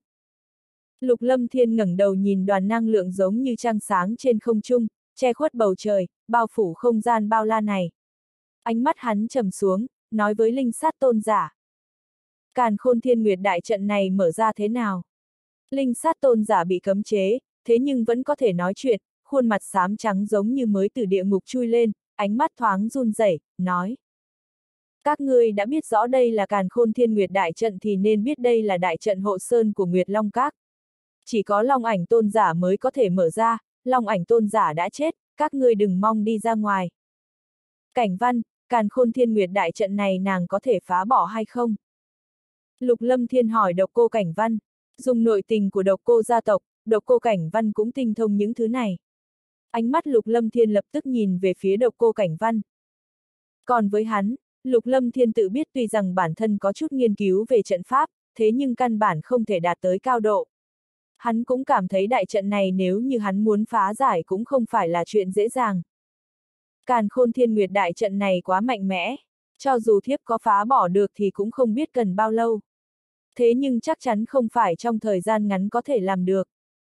Độc cô cảnh văn ngưng trọng nói, càn khôn thiên nguyệt đại trận này chính là đại trận thượng cổ. Nàng đối với trận pháp có nghiên cứu, thế nhưng cũng tốn không ít thời gian. Còn chưa biết được có thể phá bỏ nó hay không. Tứ sư thúc, người có thể phá bỏ trận pháp này hay không? Lục lâm thiên nhìn về phía khổng tước tôn giả. Ít nhất trong thời gian ngắn thì không được, nếu như sư phụ ngươi có mặt ở đây thì không thành vấn đề. Lão đại, bằng không chúng ta cùng nhau cưỡng ép phá trận. Tiểu Long nhìn đại trận, có chút kích động nói. Hừ đại trận này căn bản không có cách nào phá vỡ. Mà ngay cả đế giả cũng không được. Linh sát tôn giả hừ lạnh một tiếng. Lão tạp trùng, nếu như ngươi tiếp tục nhiều chuyện, có tin ta sẽ làm cho ngươi sống không bằng chết hay không? Tiểu Long trừng mắt nhìn linh sát tôn giả. Tiểu Long, trận pháp này có lẽ ta có biện pháp. Lúc này ánh mắt thần hy có chút biến hóa, thân thể mềm mại lách mình đi tới bên cạnh Tiểu Long. Tiểu Long kinh hỉ nhìn về phía thần hy, nói. Thần hy, người có biện pháp thật sao? Có lẽ có thể, thế nhưng đại trận này rất mạnh. Ta phải thử một chút mới biết được. Thần hy dường như cũng không quá tin tưởng. Long Bích Hàm bước lên phía trước, thế nhưng lại lăng không kéo gần khoảng cách trong không gian đi tới bên người thần hy, nhìn mọi người nói. Quả thực có lẽ thần hy sẽ có biện pháp rời khỏi đại trận này. Để cho thần hy thử một lần đi, không được thì chúng ta lại nghĩ biện pháp. Long Bích Hàm nói xong, lập tức nhìn qua Lục Lâm Thiên nói. Lâm Thiên, người có thần khí, để cho chúng ta tiến vào thần khí. Đến lúc đó thần hy có thể mang chúng ta rời khỏi đại trận này. Được. Lục Lâm Thiên gật đầu, đại công chúa đã nói như vậy nhất định có đạo lý riêng. Hắn lập tức gọi ra tử lôi huyền đỉnh, để cho tất cả mọi người tiến vào tử lôi huyền đỉnh đang xoay quanh trên không trung. Chúng cường giả Bắc Cung gia tộc cùng với huyền vũ hoàng tộc và tất cả mọi người nhanh chóng tiến vào trong tử lôi huyền đỉnh. Thần Hy, nếu như ngươi không thể đi ra ngoài thì quá mất mặt. Hổ y đi qua người thần Hy, đôi mắt xinh đẹp mang theo chút không phục nhìn về phía thần Hy. Tiểu Long, đây là... Lục Lâm Thiên nhìn về phía hổ y, yêu thú bát giai trung kỳ, trên người có yêu hoàng khí lan tràn khiến cho Lục Lâm Thiên có cảm giác như có một cỗ khí thức quen thuộc. Lão đại, đây là hổ y, là công chúa của bạch hổ hoàng tộc. Tiểu Long nói với Lục Lâm Thiên. Công chúa của bạch hổ hoàng tộc sao? Ánh mắt Lục Lâm Thiên biến ảo, khó trách hắn cảm giác được khí tức quen thuộc. Khí tức này cùng với khí tức trên bạch hổ quyết hắn tu luyện có không ít chỗ tương tự. Trong lúc mơ hồ Lục Lâm Thiên có thể cảm giác được tứ thần quyết này có quan hệ với tứ đại thú hoàng tộc. Chỉ tiếc tới bây giờ hắn còn chưa tìm được thanh long quyết. Có thể tìm được ba quyết trong tứ thần quyết đã không dễ rồi. Có lẽ thanh long quyết cả đời này hắn cũng không tìm được. Cũng không biết thanh long quyết hiện tại đang ở đâu, cũng có thể đã bị người ta phá hủy rồi. Ánh mắt lục lâm thiên có chút nghi hoặc nhìn thần hy và hổ y, lại nhìn về phía tiểu long, âm thầm nở nụ cười. Xem ra tiểu long và hai tiểu công chúa này có quan hệ phức tạp a. À. Thần hy, giao cho ngươi. Đại công chúa Long Bích Hàm tiến vào trong tử lôi huyền đỉnh, lục lâm thiên cùng với tiểu long, hổ y cũng tiến vào trong tử lôi huyền đỉnh. Tử lôi huyền đỉnh cũng thu nhỏ lại rơi vào trong tay thần hy. Một giây sau quanh thân thần hy có quang mang đỏ rực lóe lên, trên mái tóc màu đỏ giống như có hỏa diễm như thực chất lan tràn ra, nàng lập tức hóa thành bản thể khổng lồ. Bản thể của thần hy toàn thân màu đỏ thấm, trên đầu có cái mũ phượng, phía đuôi có bảy cái lông dài. Hai cánh mở rộng, hỏa diễm tràn ngập, toàn thân được bao phủ trong ngọn lửa nóng bỏng khiến cho linh hồn của mọi người đột nhiên cảm thấy nóng bỏng giống như có hỏa diễm thiêu đốt linh hồn. Không gian chung quanh lắc lư. Đó là bản thể của Chu Tước Hoàng tộc A. Phía xa xa trên không trung, có không ít người có nhãn lực không tệ lập tức nhận ra bản thể Chu Tước Hoàng tộc trong không gian. Chi. Bản thể thần hy kêu lên một tiếng chi, thanh âm tựa như chuông đồng vang vọng trong không gian. Hai cánh chấn động, hơi nước trong không gian bị hỏa diễm hừng hực thế chỗ. Thân thể khổng lồ tựa như phượng hoàng bay thẳng về phía chân trời, bắn về phía xa. Siêu. Bản thể khổng lồ của thần hy đỡ upsilon.ng vào một tầng bình chướng vô hình, trong suốt trong không gian. Bình chướng này ngay cả Kim Huyền cũng không có cách nào phá vỡ. Thế nhưng lúc này, bức bình chướng vô hình trong không gian kia chỉ ngăn cản được thần hy trong nháy mắt, tiếp đó bản thể khổng lồ của thần hy xuyên qua. Bình chướng trong không gian không có cách nào ngăn cản được bản thể của thần hy. Chu tước hoàng tộc quả thực có thiên phú về không gian, có thể khống chế không gian. Thật đúng là thiên phú cường hãn. Phía xa xa, đôi mắt xinh đẹp của tử yên chấp động. Lục lâm thiên cùng với tiểu long kia mới là khủng bố. Miễu sát chuẩn đế, về sau dưới đế cấp lục lâm thiên không có đối thủ. Lệnh cấm kia đã có, sợ rằng dùng tính cách của lục lâm thiên, thiên địa minh lần này lâm vào tình cảnh vạn kiếp bất phục rồi. Lam thập tam khẽ than nhẹ. Đây cũng là kết cục do thiên địa minh tự mình tìm lấy, 12 chuẩn đế tới giết lục lâm thiên, quả thực cũng xuất ra được. Tử Yên nói. Trường bào trên người Lam thập tam khẽ run, ánh mắt chấp động nói. Có thể nói thiên địa minh trộm gà không được mà còn mất nắm gạo. Tổn thất chuẩn đế, người của thiên địa lần này nhỏ máu trong lòng rồi. Căn cơ của thiên địa minh hao tổn, về sau cũng có khó thể chống lại đế đạo minh. Tử Yên ngưng trọng nói. Đây cũng là ép thiên địa minh tới con đường cùng. Thần Hy thu hồi bản thể, lần nữa hóa thành hình dáng nhân loại khiến cho người ta sôi trào. Ở trong tử lôi huyền đỉnh Lục Lâm Thiên đã nhận được tin tức, mọi người lục tục ra khỏi tử lôi huyền đỉnh. Mà lúc này đám người Lam Linh, Vân Hồng Lăng, huyết mị cũng theo mọi người từ bên trong tử lôi huyền đỉnh đi ra. Đi ra rồi. Lục Lâm Thiên ra khỏi tử lôi huyền đỉnh, nhìn qua không gian bị càn khôn thiên nguyệt bao phủ, lại nhìn thần hy, ánh mắt có chút kinh ngạc. Càn khôn thiên nguyệt đại trận này cho dù chịu một kích toàn lực của Kim Huyền cũng không bị dung chuyển chút nào. Linh sát tôn giả bị cấm chế tiếp tục bị lục lâm thiên nắm trong tay, nhìn thấy mọi người đã rời khỏi càn khôn thiên nguyệt đại trận, ánh mắt kinh ngạc không thôi. Lâm Thiên, thần hy chính là tộc nhân Chu Tước Hoàng tộc, Chu Tước Hoàng tộc có thiên phú với không gian. Càn khôn thiên nguyệt đại trận tuy rằng lợi hại, thế nhưng thần hy lại có thể vượt qua không gian. Nhìn thấy vẻ mặt nghi hoặc và khiếp sợ của Lục Lâm Thiên, đại công chúa Long Bích Hàm mỉm cười giải thích cho Lục Lâm Thiên. Đại trận này quá lợi hại, ta đã dùng hết toàn lực. Nếu như mạnh hơn một chút ta cũng bất lực. Sắc mặt thần hy tái nhợt, dường như vừa rồi nhìn như đơn giản, thế nhưng lại khiến cho nàng tiêu hao rất nhiều. Thần hy, cảm ơn ngươi. Lục Lâm Thiên nói với thần hy.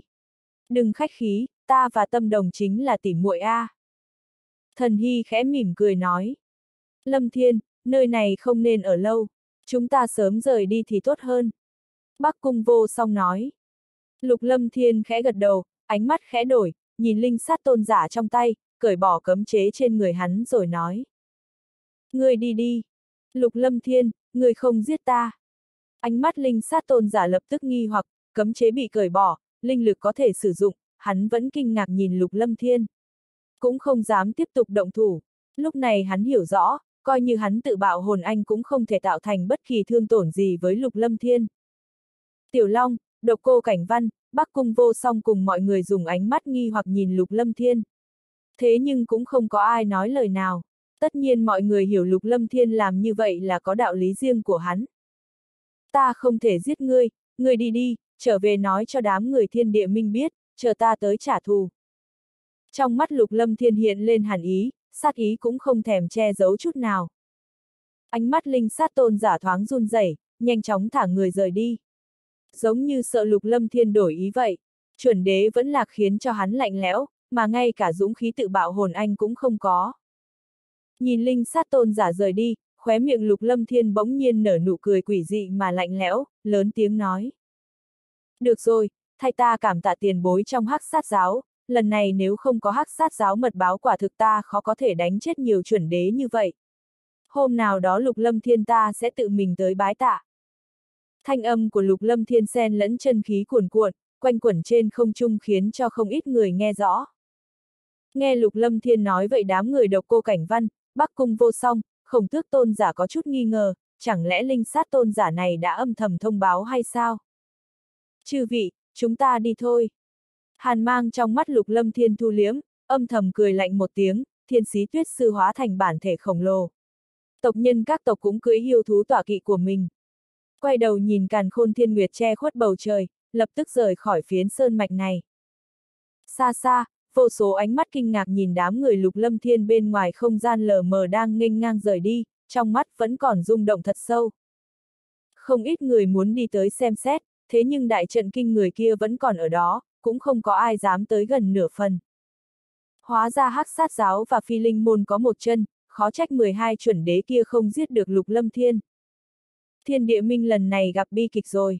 Hóa ra hắc sát giáo cùng phi linh môn ở cùng phe sợ rằng kế hoạch nửa đường chặn giết đã sớm bị Lục Lâm Thiên biết rõ cho nên mới có nhiều người tới giúp đỡ như vậy. Một lần hành động đánh chết 11 chuẩn đế. Mọi người thấp giọng nghị luận, đối với việc hắc sát giáo và phi linh môn thông đồng cực kỳ kinh ngạc. Thế nhưng dường như đây cũng là lý do mà Lục Lâm Thiên giết chết chuẩn đế của thiên địa minh được. Tử Yên, hắc sát giáo quả thực âm thầm liên thủ với phi linh môn sao. Giữa không trung, Lam Thập Tam cũng có chút nghi hoặc. Ta cũng không biết, chuyện này không có khả năng cao. Thế nhưng cũng không quá bình thường. Dựa theo tính cách lục lâm thiên, muốn thả cường giả chuẩn đế của hắc sát giáo sợ rằng sẽ không để như vậy. Chuẩn đế A, đủ để làm ảnh hưởng tới căn cơ của hắc sát giáo. Nếu như không âm thầm liên thủ, tuyệt đối chuyện này chính là thả hổ về rừng. Thế nhưng nếu như hắc sát giáo và phi linh môn âm thầm liên thủ thì cũng không có khả năng cao. Tử yên nghi hoặc không thôi.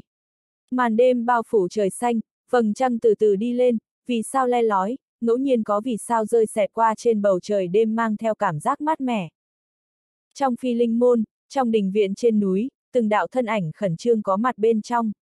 Trước giường là đám người nam thúc, lục lâm thiên, kim huyền, khổng tước tôn giả, cùng kỳ tôn giả, lục tâm đồng, độc cô cảnh văn, bắc cung vô song, long bích hàm, tiểu long. Thân thể dương quá nằm trên giường, hai mắt nhắm chặt, sắc mặt trắng bệch. Lỗ máu trước ngực hiện tại có kim quang quanh quẩn, khu trừ khí tức lạnh lẽo trong cơ thể.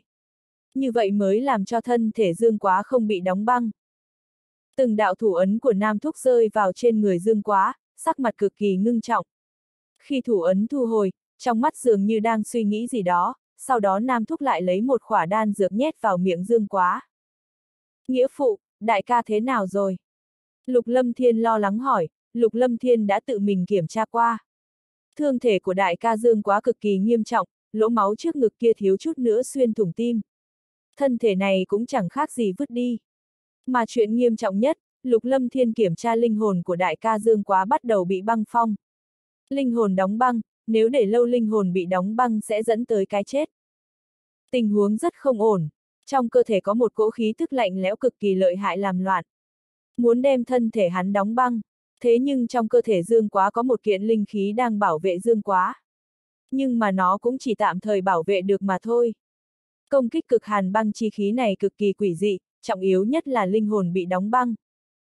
Nam Thúc nói, đây là Trấn Thiên đang che chở thiếu chủ, thế nhưng linh hồn bị đóng băng, thời gian lâu cho dù là ai cũng khó cứu. Ánh mắt Kim Huyền ngưng trọng vô cùng.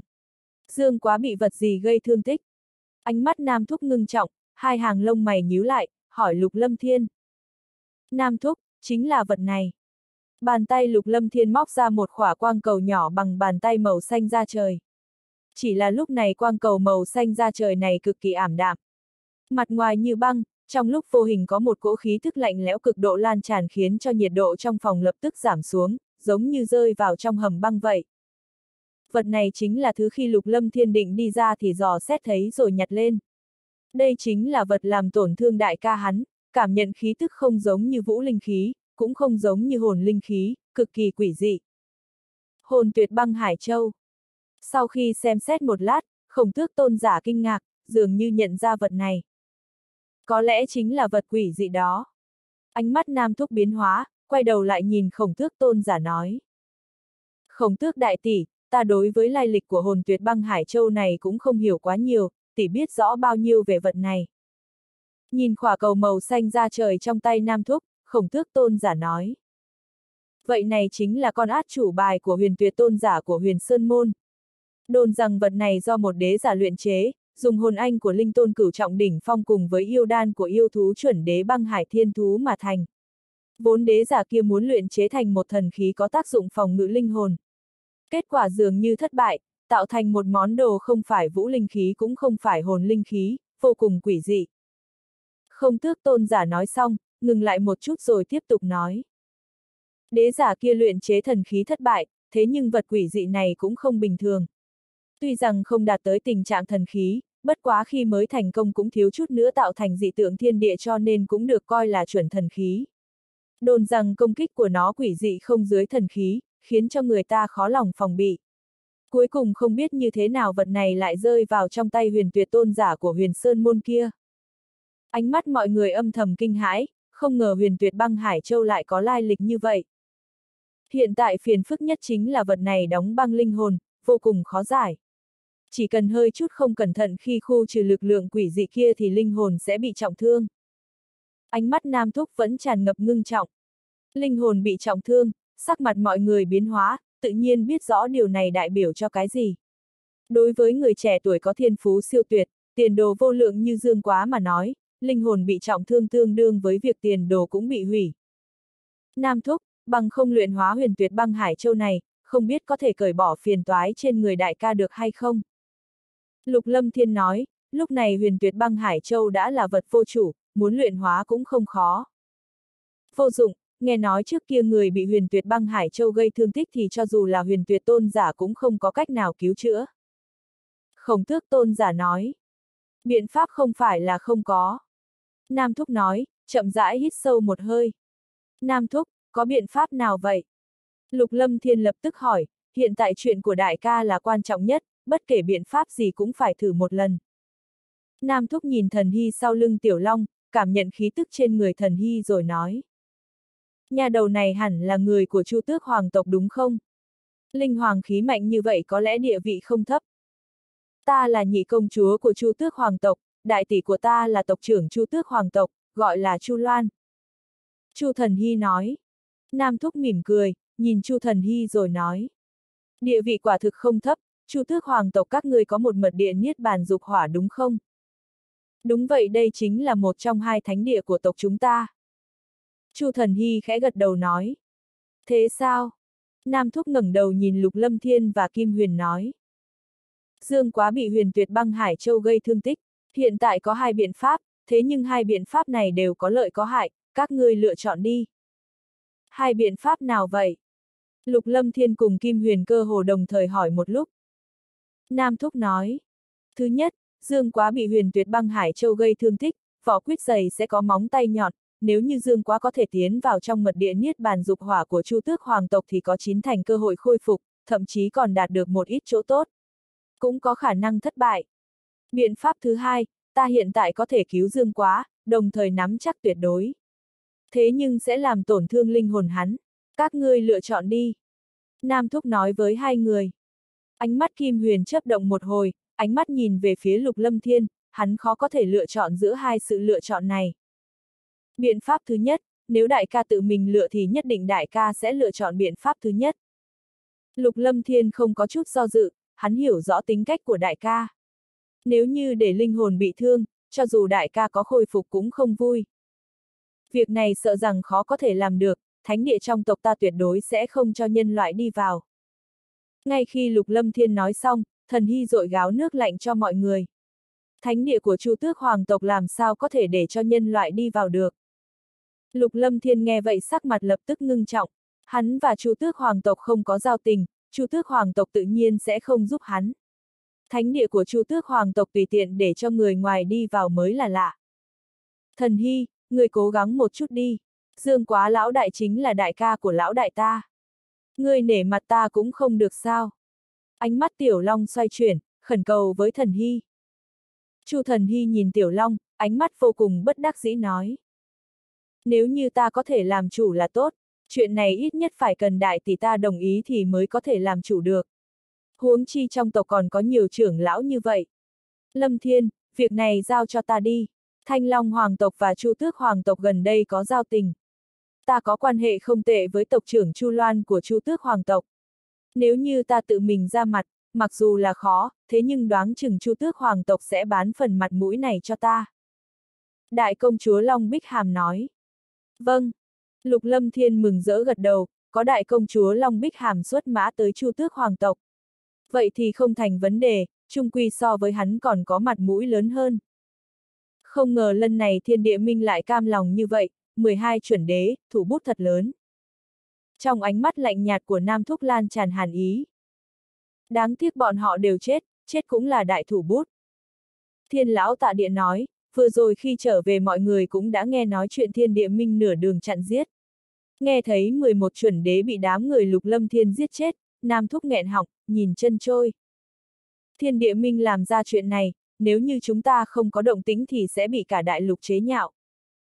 Địa lão trầm giọng nói. Khoản sổ sách này với thiên địa minh đương nhiên ta không bỏ qua. Sẽ có lúc bọn chúng phải trả giá thật nhiều. Khóe miệng lục lâm thiên nở nụ cười lạnh lẽo, lúc này đế đạo minh cũng nên phản công. Lâm thiên, chuyện thiên địa minh ngươi nên lui lại một thời gian. Còn có chuyện cần ngươi xử lý trước. Nam Thúc nói với Lục Lâm Thiên. Nghĩa phụ, có chuyện gì vậy? Lục Lâm Thiên hỏi. Hay là Tiểu Gia Hỏa nói với ngươi đi? Nam Thúc nhìn Tiểu Long. Đúng rồi Tiểu Long, sao mấy người lại tới đây? Lục Lâm Thiên nghi hoặc, trên đường đi bởi vì lo lắng thương thế của đại ca Dương quá cho nên rất nhiều chuyện nghi hoặc hắn cũng không hỏi. Tiểu Long nói. Lão đại, là thế này, để tìm được biện pháp có thể khôi phục yêu đan bị nghiền nát của phụ thân đệ. Thế nhưng cần phải luyện chế một khỏa đan dược chuẩn đế phẩm mới được. Huyền hạo thúc có thể khôi phục sao? Lục Lâm Thiên có chút kinh ngạc hỏi. Đúng vậy, mấy năm nay đệ một mực tìm kiếm biện pháp khôi phục cho phục thân. Rốt cuộc cũng tìm được một biện pháp. Tiểu Long gật đầu nói. Dưới miệng liến thoáng của Tiểu Long, Lục Lâm Thiên mới biết được mọi chuyện. Những năm này Tiểu Long không vội vã rời khỏi Thanh Long Hoàng tộc là bởi vì tìm kiếm biện pháp khôi phục yêu đan bị nghiền nát. Trời xanh không phụ lòng người, rốt cuộc cũng tìm thấy biện pháp khôi phục yêu đan bị nghiền nát. Chỉ cần luyện chế ra một loại đan dược là có thể khôi phục yêu đan bị nghiền nát. Về phần kết quả thế nào cũng không có ai biết. Tiểu gia hỏa này vốn định mời ta đi thanh long hoàng tộc một chuyến. Bất quá gần đây ta có cảm giác lĩnh ngộ, cho nên muốn nhân cơ hội bế quan một thời gian ngắn.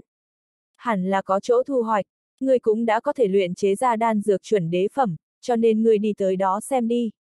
Thời gian cũng không bao lâu, đến lúc đó chĩa mũi giáo về phía thiên địa minh cũng không muộn. Muốn đối phó với thiên địa minh, tất cả các sơn môn lớn đều phải có khoảng thời gian chuẩn bị. Nam Thúc nói, vâng, vậy thì con sẽ đi tới Thanh Long Hoàng tộc trước. Lục Lâm Thiên gật đầu. Cảm ơn lão đại, huynh xuất mã cũng giống như lão gia hỏa vậy. Trong lòng Tiểu Long đương nhiên có sự tin tưởng tuyệt đối với lão đại của mình. Cảm ơn cái gì? Lục Lâm Thiên nhìn Tiểu Long, giữa hai người không cần nói lời cảm ơn, thế nhưng Lục Lâm Thiên lại có chút khó xử nói. Thế nhưng sợ rằng đại ca không chống đỡ nổi bao lâu nữa, cho nên ta muốn tới Chu Tước Hoàng tộc xem trước. Lâm Thiên, việc này giao cho ta đi làm đi. Việc này không nên chậm trễ, cứu người quan trọng hơn. Hiện tại ta sẽ xuất phát đi Chu Tước Hoàng tộc. Đại công chúa Long Bích Hàm nói. Ta cũng đi. Lục Tâm Đồng có chút bận tâm về đại ca. Được, Tâm Đồng tiện thể đi tới Chu Tước Hoàng tộc ta chơi. Ta cũng cùng trở về, nếu như lúc đó trong tộc không đồng ý ta cũng có thể nói thêm vài lời. Chu Thần Hy nói. Ta cũng đi tới đó một chuyến. Kim Huyền nói, thiếu chủ bị trọng thương, hắn đương nhiên phải ở bên cạnh. Ta có nên đi hay không? Lục Lâm Thiên nói, hắn vẫn có chút không yên lòng. Có tâm đồng cùng Kim Huyền tiền bối đi là được rồi. Ngươi là nhân loại, nhân loại đi tới Chu Tước Hoàng tộc nhiều quá cũng không tốt. Tất cả giao cho ta, ngươi cùng Tiểu Long đi tới Thanh Long Hoàng tộc là được rồi. Sau khi có tin tức ta sẽ trở về trong tộc nói với các ngươi. Đại công chúa Long Bích Hàm nói. Lục Lâm Thiên gật đầu, ở trong đó có lẽ cũng không có vấn đề gì quá lớn, hắn có đi tới đó hay không kỳ thực cũng không giúp được gì cho nên có đi hay không cũng không quan trọng. Sau khi sắp xếp tất cả, Lục Lâm Thiên mới rời khỏi đình viện trên núi. Mà đại công chúa Long Bích Hàm cùng với mấy người Lục Tâm Đồng, Kim Huyền, Chu Thần Hy cùng với mấy cường giả thanh long hoàng tộc suốt đêm rời khỏi phi linh môn đi tới Chu Tước hoàng tộc. Lục Lâm Thiên cũng chỉ có thể cầu nguyện chuyến đi tới Chu Tước hoàng tộc thuận lợi, đại ca có thể thuận lợi khôi phục. Rời khỏi đình viện trên núi, ánh mắt Lục Lâm Thiên có chút âm trầm. Trong mắt hiện lên hàn ý, hành động của thiên địa minh lúc này đã triệt để khiến cho Lục Lâm Thiên tức giận. Đại ca Dương quá bị trọng thương, hiện tại sinh tử không rõ. Chuyện này cũng động tới giới hạn của Lục Lâm Thiên, từ trước tới nay Lục Lâm Thiên đều đang đợi. Chờ đợi bản thân trở nên mạnh mẽ, phi linh môn có thể mạnh mẽ. Mà xem ra, hắn không thể không động thủ sớm hơn một chút. Lão đại, không cần lo cho dương quá lão đại quá. Có mẫu thân đệ xuất mã, tất cả có lẽ không thành vấn đề. Mọi chuyện đợi sau khi giải quyết chuyện của phụ thân đệ xong, đệ sẽ nghĩ biện pháp xuất lính tứ đại thú hoàng tộc diệt thiên địa minh, để cho bọn họ biết rõ sự lợi hại của chúng ta. Tiểu Long nhìn Lục Lâm Thiên, từ nhỏ ở cùng Lục Lâm Thiên một chỗ, lại có huyết khế khiến cho Tiểu Long cơ hồ tâm linh tương thông với Lục Lâm Thiên. Lục Lâm Thiên suy nghĩ gì hắn có thể hiểu được. Tiểu Long, tứ đại thú hoàng tộc không được nhúng tay vào chuyện của nhân loại. Lệnh cấm này tuy rằng đệ là minh chủ của tứ đại thú hoàng tộc, thế nhưng việc này lại không giúp được gì. Trong tộc các đệ cũng không đồng ý việc này. Độc cô Cảnh Văn nói. Vậy thì còn có đệ, đệ tuyệt đối không để cho thiên địa minh sống khá giả. Ánh mắt tiểu long run run, trong mắt tràn ngập hàn ý. Những năm này dường như bởi vì ở trong thanh long hoàng tộc cho nên hắn biết không ít chuyện, biết rõ ý tức trong lời nói của độc cô Cảnh Văn. Yên tâm đi, lão đại của đệ hiện tại cũng không sợ thiên địa minh kia. Khoản sổ sách này sẽ từ từ tính toán với bọn họ. Lục Lâm Thiên vỗ vai Tiểu Long, ánh mắt có chút do dự nói. Tiểu Long, huyền vũ hoàng tộc tới đây, ta thấy hơn phân nửa là vì đệ. Đệ có muốn qua gặp bọn họ hay không? Đệ đã nói chuyện qua với tam hoàng thú, hiện tại không gặp, đệ cũng không muốn nhìn thấy nhiều người của huyền vũ hoàng tộc. Ánh mắt tiểu long chấp động, khuôn mặt bắt đầu có chút biến hóa. Ngoài thành cự giang, bên ngoài càn khôn thiên nguyệt đại trận, vòng quang mang vô hình bao phủ. Đại chiến đã trôi qua không biết bao lâu thế nhưng vẫn có người bồi hồi ở bên ngoài, hy vọng có thể đi vào trong chiến trường nhìn xem, nói không chừng có thể thu được một ít thu hoạch. Những thứ do cường giả chuẩn đế lưu lại, cho dù là kém cỏi nhất đối với những người có tu vi bình thường mà nói tuyệt đối là trọng bảo. Tuy rằng cơ hội này xa vời, sau đại chiến người chiến thắng sẽ thu thập chiến trường sạch sẽ. Tất cả mọi người chỉ có thể hy vọng vạn nhất còn một ít bảo vật lưu lại, khi đó sẽ phát tài. Siêu. Một đạo thân ảnh như ẩn như hiện xuất hiện trong sơn mạch, khuôn mặt già nua. Thân ảnh này xuất hiện giống như hòa tan thành một thể với không gian khiến cho người ta không cảm nhận được bất kỳ khí thức nào tồn tại. Người này nhìn càn khôn thiên nguyệt đại tận, sắc mặt khó coi tới cực điểm, trên không trung lờ mờ có thể nhìn thấy ánh mắt đỏ rực của người này. Tức giận ngập trời, thế nhưng chỉ có thể cố nén trong lòng, không có cách nào phát tác. Siêu. Mãi một lúc lâu sau, người này mới vô thanh vô tức kết thủ ấn. ầm ầm, cả thiên địa lập tức ầm ầm vang vọng, giống như địa chấn. Trên không trung, đoàn quang mang bằng năng lượng giống như mặt trời lên cao tiêu tán. Đoàn quang mang hóa thành chín đạo quang trụ biến mất trong sơn mạch xa xa. Bầu trời lờ mờ bị che khuất lập tức khôi phục lại bình thường. Thân ảnh này cũng vô thanh vô tức rời đi, không lưu lại bất kỳ dấu vết nào. Xảy ra chuyện gì, đại trận biến mất rồi. Quản tới đại trận kia làm gì, chúng ta mau tới đó. Mau xem còn có bảo vật nào hay không, nếu như có thể nhặt được một kiện, về sau có thể dương danh trên đại lục này. Từng tiếng xôn xao nghị luận vang vọng, từng đạo thân ảnh từ bốn phương tám hướng sơn mạch bắn về phía không gian lúc trước bị càn khôn thiên nguyệt đại trận bao phủ. Trên sơn mạch bao la, ánh trăng chiếu rọi, rừng cây liên miên dưới ánh trăng chiếu rọi, cành cây như nhảy múa trong đêm tối yên tĩnh. Giống như có vô số quỷ chảo xé rách không gian, tiếng gió rít gào trong màn đêm khiến cho rừng cây tăng thêm vài phần quỷ dị. Rất lâu rồi chưa từng ngủ một giấc yên ổn như vậy.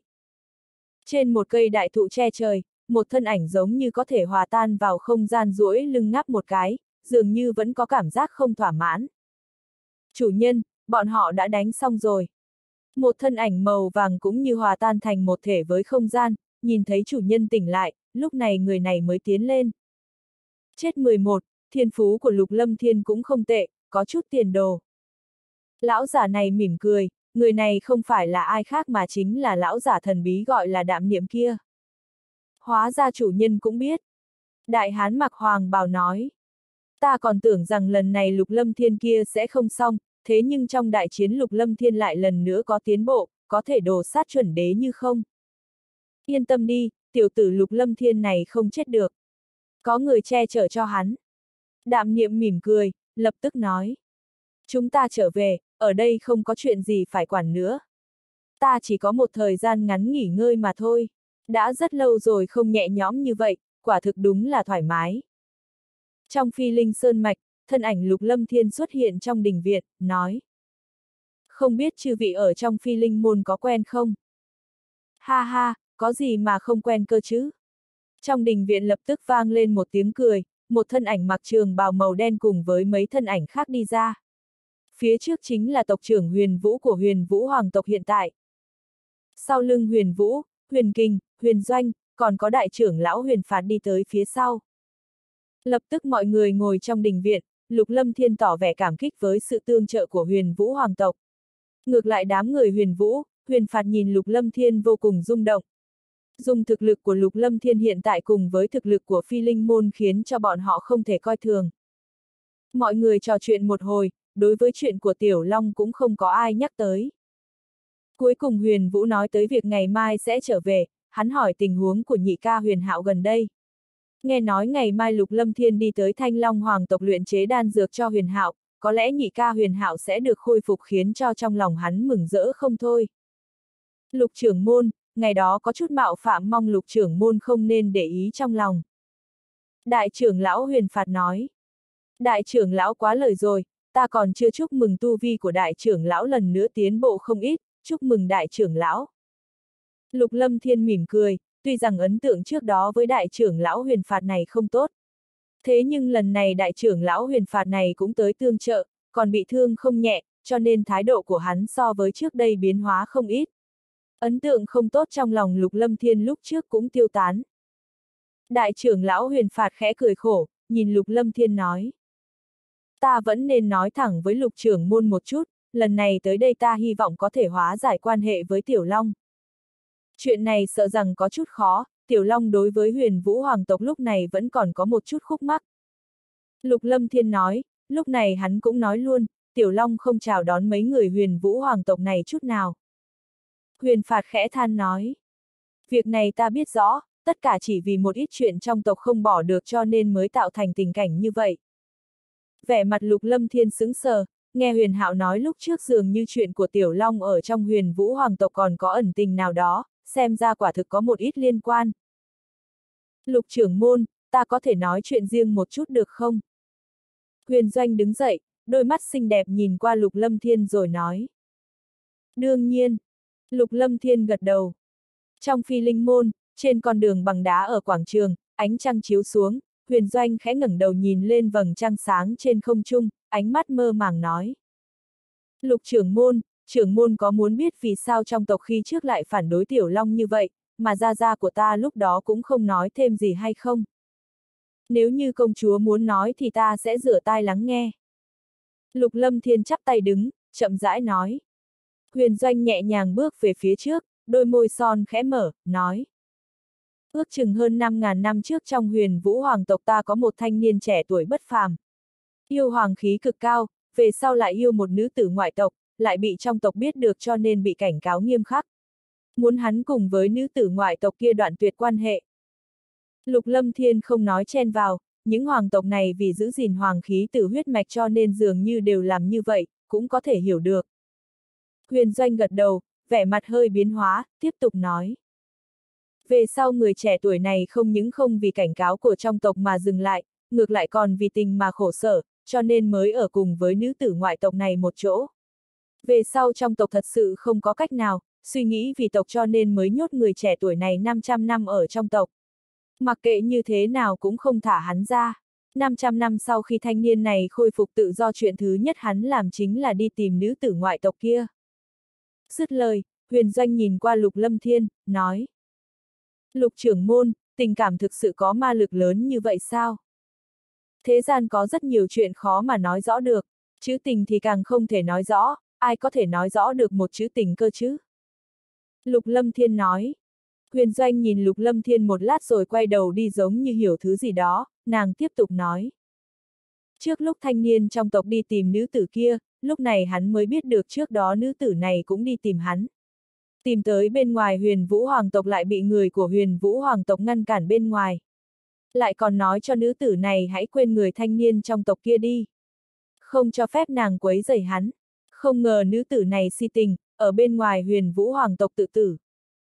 Hay cho một nữ tử si tình, thú tộc cũng có nữ tử si tình như vậy sao?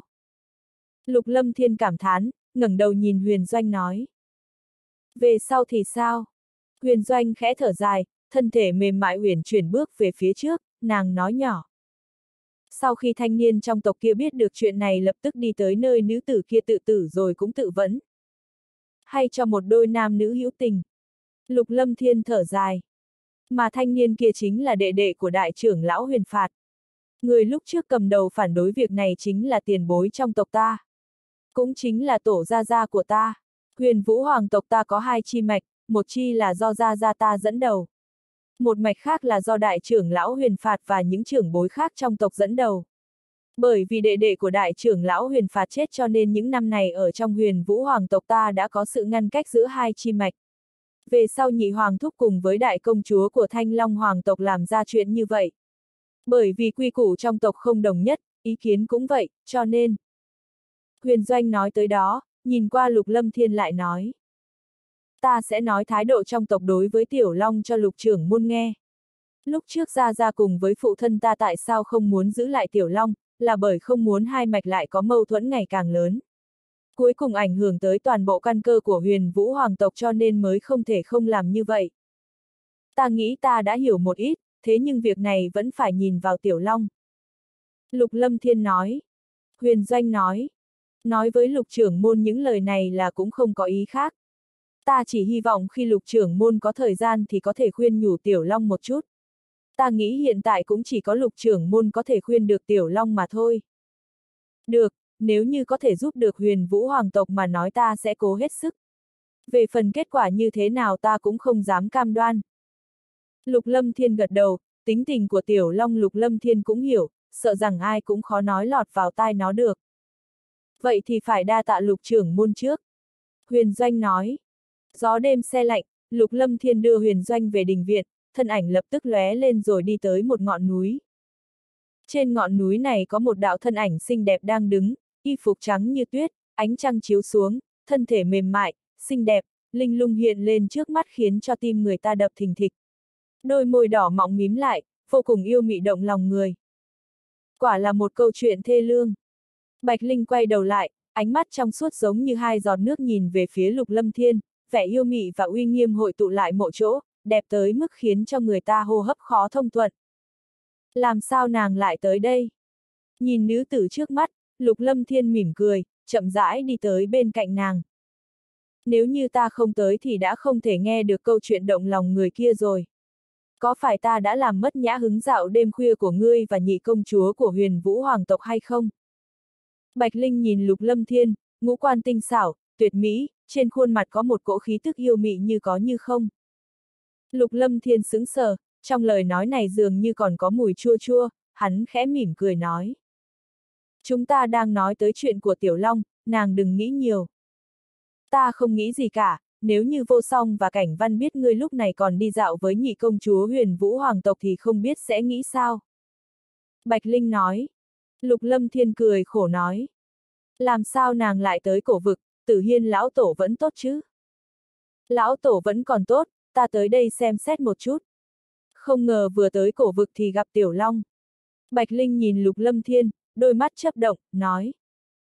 Về sau phải cẩn thận một ít lời nói, xem ra ngươi cũng gây không ít chuyện. Thiên địa minh không ngờ lại huy động 12 chuẩn đế tới giết ngươi. Lục Lâm Thiên nhún vai, tỏ vẻ bất đắc dĩ. Hắn cũng không gây chuyện, thế nhưng lần này cũng không tránh khỏi phải gây chuyện.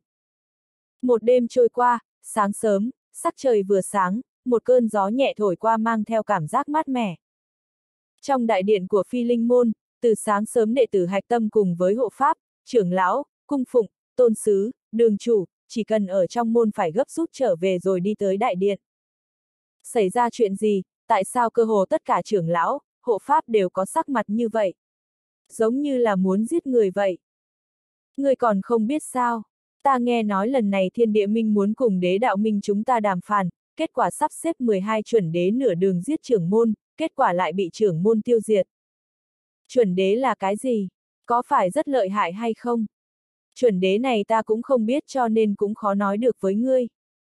Trong đại điện phi linh môn, cả đám người ngồi xuống. Vừa rồi bọn họ nhận được tin tức trưởng môn ở bên ngoài thành cự giang bị thiên địa minh chặn giết. Mọi người nghe vậy lập tức lạnh lẽo sát ý lan tràn. Phi linh môn mấy năm nay đã không động thủ, thế nhưng sát ý trên người bọn họ cũng không vì thế mà nhạt đi. Lục lâm thiên ngồi ngay ngắn trên chủ vị, nhìn chúng cường giả phi linh môn chung quanh, một cỗ khí thức thượng vị giả trong lúc vô hình lan tràn khiến cho mọi người kính sợ. Chư vị, tin rằng Đông Cung Phụng, Bạch Cung Phụng cùng với Phó trưởng môn đã đem chuyện đại khái nói ra cho chư vị biết. Ta muốn nghe ý kiến của mọi người. Ánh mắt lục lâm thiên quét qua, nhìn chúng cường giả rồi hỏi. Giết! Thanh hỏa lão quỷ đứng dậy, thân thể gầy gò, cao ngất kia khiến cho người ta có cảm giác giống như một bộ khô lâu. Thiên địa minh ba lần bốn lượt đối phó với trưởng môn. Thủ đoạn vô sỉ hạ lưu, chúng ta cũng không cần khách khí với bọn họ. Khấu Phi Yến nói. Trưởng môn, trăm vạn đệ tử vũ đường có thể tùy thời xuất phát. Trưởng môn chỉ cần ra lệnh một tiếng chúng ta có thể lập tức giết cho thiên địa minh hoa rơi nước chảy. Hoàng Phủ Kỳ Tùng đứng lên nói. Những năm này khống chế vũ đường, tuy rằng thực lực không phải là người mạnh nhất vũ đường hiện tại thế nhưng toàn thân có khí thức thượng vị giả, sắc bén vô cùng. Trong đôi mắt hiện tại tràn ngập sát ý. 150 vạn đệ tử ngoại đường cũng có thể tùy thời xuất phát. Hoa mãn lâu nói. Trưởng môn, động thủ đi. Những năm này phi linh môn chúng ta không có hành động. Sợ rằng thiên địa minh đã quên chiến tích của phi linh môn ta rồi. Khoái kiếm vương lưu kiếm trầm giọng nói, sát ý trong mắt bắn ra. Xin trưởng môn hạ lệnh, diệt sát thiên địa minh. Diệt sát thiên địa minh. Từng tiếng quát lạnh lẽo vang vọng trong đại điện, chúng cường giả phi linh môn cũng không phải dạng người lương thiện gì. Ánh mắt lục lâm thiên biến ảo lập tức đứng dậy, nói. Đường chủ ngoại đường, vũ đường nghe lệnh. Hoa mãn lâu ngoại đường nghe lệnh. Hoàng phủ kỳ tùng vũ đường nghe lệnh. Hai người hoa mãn lâu, hoàng phủ kỳ tùng bước ra phía trước, cùng đợi mệnh lệnh. Các ngươi xuất lính đệ tử chờ đợi, tạm thời không được hành động thiếu suy nghĩ. Lục Lâm Thiên nói với hai người, sau lại quay đầu nói với ba người thôi hồn độc vương đông vô mệnh, quỷ tiên tử bạch oánh, khấu phi yến. Đông lão, oánh tỷ, khấu phó trưởng môn, các người thông chí tất cả các sơn môn trong đế đạo minh chuẩn bị khai chiến với thiên địa minh. Trước tiên diệt tất cả các thế lực trong Đông Hải, tất cả các đệ tử sơn môn đi về Đông Hải trước. Thông chi cho người của thiên vân đảo, nhật sát các, kiền hiên đảo, tinh ngục các phối hợp nhiều hơn. Trưởng môn, vì sao lại phải diệt Đông Hải trước, mà không diệt đám người lan lăng sơn trang, hóa vô tông, hắc sát giáo gần đây hơn. Thôi hồn độc vương đông vô mệnh suy nghĩ một hồi rồi hỏi Lục Lâm Thiên. Lục Lâm Thiên mỉm cười không nói gì, hắn chỉ nói. Về sau đông lão sẽ hiểu, khi người của phi linh môn chúng ta cùng Vân Dương Tông đi qua đây nhất định phải nhanh. Ta có chút chuyện phải rời khỏi môn một chuyến, đến lúc đó sẽ nhanh chóng đi tới Đông Hải. Tất cả mọi chuyện chờ ta về mới bắt đầu có động tác. Về phần những tiểu thế lực kia có thể dọn dẹp trước một chút coi như thu tiền lời. Trong mắt lục lâm thiên hiện lên sát ý. Đại quân phi linh môn xuất động, vạn nhất đám người lan lăng sơn trang, hóa vũ tông đột kích phi linh môn ta thì thế nào? Khấu phi yến có chút lo lắng. Hiện tại bọn họ cũng không có tâm lý tới đánh lén phi linh môn ta. Cho dù là đến thật thì cứ để cho bọn chúng tới. Lục Lâm Thiên nói. Kim xà tôn giả của Kim xà môn tới bái phỏng lục trưởng môn của phi linh môn. Lúc này ngoài phi linh môn chậm rãi vang lên một đạo thanh âm quanh quẩn trên không trung phi linh môn. Kim xà môn, sơn môn trong đội hình thiên địa minh không ngờ lại có môn nhân dám tới phi linh môn. Ánh mắt thôi hồn độc vương đông vô mệnh trầm xuống. Đang muốn tìm người thiên địa minh tính sổ, không ngờ lại tự mình đưa tới cửa. Đến bao nhiêu chúng ta giết bấy nhiêu. Thiên độc yêu long hét lớn một tiếng, dâu rồng run lên, yêu nguyên lan tràn, sát ý trong mắt bắn ra. Độc long huynh, kim xà tôn giả này là linh tôn cửu trọng hậu kỳ, trên người nghe nói còn một đầu thú hồn linh thú bát dai. Huynh định đi động thủ thật sao? Lục lâm thiên khẽ mỉm cười nói. Vậy sao, vậy thì để cho trưởng môn đi là được. Tuy rằng tính khí của thiên độc yêu long táo bạo, thế nhưng cũng không ngốc. Tu vi linh tôn cửu trọng hậu kỳ, bằng vào hắn hiện tại còn không đủ đặt lên mặt bàn được. Trưởng môn, kim xà tôn giả này chính là người của thiên địa minh, đến phi linh môn ta có chuyện gì? Quỷ tiên tử Bạch Oánh nói. Kim xà môn này hình như đã rời khỏi thiên địa minh, nếu đã đến thì chúng ta cũng không ngại tiếp một chút. Lục Lâm Thiên nói, hôm trước ở trong thành cự giang cũng chỉ có kim xà tôn giả thấy tình thế không ổn, vô cùng khí phách rời khỏi thiên địa minh, cho nên cũng thoát chết được. Ngoài phi linh môn lúc này tụ tập không ít đệ tử. Ở ngoài của phi linh môn lúc này có mấy đạo thân ảnh đang đứng, trong đó có ba đạo thân ảnh đứng phía trước tuyệt đối là cường giả. Người chính giữa là một lão giả có thân thể hùng vĩ. Trên cổ lão giả này có một con rắn nhỏ màu vàng cuốn hai vòng trên cổ, giống như một cái vòng cổ bình thường. Nếu như không chú ý thì khó mà phát hiện ra được. Phía sau ba người còn có bảy đạo thân ảnh, bảy người này dường như bị cấm chế, trên người có vô số vết thương, sắc mặt tái nhợt, ánh mắt tràn ngập phẫn nộ và kinh hãi. Bái kiến trưởng môn, bái kiến tôn sứ, cung phụng, đường chủ, trưởng lão, hộ pháp. Trong phi linh môn, một đoàn cường giả đi ra, đám đệ tử phi linh môn ở đó lập tức hành lễ. Đoàn người này chính là đám người lục lâm thiên và chúng cường giả phi linh môn từ trong đại điện ra.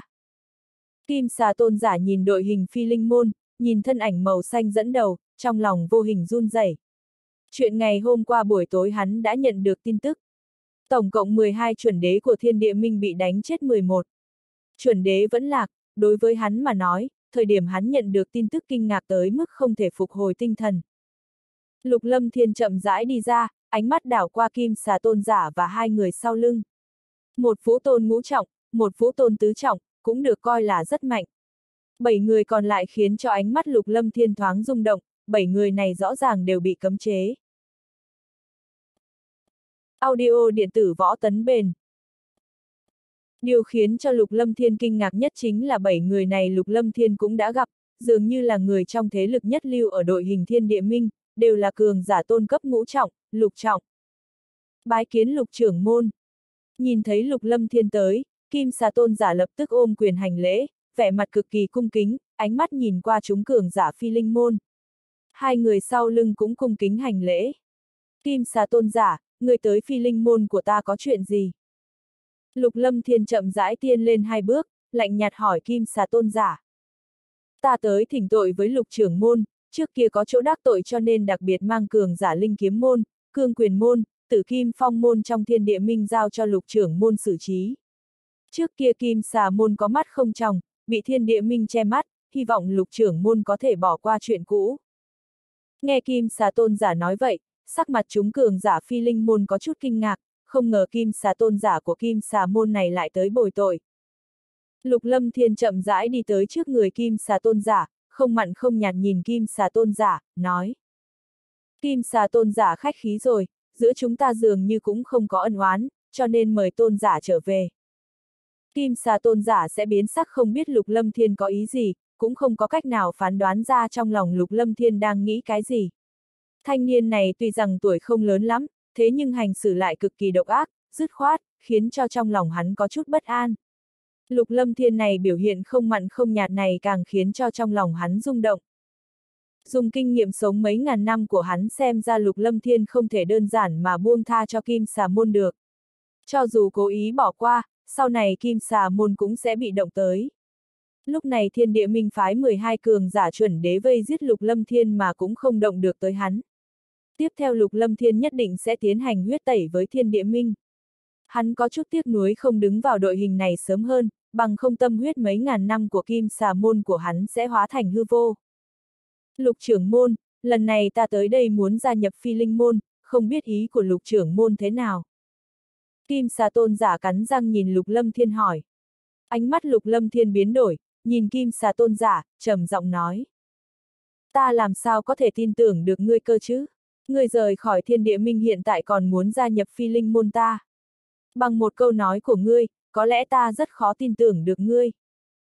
Bằng vào môn nhân của linh kiếm môn, tử kim phong, cương quyền môn, ta còn dám tự mình tới phi linh môn nữa. Kim xà tôn giả nhìn lục lâm thiên nói.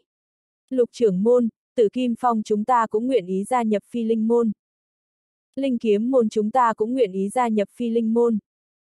Cương quyền môn khẩn cầu lục trưởng môn cho chúng ta gia nhập phi linh môn. Bảy người bị kim xà tôn giả cấm chế thế nhưng thanh âm cũng không bị cấm chế, bảy người này lập tức lớn tiếng nói. Bọn họ còn không muốn chết, nếu như gia nhập phi linh môn mà có thể không chế mà nói, bọn họ làm sao nỡ bỏ sơn môn của mình được. Ồ, đều nguyện ý gia nhập phi linh môn sao? Lục lâm thiên cười nhạt một tiếng, chậm rãi đi về phía bảy người. Nhìn bảy người có tu vi tôn cấp này, bảy người ngày đều là tồn tại siêu cấp, nổi danh ở trên đại lục này a. À. Lục trưởng môn, chúng ta đều nguyện ý. Mong lục trưởng môn cho chúng ta gia nhập phi linh môn A. Bảy người này nhìn thấy lục lâm thiên dường như có hứng thú, lập tức mừng rỡ nói. Gia nhập phi linh môn sao? Lục lâm thiên cười nhạt một tiếng, đột nhiên trong đôi mắt đen kịt xuất hiện sát ý, đán ra mấy đạo chỉ ấn. Siêu siêu. Mấy đạo chỉ ấn xuyên thủng không gian, trong nháy mắt đánh vào trong mi tâm của bảy người. Bảy cường giả tôn cấp bị cấm chế, căn bản không có cách nào né tránh, đồng tử co rút lại. Sắc mặt đại biến, mi tâm bảy người bị xuyên thủng một lỗ nhỏ bằng ngón tay, một mảnh hỗn độn đỏ trắng từ trong mi tâm tràn ra, thân thể té xuống mặt đất. Lục lâm thiên ra tay, giơ tay nhấc chân đánh chết bảy người khiến cho sắc mặt hai người sau lưng kim xà tôn giả trắng bệch, lập tức đi tới gần kim xà tôn giả, dùng ánh mắt cảnh giác nhìn lục lâm thiên. Sắc mặt kim xà tôn giả biến hóa, thế nhưng cũng không nối gì. Ánh mắt biến hóa, lẳng lặng nhìn lục lâm thiên ra tay. Mà trong phi linh môn cũng có không ít người rung động, ai cũng thật không ngờ trưởng môn lại đột nhiên ra tay. Mấy cường giả kia chỉ giơ tay nhấc chân đã bị đánh chết. Người linh đường đem những thi thể này xuống luyện chế thành khôi lỗi. Hẳn cũng là tài liệu luyện chế khôi lỗi tốt nhất. Đánh chết bảy người có tu vi tôn cấp này, trường bào màu xanh trên người lục lâm thiên run lên, lạnh nhạt chắp tay đứng, vẻ mặt không mặn không nhạt. Bảy người có tu vi tôn cấp mà thôi, đương nhiên lúc này lục lâm thiên không để vào trong mắt. Coi như là không bị cấm chế lục lâm thiên chỉ cần giơ tay nhấc chân cũng có thể đánh chết mấy người này. Vâng. Mấy người của linh đường lập tức tiến lên đem thi thể bảy người này xuống dưới. Thi thể của bảy cường giả tôn cấp, khôi lỗi luyện chế ra không phải vật phàm. Hiện tại linh đường đối với việc luyện chế khôi lỗi có không ít kinh nghiệm. Những năm này linh đường cũng đã luyện chế được khá nhiều khôi lỗi. Đông lão, phiền đông lão đi tới thu thập địa bàn của tử Kim Phong, cương quyền môn, linh kiếm môn một chút. Giết không tha. Lục Lâm Thiên nói. Được. Thôi hồn độc vương đông vô mệnh khẽ gật đầu, tiếp nhận ba sơn môn kia cũng không phải là chuyện quá khó khăn. Kim xà tôn giả, người thực sự muốn gia nhập phi linh môn ta sao? Lục Lâm Thiên lần nữa nhìn Kim xà tôn giả, ánh mắt lạnh lẽo tập trung lên người đối phương. Kính xin lục trưởng môn thu nhận. Kim xà tôn giả gật đầu nói. Lục Lâm Thiên nhìn Kim xà tôn giả, nói. Vậy thì như vậy đi, người muốn gia nhập phi linh môn ta cũng không phải là không thể. Kim xà môn các người được đổi thành phân đà Đông Hải của phi linh môn. Người sẽ làm đà chủ phân đà này, người thấy thế nào?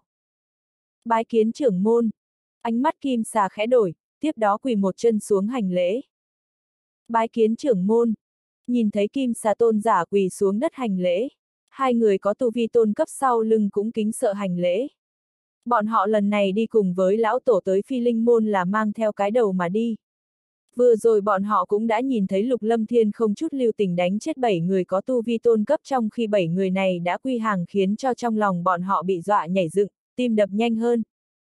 Đứng lên đi. Lục Lâm Thiên vẫn không mặn không nhạt như cũ, Kim xà tôn giả đứng dậy, Lục Lâm Thiên nói. Đế đạo minh ta gần đây sẽ tới Đông Hải, đầu tiên sẽ tiêu diệt tất cả các thế lực nhất lưu trong Đông Hải, đến lúc đó ngươi sẽ chịu trách nhiệm phối hợp hành động, đi về trước đi. Nghe vậy ánh mắt kim xà tôn giả không nhịn được run rẩy. Không ngờ đế đạo minh lại ra tay đối phó với Đông Hải trước. Kim xà môn của hắn lại ở trên Đông Hải A. Trong lòng kim xà tôn giả lập tức cảm thấy lạnh lẽo, may mắn mà hắn tới phi linh môn trước. Vâng, thuộc hạ cáo lui. Kim xà tôn giả gật đầu muốn cáo lui. Kim xà tôn giả. Dường như lục lâm thiên còn có lời muốn nói, kim xà tôn giả lập tức ngẩng đầu lên nhìn. Lục lâm thiên nói. Kim xà tôn giả ta rất tán thưởng ngươi. Đa tạ trưởng môn. Ánh mắt kim xà tôn giả chấp động, ý bảo hai người bên cạnh rồi ba người lập tức thả người rời đi. Đến phi linh môn ngay cả cửa cũng không dám đi vào. Lục lâm thiên nhìn phương hướng kim xà tôn giả biến mất, khóe miệng nở nụ cười. Thân ảnh lóe lên rồi biến mất tại chỗ. Bảy người này hẳn cũng là siêu cấp cường giả, cũng đã đầu hàng, vì sao trưởng môn còn giết. Nhìn trưởng môn rời đi, mọi người còn chưa phục hồi tinh thần, Hoàng Phủ Kỳ Tùng nói nhỏ. Bảy người kia đều là người nhu nhược, trưởng môn há có thể thu đám người này. Huống chi giết mấy người này thì ba sơn môn linh kiếm môn kia sẽ là của phi linh môn ta. Diệp Phi nhìn Hoàng Phủ Kỳ Tùng rồi nói. Thì ra là thế. Hoàng Phủ Kỳ Tùng dường như đã hiểu được dụng ý của trưởng môn. Diệp Mỹ nở nụ cười nói với Hoàng Phủ Kỳ Tùng. Hoàng Phủ đường chủ, trưởng môn làm vậy là giết gà dọa khỉ. Tuy rằng bảy người này mạnh, thế nhưng kim xà tôn giả kia mạnh nhất. Mặc dù đầu hàng, thế nhưng trưởng môn vẫn giết gà dọa khỉ, dùng chút sức. Về sau kim xà tôn giả kia sẽ không còn tư tâm kháng cự nữa. Đạo dùng người của trưởng môn hiện tại càng ngày càng lợi hại. Hoàng Phủ Kỳ Tùng kinh ngạc, hắn thật không ngờ bên trong lại ẩn chứa nhiều chuyện như vậy. Hai người thôi hồn độc vương đông vô mệnh, quỷ tiên tử bạch oánh mỉm cười. Sau đó cũng rời khỏi đây. Một lát sau, trên hậu sơn phi linh môn, thiên sĩ tuyết sư xoay quanh tầng trời thấp, hóa thành một đạo lưu quang màu trắng biến mất tại chỗ.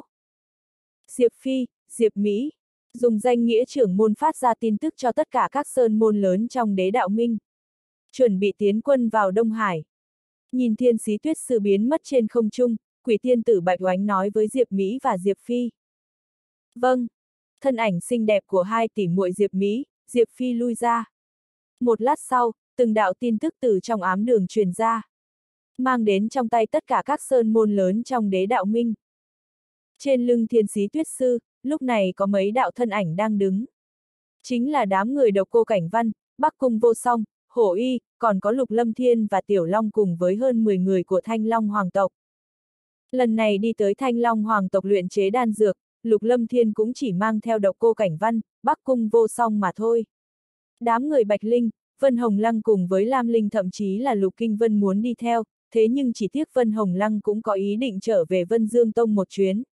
Lam Linh thì ở lại phi linh môn đón người Lam gia. Người Lam gia hiện tại còn đang ở dọc đường cũng sắp tới cổ vực. Gia nghiệp của Lam gia lớn, hành trình cũng không ngắn. Về phần tiểu tử Lục Kinh Vân, tiểu tử này tuổi còn quá nhỏ, lại ham chơi, Lục Lâm Thiên cũng không muốn cho nó ra ngoài quá sớm.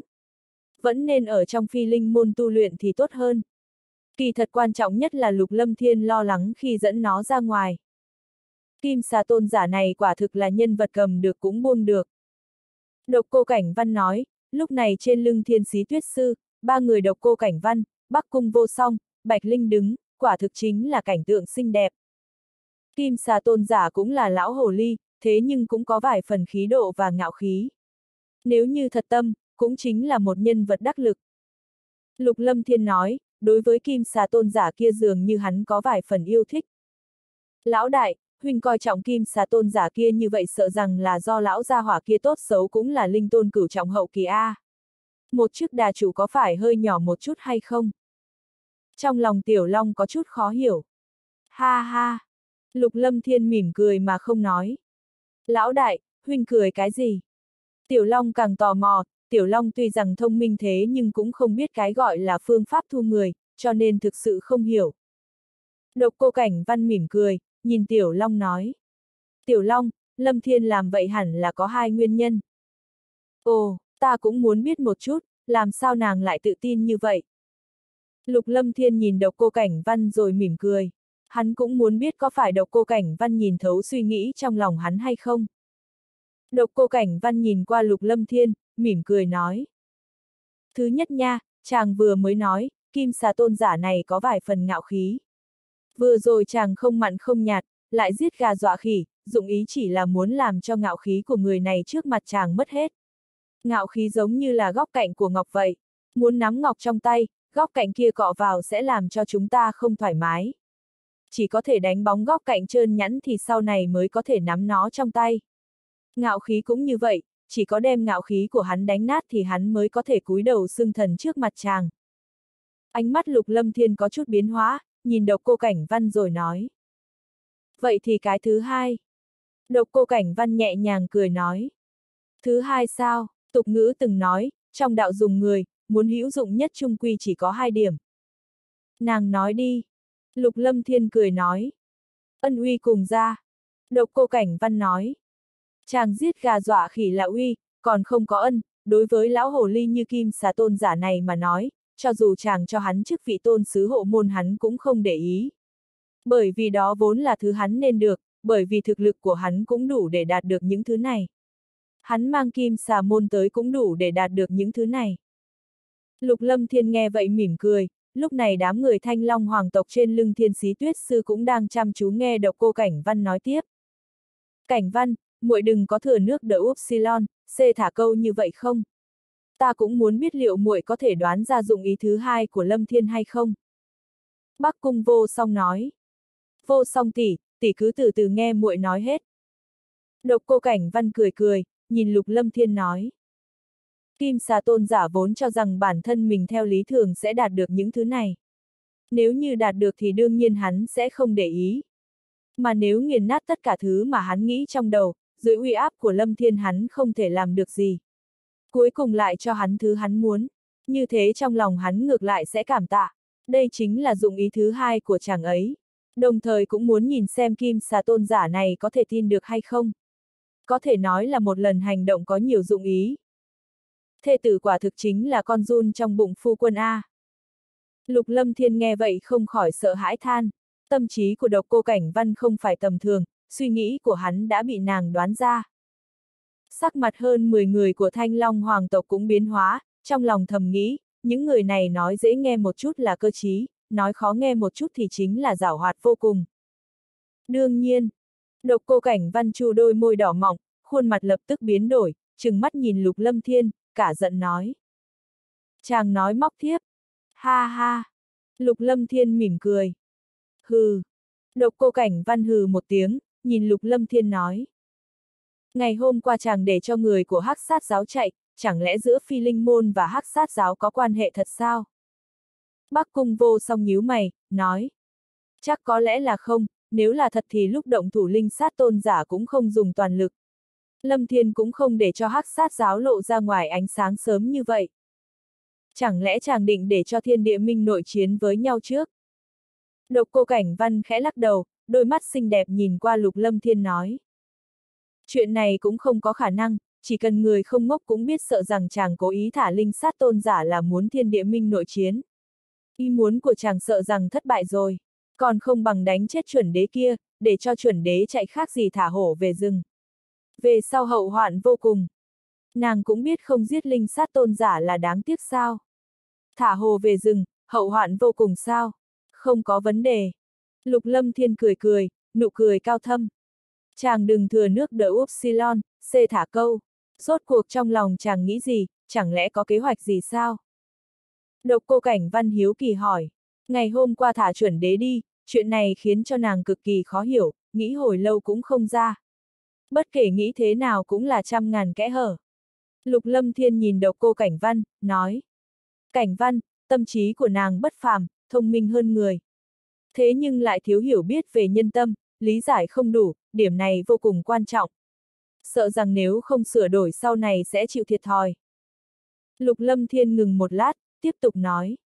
Con người chỉ có thói hư tật xấu, bên trong bản chất đều có đố kỵ, đa nghi, oán hận, sợ hãi, tham vọng. Những thứ này đều là thói hư tật xấu của con người. Có một ít chuyện là giả, thế nhưng một khi đã đa nghi, vậy thì nghĩ tới nghĩ lui sẽ thành thật. Thật thật giả giả, đến lúc đó thật giả cũng không quan trọng, trọng yếu là đa nghi, mọi người sẽ càng thêm nghi ngờ. Thiếp hiểu rồi, hắc sát giáo là quân cờ, người của thiên địa minh coi như là biết rõ có người muốn châm ngòi ly gián quan hệ của thiên địa minh với hắc sát giáo, thế nhưng trong lòng bọn lại không nghĩ như thiếp. Thiếp không nên xem thường bọn họ quá. Loại thủ đoạn này cho dù bọn họ nhắm mắt cũng biết là giả. Thế nhưng hết lần này tới lần khác lại thả một chuẩn đế, thả hồ về rừng, hậu quả khôn cùng. Cho nên khó tránh khỏi trong lòng bọn họ nghĩ nhiều, một khi trong lòng nghĩ nhiều sẽ thành đa nghi. Sau khi đa nghi thì tất cả sẽ không giống thế nữa. Sắc mặt độc cô cảnh văn có chút biến hóa, lời nói của lục lâm thiên nàng nhanh chóng hiểu được, khuôn mặt biến sắc. Thủ đoạn đơn giản như vậy thế nhưng thật đắc sợ, thật thật giả giả, giả giả thật thật. Sợ rằng trong đầu người của thiên địa minh sẽ vô cùng đau đầu. Lục lâm thiên cười nhạt một tiếng, khóe miệng nở nụ cười lạnh.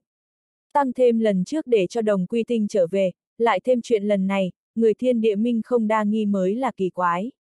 Giữ lại linh sát tôn giả kia so với giết hắn còn tốt hơn nhiều, nói không chừng không quá lâu nữa sẽ thấy hiệu quả.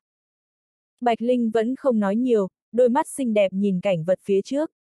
dáng vẻ lạnh lùng uy nghiêm khiến cho tộc nhân Thanh Long Hoàng tộc cũng không dám tới gần.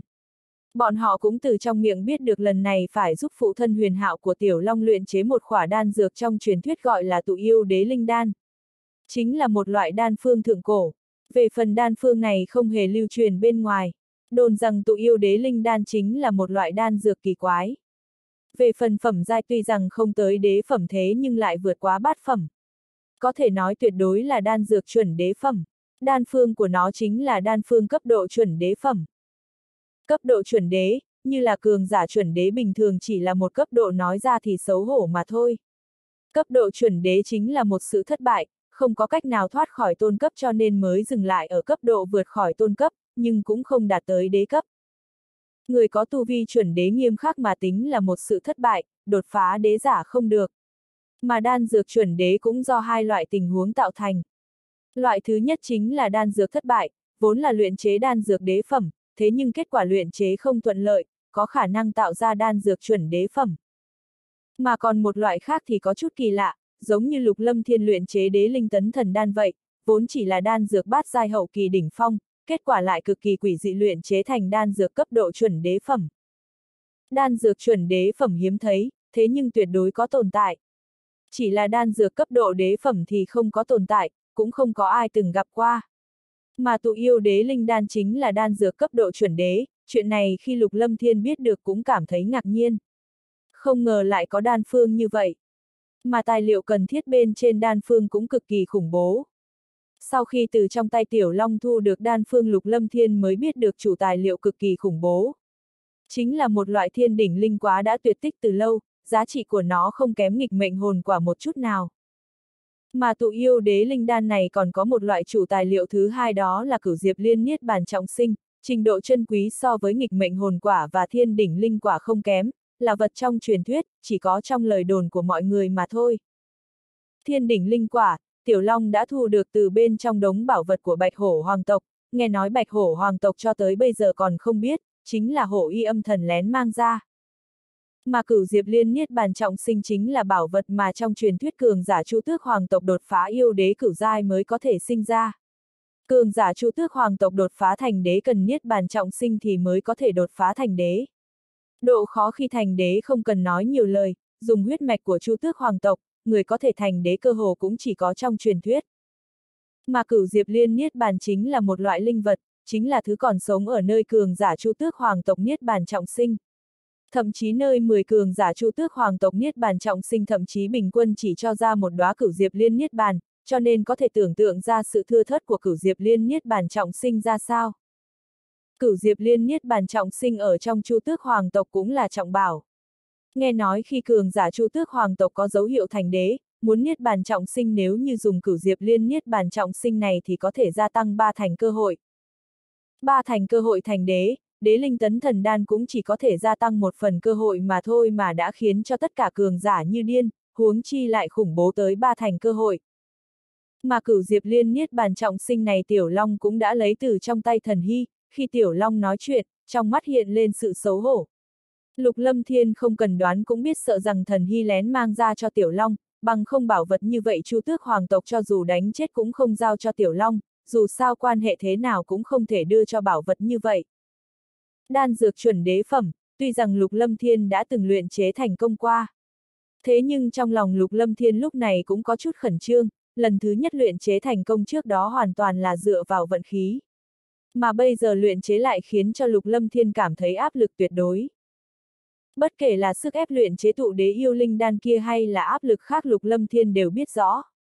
Tiểu Long có thể gom góp tài liệu như vậy quả thực không dễ, nếu những tài liệu này bị hủy, muốn đạt được lần nữa sợ rằng không phải là chuyện dễ dàng. Không biết tới năm nào tháng nào mới được. Tuy rằng có không ít áp lực, thế nhưng Lục Lâm Thiên cũng không e ngại, ban đầu ở độc cô gia tu vi của hắn chưa đạt tới linh tôn cửu trọng như bây giờ. Tăng thêm phương diện linh hồn và tâm cảnh, cũng không phải không có nắm chắc. Cho dù hiện tại có một linh đế luyện chế chưa chắc đã hơn được hắn bao nhiêu. Tính tâm lại, Lục Lâm Thiên nén sự khẩn trương trong lòng. Hắn cố hết sức là được rồi, chuyện của Tiểu Long chính là chuyện của hắn, hắn phải toàn lực ứng phó. Hai mắt từ từ nhắm lại, do xét sự biến hóa trong cơ thể sau khi đột phá. Ngày hôm qua Lục Lâm Thiên cũng chỉ dò xét một chút mà thôi, cũng không có thời gian nhìn trộm. Lúc này cẩn thận dò xét Lục Lâm Thiên mới kinh ngạc phát hiện ra đan điền của hắn lần nữa khuếch đại tới gấp đôi, không chỉ có như vậy, kinh mạch tráng kiện của hắn lại được mở rộng một nửa. Lục Lâm Thiên tự biết đan điền của bản thân mình vô cùng lớn, căn bản không phải là thứ mà người có tu vi đồng cấp có thể so sánh. Đan điền lần nữa bành trướng tới một nửa. Đan điền vốn đã khổng lồ hơn người có tu vi đồng cấp lại lớn hơn nhiều, thực lực cũng theo đó tăng lên. Có đan điền khủng bố làm chỗ dựa, nếu như đối chiến với người khác cũng đủ để khiến cho người đó mệt chết.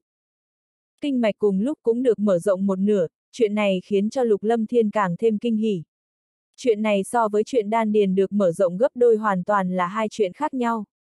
Kinh mạch được mở rộng, đây chính là điều cơ hồ tất cả các vũ giả tha thiết ước mơ. Cơ hồ tất cả tu luyện giả trên cơ bản đều biết, đan điền mở rộng thì sức chứa chân khí càng nhiều. Chứng minh thực lực càng mạnh, mà kinh mạch mở rộng, số chân khí được phép lưu thông trong kinh mạch càng nhiều, công kích vũ khí càng mạnh. Cùng là một loại vũ khí, vũ giả có kinh mạch rộng sẽ có uy lực lớn hơn. Giống như người biến thái như lục lâm thiên vậy, kinh mạch vốn đã cực kỳ khủng bố, thi triển vũ kỹ so với người bình thường thi triển vũ kỹ còn mạnh hơn. Ví dụ như thúc dục vũ kỹ địa cấp sơ giai, coi như là dưới tính huống chân khí giống nhau, dưới sự ảnh hưởng của kinh mạch, uy lực tương xứng so với người đồng cấp thi triển vũ kỹ địa cấp trung giai. Mà lúc này kinh mạch của Hắc lần nữa được mở rộng một nửa, điều này khiến cho Lục Lâm Thiên như hổ thêm cánh khiến cho hắn mừng thầm trong lòng không thôi, nói tóm lại đây là một chuyện tốt. Ngày hôm qua hắn thôn phệ năng lượng thiên địa cũng không có đột phá, chỉ một chân bước ra tôn cấp mà thôi. Lục Lâm Thiên cũng hiểu rõ, nếu như vũ tôn cửu trọng bình thường dưới năng lượng quy mô lớn rót vào như vậy đã sớm đột phá thành đế. Mà bởi vì đan điền khổng lồ của hắn biến thái cho nên không thể đột phá, chỉ là tu vi cũng tiến bộ không ít. Nguyên nhân rất đơn giản, Lục Lâm Thiên biết đan điền mình mở rộng lần nữa, số năng lượng cần thiết để đột phá ngày càng nhiều, điều này đại biểu cho việc sau này hắn muốn đột phá sẽ càng lúc càng khó khăn hơn. Độ khó lớn hơn một chút Lục Lâm Thiên cũng không quan tâm, hắn có âm dương linh vũ quyết, đan điền lớn tuyệt đối là lợi nhiều hơn hại. Tuy rằng độ khó khi đột phá lớn hơn rất nhiều thế nhưng thực lực lại mạnh mẽ hơn rất nhiều. Ví dụ như hiện tại hắn chỉ mới bước một chân ra khỏi tôn cấp mà thôi, thế nhưng lại có thể tàn sát chuẩn đế. Chân khí mênh mông trong đan điền chính là thứ mà hắn dựa vào. Mà trong đầu lục lâm thiên rõ ràng có thể cảm giác được không gian trong đầu cũng lớn hơn không ít. Ít nhất cũng mở rộng một nửa, chỉ là không gian trong đầu tuy rằng mở rộng một nửa, thế nhưng vẫn kém đan điền minh mông. Cho nên so với không gian trong đan điền vẫn kém hơn một chút. Huyết lục đột phá thần khí, uy lực của nó lục lâm thiên đã thử qua, tuyệt đối khủng bố kinh người. Chỉ lạ là khi huyết lục đột phá địa cấp không có không gian bên trong. Lúc này đạt tới thần khí vẫn không có không gian bên trong khiến cho lục lâm thiên cực kỳ nghi hoặc. Trong lúc mơ hồ Lục Lâm Thiên cảm thấy chuyện này dường như có liên quan tới âm dương linh vũ quyết và kiếp trước. Thực lực hiện tại của hắn có thể đánh chết chuẩn đế như không có gì, đặc biệt là phối hợp với thời không lao ngục thi triển ngũ hành huyết đao quyết. Quả thực mạnh không gì sánh được, sinh sinh bất tức cũng có tác dụng kinh người khiến cho Lục Lâm Thiên mừng thầm, uy lực như vậy không biết hiện tại hắn đỡ upsilon.ng phải đế giả thì sẽ như thế nào. Đương nhiên Lục Lâm Thiên cũng chỉ tùy tiện nghĩ mà thôi. Đế giả và chuẩn đế hoàn toàn là hai cấp bậc khác nhau. Nhớ ngày đó sư bá thánh linh lão tổ chỉ cần tát một cái cũng đánh chết chuẩn đế cho nên hiện tại tuy rằng lục lâm thiên có thể đánh chết chuẩn đế như không, thế nhưng đối mặt với hai chữ đế giả này vẫn cảm thấy không có một chút sức phản kháng nào. Phân lượng của hai chữ này quả thực quá nặng. Ở trong thanh long hoàng tộc, không gian bao la, bên trong cảnh xanh um tươi tốt hiện lên vẻ hùng vĩ, từng ngọn núi tầng tầng lớp lớp uốn lượn giống như rồng ngẩng đầu, giống như tiên nhân chỉ trời. Trên ngọn núi có sương mù màu trắng lượn lờ. Mà trong cảnh sắc tú lệ này có vô số kiến trúc to lớn như ẩn như hiện ở trong những dãy núi này. Bái kiến tộc trưởng. Mọi người đi qua đường hầm không gian trở lại Thanh Long Hoàng tộc, nhìn thấy Tiểu Long quay về, cơ hồ tất cả tộc nhân Thanh Long Hoàng tộc cung kính hành lễ. Ánh mắt nhìn về phía Bắc Cung vô song, Bạch Linh, độc cô cảnh văn không khỏi kinh hãi, ba nữ tử này tuyệt đối là nữ tử tuyệt mỹ giống như đại công chúa. Ba nữ cũng là lần đầu tiên vào trong thanh long hoàng tộc, ba người cực kỳ kinh ngạc đánh giá khắp nơi. Một lát sau, trong bách hoa cốc thanh nhã, kỳ hoa dị thảo khắp nơi, hương hoa ngập trời khiến cho Bạch Linh, Bắc Cung vô song, độc cô cảnh văn lập tức ưa thích không thôi, nhào vào giữa những bụi hoa chơi đùa. Huyền Hạo đã sớm đi tới cửa bách hoa cốc nghênh đón, trên người mặc một bộ trường bào màu tím, tuy rằng yêu đan trong cơ thể đã bị nghiền nát, thế nhưng cỗ khí tức bế nghệ thiên hạ cùng với hoàng giả vẫn còn, ánh mắt vô cùng trong suốt, thanh tịnh. Bái kiến bá phụ, lục lâm thiên hành lễ. Hảo tiểu tử, tu vi dường như tiến bộ không ít. Nhìn khí tức của lục lâm thiên, càng dò xét huyền hạo càng cảm thấy kinh ngạc trong lòng. Dường như trong lúc mơ hồ đã biết rõ tu vi của lục lâm thiên vậy. Trong đình viện tinh xảo, sau khi hỏi thăm tin tức của đại công chúa Long Bích Hàm, huyền hạo cũng biết được chuyện xảy ra bên ngoài, ánh mắt nhìn về phía lục lâm thiên lúc này giống như là nhìn một đầu quái vật, ánh mắt rung động. Mãi một lúc lâu sau, huyền hạo thu hồi ánh mắt, nhìn lục lâm thiên nói. Lâm thiên, thực lực của tiểu long tuy rằng hiếm thấy, thế nhưng cũng không có gì là lạ. Tiểu long có truyền thừa cao nhất của thanh long hoàng tộc và huyền vũ hoàng tộc, công kích linh hồn và công kích vật chất đều miễn dịch, thế nhưng ngươi lại mạnh không hợp thói thường. Nếu không phải tu vi của ta không còn, ta quả thực muốn luận bàn với ngươi một chút, để xem rốt cuộc tiểu tử ngươi cường hãn tới mức nào. Phụ thân, người nhất định có thể khôi phục được tu vi. Lão đại tới đây lần này chính là luyện chế tụ yêu đế linh đan cho người. Tiểu Long nói với huyền hạo, từ nhỏ không có phụ mẫu bên người cho nên đối với Tiểu Long lúc này mà nói đặc biệt quý trọng tình thương của phụ mẫu hiện tại. Tình thương của phụ thân như núi, Tiểu Long cũng biết vì hắn mà phụ thân mới tự bảo yêu đan, cho nên những năm này hắn luôn tìm kiếm phương pháp có thể giúp phụ thân khôi phục. Đứa nhỏ này, làm khó cho con rồi. Huyền Hạo vỗ bả vai Tiểu Long, ánh mắt hiện lên sự thương yêu, lại nhìn Lục Lâm Thiên nói. Lâm Thiên, vậy thì lần này phải làm phiền ngươi rồi. Bá phụ không cần khách khí với con. Lục Lâm Thiên khẽ mỉm cười nói. Con sẽ cố hết sức, hy vọng bá phụ có thể sớm ngày khôi phục. Tiểu tử vẫn chờ một ngày kia có thể được bá phụ chỉ điểm. Ha ha! Huyền hạo nở nụ cười nói. Quả thực có chút khách khí, về sau ta sẽ không khách khí với ngươi nữa. Trong chú tước hoàng tộc, trong không gian bao la này cả khí không khí cũng tràn ngập khí tức nóng bỏng. Kỳ quái là ở trên sơn mạch trong không gian này vẫn xanh biếc vô cùng, dường như hoa cỏ ở đây không sợ nhiệt độ nóng bỏng trong không khí vậy. Trong một đình viện tinh xảo đại công chúa Long Bích Hàm, Lục Tâm Đồng và Kim Huyền ôm Dương Quá bị trọng thương trong tay, đang sốt ruột chờ đợi. Trong phòng lúc này còn có một nữ tử mặc váy dài màu đỏ, tuổi chừng 26 da thịt trắng nõn mịn màng, ngũ quan tinh xảo, đúng là một nữ tử tuyệt mỹ động lòng người. Trên người mặc một bộ váy dài màu đỏ chấm đất, khiến cho mọi người có cảm giác bên trong sự tuyệt mỹ nhiều thêm một phần ôn nhu, cực kỳ rung động lòng người. Nhị công chúa, không biết đại tỷ của ngươi có thể thuyết phục được trưởng lão trong tộc hay không? Đại công chúa Long Bích Hàm có chút lo lắng hỏi nữ tử mặc váy dài này. Tất cả mật địa của các đại thú hoàng tộc kỳ thật không dễ tiến vào. Tuy rằng có mặt mũi của nàng, thế nhưng chu tước hoàng tộc có nể mặt hay không nàng cũng không biết. Đại công chúa tự mình đến, tăng thêm nhà đầu thần hy kia vào làm ẩm ý đương nhiên không có vấn đề quá lớn. Nữ tử mặc váy dài màu đỏ này đứng lên, một lọn tóc xanh rũ xuống trước ngực làm tăng thêm vẻ vũ mị cho nàng. Bờ môi đỏ mỏng khẽ mở ra, trả lời đại công chúa Long Bích Hàm. Chỉ mong là như vậy. Đại công chúa Long Bích Hàm nói xong quay đầu lại nhìn Dương Quá. Bọn họ đã chậm trễ không ít thời gian, coi như là vì muội muội Long Yên, nàng không thể để cho Dương Quá gặp chuyện không may. Nàng biết rõ tâm tư của muội muội mình, trong lòng vẫn còn có Dương Quá này, tuy rằng đó là một đoạn nguyệt duyên, thế nhưng trong lòng nàng vẫn hy vọng một ngày nào đó hai người có thể ở bên nhau, tu thành chính quả. Tâm đồng, có thể rồi, trưởng lão trong tộc đều đáp ứng hết rồi. Lúc này một thanh âm nhẹ nhàng vang lên ngoài cửa, thân thể nóng bỏng khiến cho người ta sôi trào, trên đầu là mái tóc màu đỏ xuất hiện, người này chính là thần hy. Có thể vào sao, cảm ơn ngươi thần hy. Không cần cảm ơn, chúng ta là tỉ muội, không nên nói lời cảm ơn. Chu thần hy vỗ bộ ngực cao ngất, ngẩng đầu ưỡn ngực nói, ngược lại cũng có khí phách. Thần hy, muội lại nghịch ngợm rồi. Một thanh âm nhẹ nhàng giống như thanh âm của thiên nhiên vang vọng.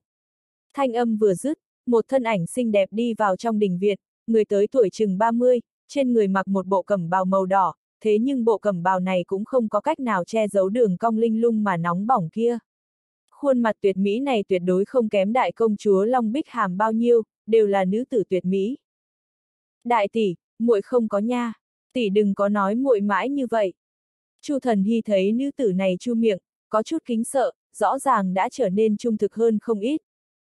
Lần này phải đa tạ tộc trưởng Chu Loan rồi. Long Bích Hàm nhìn nữ tử mặc cẩm bào nói. Bích Hàm tỷ tỷ khách khí rồi. Tuy rằng trong tộc của ta có một ít quy củ, thế nhưng tỷ tự mình tới đây ta há có thể cự tuyệt, giữa chúng ta không cần nói lời cảm tạ.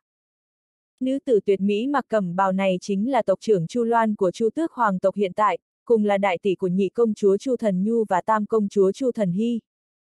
Vậy thì ta cũng không khách khí nữa. Long Bích Hàm dịu dàng cười. Chu Loan nói. Bích Hàm tỷ tỷ, người này muốn đi vào trong mật địa niết bàn dục hỏa của Chu Tước Hoàng tộc chữa thương không có vấn đề. Thế nhưng người này trọng thương hôn mệ, sợ rằng cũng không có cách nào tự mình chữa thương. Cần một linh giả thì tốt hơn, hơn nữa ít nhất cũng phải đạt tới ngoài linh tôn bát trọng. Bằng không không phải là chu tước hoàng tộc ta, lại là nhân loại, một khi tiến vào trong niết bàn dục hỏa sẽ hóa thành cho tàn. Ta có thể, đi vào được là tốt rồi.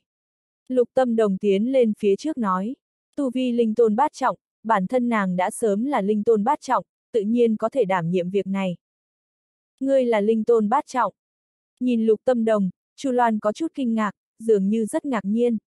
Lục tâm đồng thu liếm khí thức khiến cho ngay cả nàng cũng khó nhìn ra tu vi. Huống chi nàng thân là tộc trưởng Chu Tước Hoàng tộc, tùy tiện dò xét tu vi người khác là chuyện không lễ phép, nàng cũng sẽ không làm chuyện như vậy. Đại tỷ, Lục Tâm Đồng chính là muội muội của Lục Lâm Thiên, độc linh ma nữ tiếng tăm lừng lẫy trên đại lục bên trên đại lục chính là nàng. Chu Thần Hy mỉm cười nói. Chu Loan kinh ngạc một hồi, lập tức thu hồi ánh mắt kinh ngạc nói. Hóa ra độc linh ma nữ tiếng tăm lừng lẫy là tiểu cô nương nhà ngươi A. Trong nhân loại gần đây nhân tài xuất hiện lớp lớp A. Tộc trưởng quá khen rồi. Lục lâm thiên tâm đồng ngượng ngùng nói. Nếu như ngươi đã là linh tôn bát trọng vậy thì ngươi cũng tiến vào đi. Đến lúc đó ra ta sẽ sắp xếp vài thứ hộ thân cho các ngươi. Bằng không các ngươi cũng khó có thể chống lại nhiệt độ lâu dài trong niết bàn dục hỏa. Nếu như lần này các ngươi thuận lợi thì có lẽ sẽ thu được không ít chỗ tốt. Đặc biệt là linh giả, chỗ tốt đạt được so với vũ giả còn lớn hơn. Theo ta được biết chưa từng có nhân loại nào tiến vào thánh địa niết bàn dục hỏa của Chu Tước Hoàng tộc. Các ngươi được đại công chúa mang tới, đây cũng coi như là tạo hóa của các ngươi. Chu Loan nói với Lục Tâm Đồng. Đa tạ tộc trưởng. Lục Tâm Đồng lần nữa hành lễ, cảm kích nói. Có thể thu được chỗ tốt hay không Lục Tâm Đồng cũng không quá quan tâm, trọng yếu nhất chính là đại ca nàng có thể khôi phục thuận lợi. Trong không gian của Thanh Long Hoàng tộc, thời gian một đêm trong nháy mắt trôi qua. Bầu trời dần dần sáng rõ, trên bầu trời xanh nhạt có mấy ngôi sao như lưu luyến, mặt đất mông lung, giống như được phủ bởi một tấm lụa màu trắng. Gió sớm khẽ thổi qua mang theo ý xuân khiến cho người ta cảm thấy vui vẻ, thoải mái không dứt. Cây cối trong sơn mạch xanh um, nước suối róc rách chảy, sương sớm bao phủ sơn mạch khiến cho người ta có cảm giác như tiên cảnh. Bóng đêm kéo đi, khi tia sáng đầu tiên từ phía chân trời xuất hiện, ánh sáng trong tích tắc bao phủ cả không gian. Phù.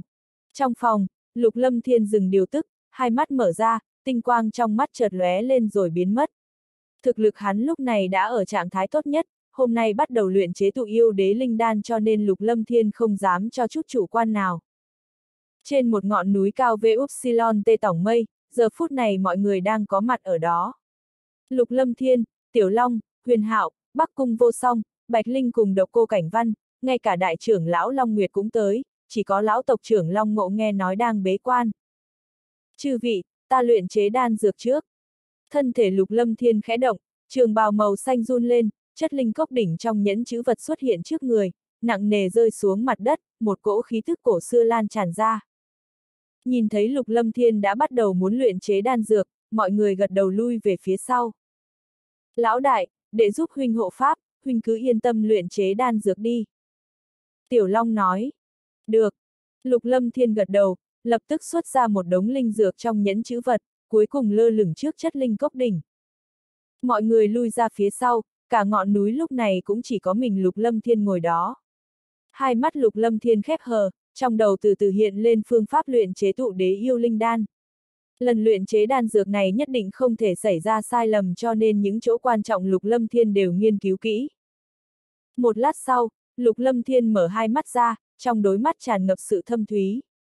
Hắn liền khoanh chân ngồi trước chất linh cốc đỉnh, bàn tay khẽ bấm, linh hỏa lập tức rít gào trong chất linh cốc đỉnh, tài liệu phụ trợ cũng bị Lục Lâm Thiên ném vào trong chất linh cốc đỉnh để luyện chế. Loại luyện chế tài liệu phụ trợ này đối với Lục Lâm Thiên hiện tại không có bao nhiêu khó khăn, sau khi từ linh tôn bát trọng đột phá tới linh tôn cửu trọng Lục Lâm Thiên có thể cảm nhận được rõ ràng linh lực trong người mình hùng hậu hơn trước rất nhiều. Ít nhất so với linh tôn có tu vi đồng cấp còn hơn gấp 4 đến 5 lần, khoảng cách này cực kỳ khổng lồ. Trên ngọn núi, trong chất linh cốc đỉnh lan tràn ra hỏa diễm nóng bỏng. Nhiệt độ trong cả không gian kéo lên giống như mặt trời chói trang, thế nhưng đối với mọi người xa xa mà nói hoàn toàn không có chút ảnh hưởng gì. Trong lúc luyện chế đám người tiểu long, huyền hạo, đại trưởng lão Long Nguyệt ở trên ngọn núi bên cạnh có chút khẩn trương. Sơn mạch này đã bị tiểu long hạ lệnh cấm không cho bất kỳ kẻ nào tới gần. Luyện chế tài liệu phụ trợ cũng cần không ít thời gian, những tài liệu phụ trợ này cũng không phải phàm vật, đều là linh dược cực kỳ chân quý.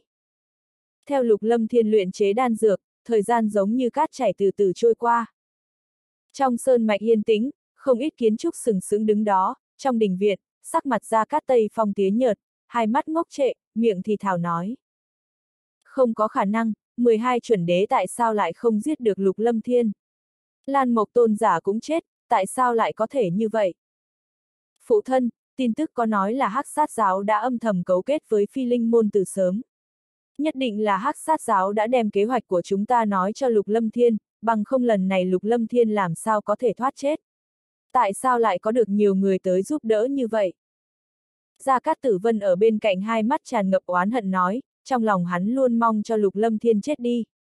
Lần này vốn tưởng rằng Lục Lâm Thiên đã phải chết không thể nghi ngờ, coi như thủ hắn cũng được báo triệt để. Ai biết khi tin tức truyền đến 11 chuẩn đế của thiên địa minh bỏ mình, ngay cả hồn anh cũng không kịp chạy thoát.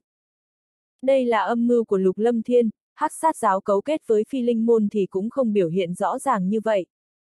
Ánh mắt ra cát tây phong chấp động. Phụ thân, trước đó đồng quy tinh được Lục Lâm Thiên thả đi chẳng phải người cũng hoài nghi sao. Bây giờ chuẩn đế bị giết, cũng chỉ có hắc sát giáo không có việc gì. Chẳng lẽ còn không phải sao? Bằng không tại sao Lục Lâm Thiên lại có nhiều người tới giúp đỡ như vậy? Gia Cát Tử Vân nói, dường như việc giết Lục Lâm Thiên hắn so với bất kỳ ai còn sốt ruột hơn. Việc này ta phải thương nghị với những người khác mới được. Trên khuôn mặt tái nhợt của Gia Cát Tây Phong hiện lên sự oán hận cùng ngưng trọng. Giống. Ngao. Dưới màn đêm, từng vì sao trên bầu trời đêm lóe sáng, bên một sơn mạch liên miên ngẫu nhiên có thanh âm yêu thú giống vang lên. Trong sơn mạch xuất hiện không ít kiến trúc. Ai có thể nói cho ta biết rốt cuộc hắc sát giáo có bán đứng thiên địa minh chúng ta hay không? Thù của thao ưng lao tổ, đế thú lão tổ nhất định phải báo. Trong một đình viện doãn ngạc dáng người tục tằn, hai mắt như chuông đồng phẫn nộ quát, trong mắt tức giận ngập trời. Sư phụ bớt giận, có lẽ trước kia chúng ta không nên đáp ứng Lan Lăng Sơn Trang, hóa vũ tông gia nhập thiên địa minh. Hồng Vân do dự một chút nhì về phía Doãn Ngạc nói.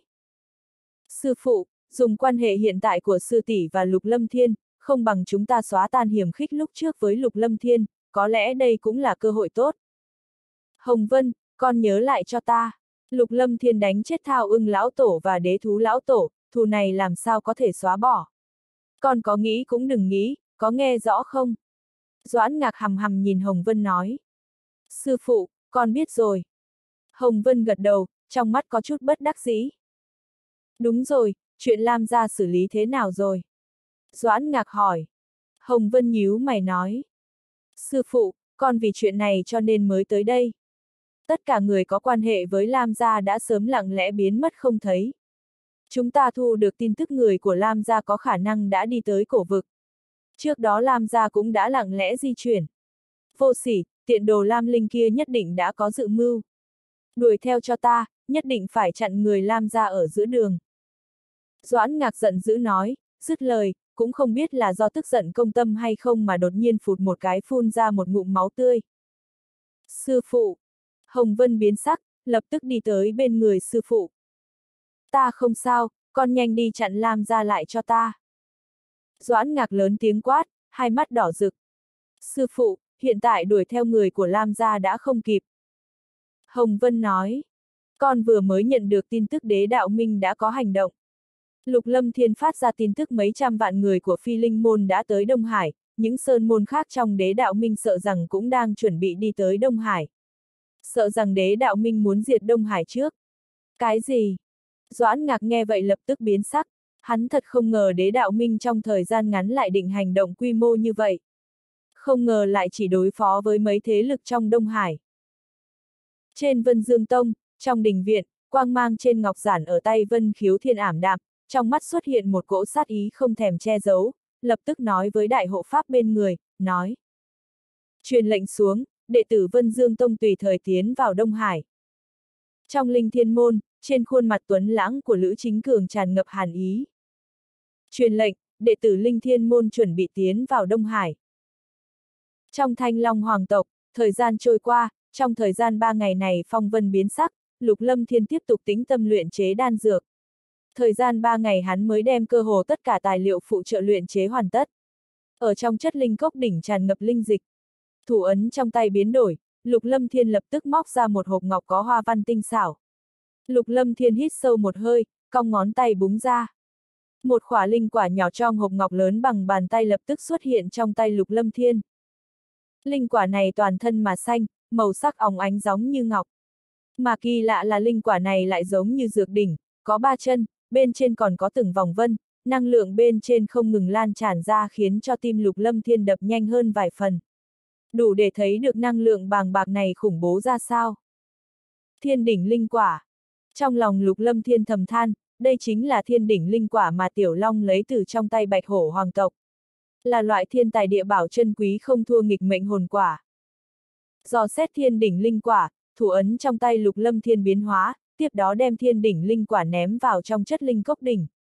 Hỏa diễm hừng hực lập tức bao phủ thiên đỉnh linh quả. Thiên đỉnh linh quả bị hỏa diễm bao phủ, trong sát na, năng lượng bàng bạc trong thiên đỉnh linh quả lan tràn ra, năng cản hỏa diễm thiêu đốt luyện chế. Lục lâm thiên nhíu mày, hắn không ngờ thiên đỉnh linh quả lại khó luyện hóa như vậy. Thủ ấn lập tức biến hóa, tăng thêm chút linh lực, hỏa diễm hừng hực tiếp tục bao trùm trong thiên đỉnh linh quả. Thiên đỉnh linh quả dãy ruộng, thế nhưng Thủy Trung vẫn không thể thoát khỏi sự bao phủ của linh hỏa. Khí lực dãy ruộng càng lúc càng nhỏ, sợ rằng bị luyện hóa chỉ là vấn đề sớm muộn. Ba ngày sau đó thiên đỉnh linh quả rốt cuộc cũng bị luyện hóa, hóa thành năng lượng bàng bạc kinh người trong chất linh cốc đỉnh, thậm chí những linh dịch khác còn bị nó cướp đoạt chỗ. Sau khi thiên đỉnh linh quả bị luyện hóa, trong tay lục lâm thiên lần nữa xuất hiện cửu diệp liên màu đỏ thẫm, một cỗ khí thức nóng bỏng không ngừng từ trên cửu diệp liên lan tràn ra bên ngoài, mà bên trong cỗ khí tức nóng bỏng này vẫn có một cỗ khí tức sinh cơ giống như thuộc tính mộc. Niết bàn trọng sinh cửu diệp liên. Lục lâm thiên sợ hãi than, đây chính là trọng bảo của chu tước hoàng tộc, Niết bàn trọng sinh cửu diệp liên, một trong những tài liệu chủ yếu luyện chế tụ yêu đế linh đan. Sợ hãi thán phục vì trọng bảo này, đồng thời Lâm Thiên cũng bấm tay đem niết bàn trọng sinh cửu diệp liên này ném vào trong chất linh cốc đỉnh, bắt đầu tiếp tục luyện chế. Lục Lâm Thiên luyện chế cực kỳ cẩn thận, bởi vì Lục Lâm Thiên biết rõ nếu như luyện chế tụ yêu đế linh đan thất bại mà nói vậy thì chuyện huyền hạo khôi phục sẽ thất bại. Tìm được nhiều linh dược như vậy không phải chuyện dễ dàng, vì vậy hắn không cho phép mình chủ quan một chút nào.